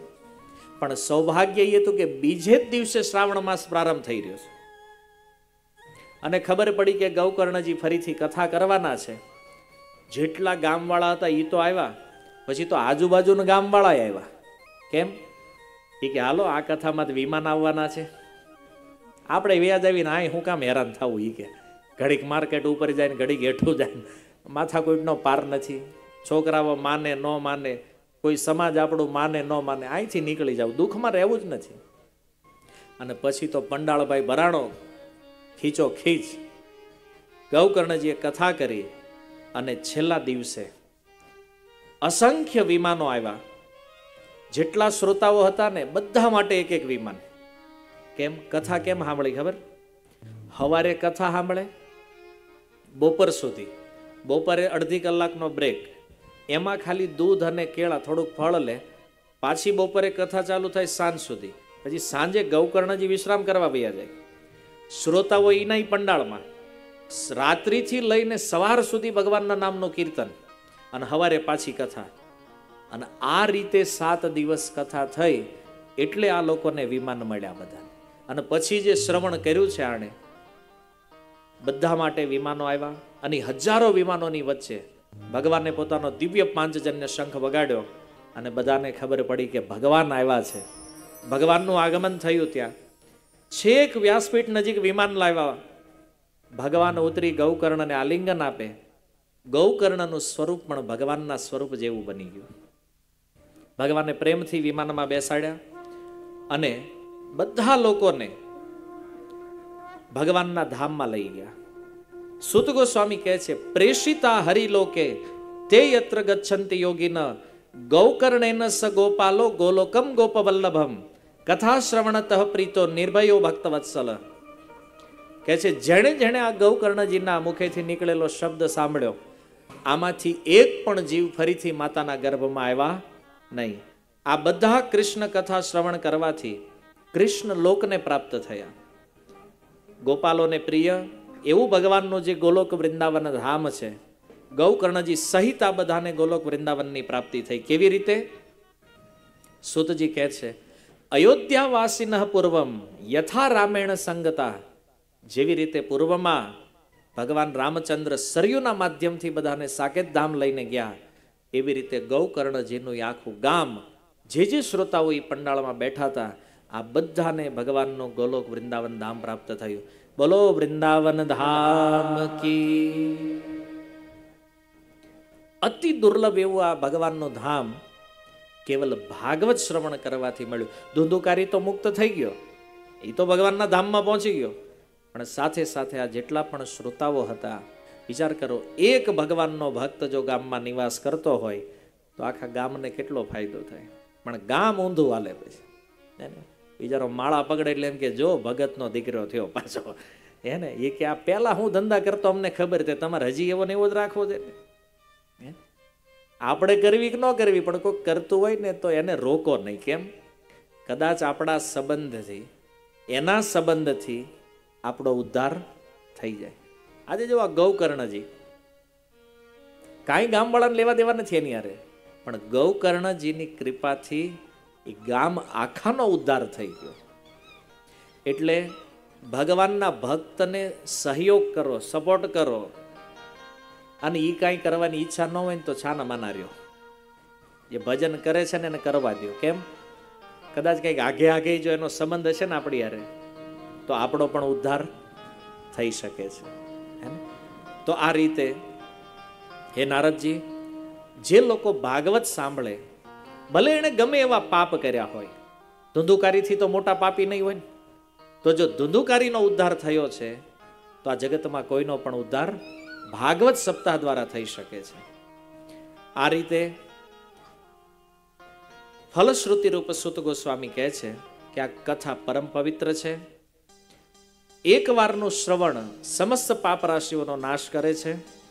અને શ્રાદ્ધ જ્યારે પિતૃપક્ષ સમય આવે પિતૃ શ્રાદ્ધનો સમય આવે અને શ્રાદ્ધના સમય સુધી કોઈ વ્યક્તિ આ ગૌકર્ણ ઉપાખ્યાનનું શ્રવણ કરે, એનો પાઠ કરે, તો આનાથી પિતૃઓ અત્યંત તૃપ્ત થાય છે અને આનો નિત્ય પાઠ કરવાથી મોક્ષની પ્રાપ્તિ થાય છે. આ રીતે ભાગવતની સુંદર મહિમા વર્ણન કરી અને સપ્તાહ જ્ઞાન યજ્ઞની વિધિ શું છે, એ વિધિનું સૂત ગોસ્વામી છઠ્ઠા અધ્યાયમાં વર્ણન કરે, તો એનું વર્ણન આપણે આવતીકાલના સત્રમાં શ્રવણ કરીશું. હરે કૃષ્ણ શૈલ પ્રભુપાદ કી નિતાય ગૌર પ્રેમાનંદે હરે કૃષ્ણ હરે કૃષ્ણ કૃષ્ણ કૃષ્ણ હરે હરે હરે રામ હરે રામ રામ રામ હરે હરે હરે ગાઓ પ્રેમ સે. કૃષ્ણ કૃષ્ણ હરે હરે હરે રામ હરે રામ રામ રામ હરે હરે હરે કૃષ્ણ હરે કૃષ્ણ કૃષ્ણ કૃષ્ણ હરે હરે રામ હરે રામ રામ રામ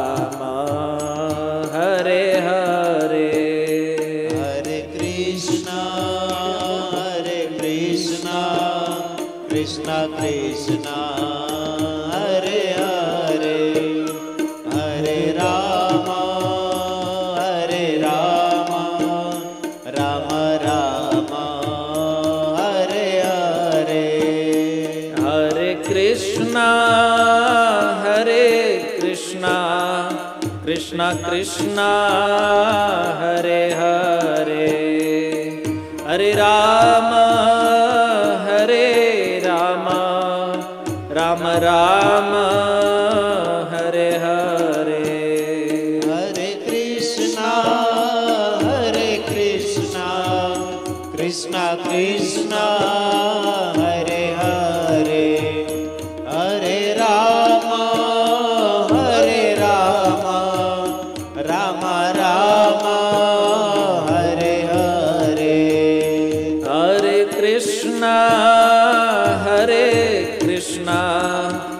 કૃષ્ણ કૃષ્ણ હરે હરે.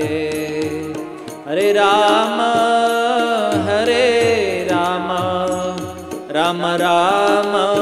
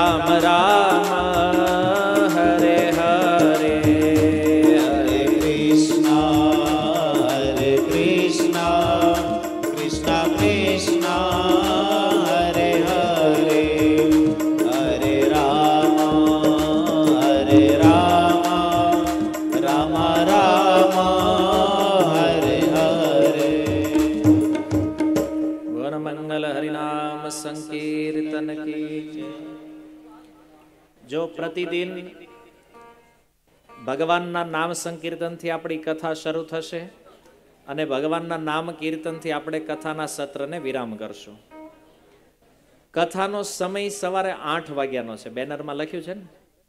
એટલે આઠ વાગે તમારે અહીંયા આવી જવાનું. તમે કહો આજ મોડું, આજ પહેલો દી હતો. એટલે પહેલા દીએ થોડુંક મોડું હોય. હે ને? બધી વ્યવસ્થામાં તે થોડું મોડું થઈ જાય, વાંધો નહીં. પણ એ વાહે આપણે કવર કરી લીધું. તો ફિક્સ આઠ વાગે કથા પ્રારંભ થશે. અને ભગવાનના નામથી આ સત્રને આપણે વિરામ. તો આ રીતે હવે છ દિવસ આપણી પાસે બાકી છે. તો છ સત્રને ખૂબ આનંદથી, પ્રેમથી, ધૈર્યપૂર્વક તમે શ્રવણ કરો. અને બધા માટે પ્રસાદ વ્યવસ્થા પણ છે. કથાની અંદર જ્યારે કીર્તન પૂર્ણ થાય પછી એનાઉન્સમેન્ટ થશે, થોડી કંઈક સૂચનાઓ હશે તમારા માટે, એના માટે. અને ત્યારબાદ ભાગવતજીની આરતી થશે. તો જેવો નિયમ ઈ છે કે જ્યાં સુધી ભાગવત આરતી ન થાય ત્યાં સુધી કોઈએ પંડાળ છોડવો જોઈએ નહીં. કારણ કે નહીં તો આ ભાગવત પ્રત્યે એક અપરાધ છે. તો આરતી પૂર્ણ થયા બાદ આપણે બધા છૂટા. અને એક સેશનમાં કથા છે એટલે બપોર પછી નિરાશ છે. થાકી ગયા હોય તો હોઈ જવાનું. એટલે બીજે દી પાછા ફ્રેશ. બરાબર?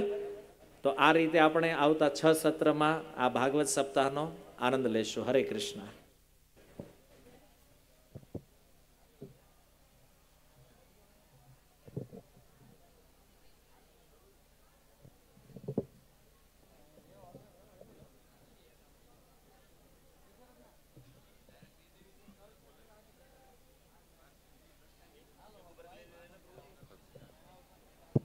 હરે કૃષ્ણ હરે કૃષ્ણ કૃષ્ણ કૃષ્ણ હરે હરે હરે રામ હરે રામ રામ રામ હરે હરે ખૂબ ખૂબ ધન્યવાદ શ્રીમાન ચંદ્રગોવિંદદાસજી પ્રભુજીનો કે જેઓ ગંગાની ધારાની જેમ નિરંતર શ્રીમદ ભાગવતનું આપણે રસપાન કરાવી રહ્યા છે. તો એકવાર પ્રભુજીનું અભિવાદન કરીએ મહામંત્રથી. હરે કૃષ્ણ હરે કૃષ્ણ કૃષ્ણ કૃષ્ણ, હરે હરે. હરે રામ હરે રામ રામ રામ, હરે હરે. આવી જ રીતે સાથે આપણે આભાર વ્યક્ત કરીશું. યજમાન પરિવારનો જે કાસોદરિયા પરિવાર છે કે જેમના થકી આપણે આજે સૌ આ સુંદર, અદ્ભુત કથાનો લાભ લઈ રહ્યા છીએ. એકવાર કાસોદરિયા પરિવારનું અભિવાદન કરીએ મહામંત્રથી. હરે કૃષ્ણ હરે કૃષ્ણ કૃષ્ણ કૃષ્ણ, હરે હરે. હરે રામ હરે રામ રામ રામ, હરે હરે. આ સાથે અત્રે ઉપસ્થિત દરેક મહેમાનો, દરેક વૈષ્ણવો, ગ્રામજનો, તમામ શ્રોતાજનોનું પણ અત્રેથી આપણે અભિવાદન કરીએ મહામંત્રથી. હરે કૃષ્ણ હરે કૃષ્ણ કૃષ્ણ કૃષ્ણ, હરે હરે. હરે રામ હરે રામ રામ રામ, હરે હરે. હમણાં જ અહીંયાથી શ્રીમદ ભાગવતજીની આરતી થશે. તો આરતી માટે મારી પાસે જે નામ છે, એનાઉન્સ કરું છું. પહેલું છે પર્વત બાપા કાસોદરિયા છે. પર્વતભાઈ કાસોદરિયાનો આખો પરિવાર આવશે અને લવજી દાદા કાસોદરિયાનો આખો પરિવાર આવશે. આ બંને પરિવાર સહિત ઝડપથી બધા અહીંયા ઉપસ્થિત થશે. એક નાનકડી બીજું સૂચના એ છે કે જે માતાજીઓ પોતાની સાથે નાના બચ્ચાઓને બાળકોને લાવે છે, એ બાળકો રડે નહીં, એનું ખાસ ધ્યાન રાખો. કદાચ બાળક વચ્ચે રડવાનું ચાલુ કરે, તો તમે પ્લીઝ ઊભા થઈને બહાર જતા રહેશો, જેથી કરીને અન્ય ભક્તોને સાંભળવામાં કોઈ ડિસ્ટર્બન્સ ન રહે. બીજું કે વચ્ચે વચ્ચે જે ખુરશી ખાલી રહે છે, એ આવતીકાલથી પ્લીઝ ખુરશી ખાલી નહીં રાખતા, કારણ કે પાછળ જગ્યા ઘટતી હોય ને આગળ જગ્યા ખાલી પડી રહેતી હોય છે, તો કોઈ ખુરશી વચ્ચે છોડશો નહીં. અને ત્રીજી એક સૂચના છે કે આવતીકાલથી હમણાં જેમ પ્રભુજીએ વાત કરી એ પ્રમાણે આવતીકાલથી એક્ઝેક્ટ આઠ વાગે કીર્તનનો પ્રારંભ થશે અને એક્ઝેક્ટ સવા આઠ એટલે કે આઠ પંદરથી કથાનો પ્રારંભ થશે. તો દરેક ભક્તોએ આવતીકાલથી સવારે આઠ વાગ્યા કથા મંડપમાં ઉપસ્થિત રહેવું. હરે કૃષ્ણ. કાસુદરિયા પરિવાર, આ બંને પરિવાર પરોદાદા અને લવજી દાદાનો પરિવાર ઝડપથી આવશે. જેથી કરીને આપણે ભાગવતજીની આરતી કરીએ. હરે કૃષ્ણ.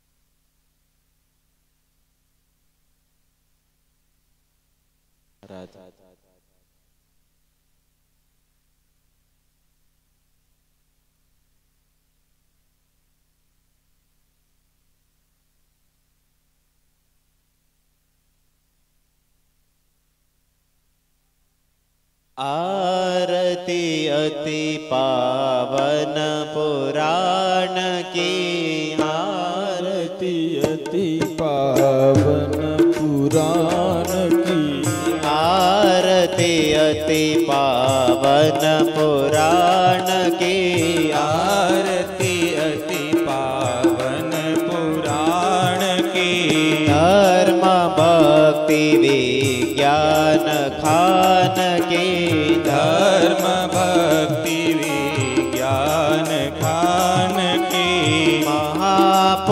महापुराण भागवत निर्मल महापुराण भागवत निर्मल मुख विगलित निगम कल्प फल सुख मुख विगलित निगम कल्प फल परमानन्द सुधार समय फल परमानन्द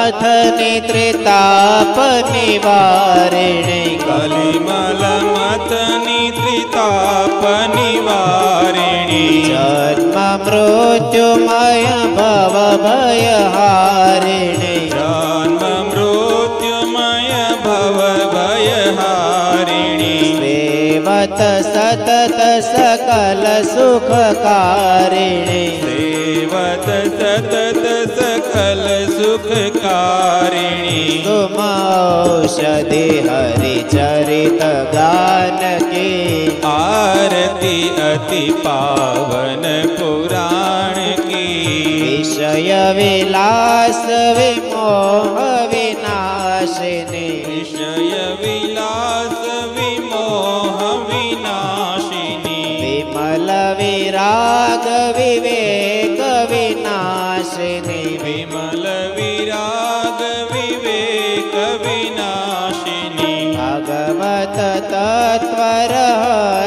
प्रकाशिनी भगवत तत्त्वरहस्य प्रकाशिनी परम ज्योति परमात्मा ज्ञान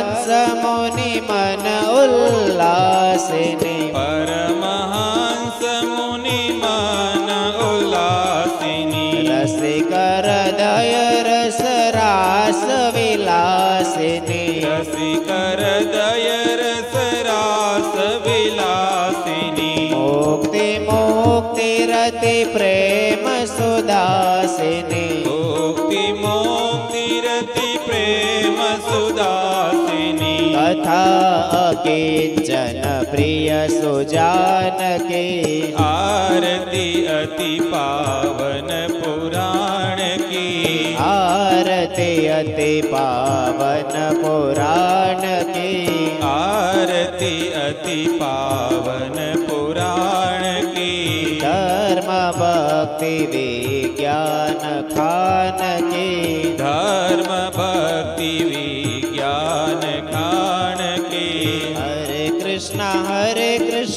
कृष्णा कृष्णा हरे हरे हरे राम हरे राम राम राम हरे हरे। हरे कृष्ण हरे कृष्ण कृष्ण कृष्ण हरे हरे। हरे राम हरे राम राम राम हरे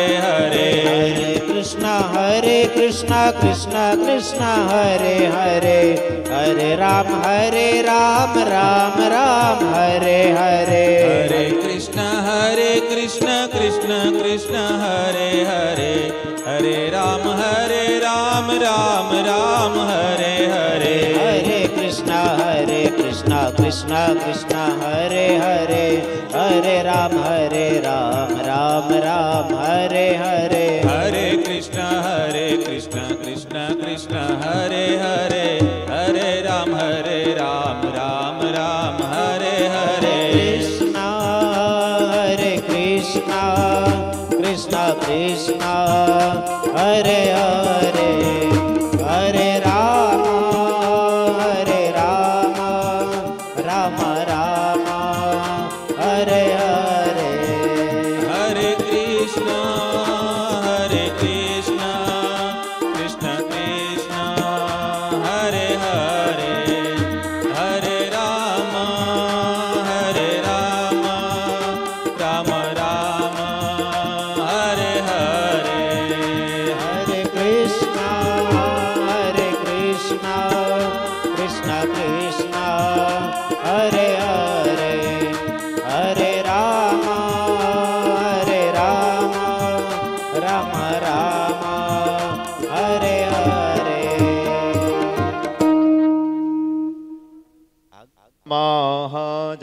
शीतलिं करं दया हरि ओं दियो शांतिरंतरसु शांतिराभ शांतिरोगद शांति वनस्व शांति ब्रह्म शांति सर्वगुण शांति शांतिरव शांति श्यामा शांतिरेधि हस्ते पुष्पम गृहत्वा मंत्रपुष्पाजलि हरि जदने न जदनमय जंत देवास्तानि धर्माणि प्रथमान्यासन्ना तेहनाकं महिमानः। स चन्द्रपूर्वेशाद्यः देवाः। हरिः ॐ एकदन्ताय विद्महे वक्रतुण्डाय धीमहि तन्नो दन्तिः प्रचोदयात् हरिः ॐ महालक्ष्मी च विद्महे विष्णुपत्नी च धीमहि तन्नो लक्ष्मीः प्रचोदयात् हरिः ॐ नारायणाय विद्महे वासुदेवाय धीमहि तन्नो श्रीविष्णुः प्रचोदयात्। श्रीवन्दिगावगुलजम्बकपाटलाब्जै पुन्नाम मंजरे बिल्बप्रवालतुलसीदलमञ्जरेभिस्ताम्बूजयामि जगदीशर मे प्रसीद। नाना नानासुगन्धिपुष्पाणि यथा कालोद्भवानि च पुष्पाञ्जलिर्मया दत्तग्रहणम् परमेश्वरः। साङ्गाय शप्रवाय सायुधाय सत्याय, सभावनाय मन्त्रोदक वेदोदक मन्त्रपुष्पाञ्जलिं समर्पयामि।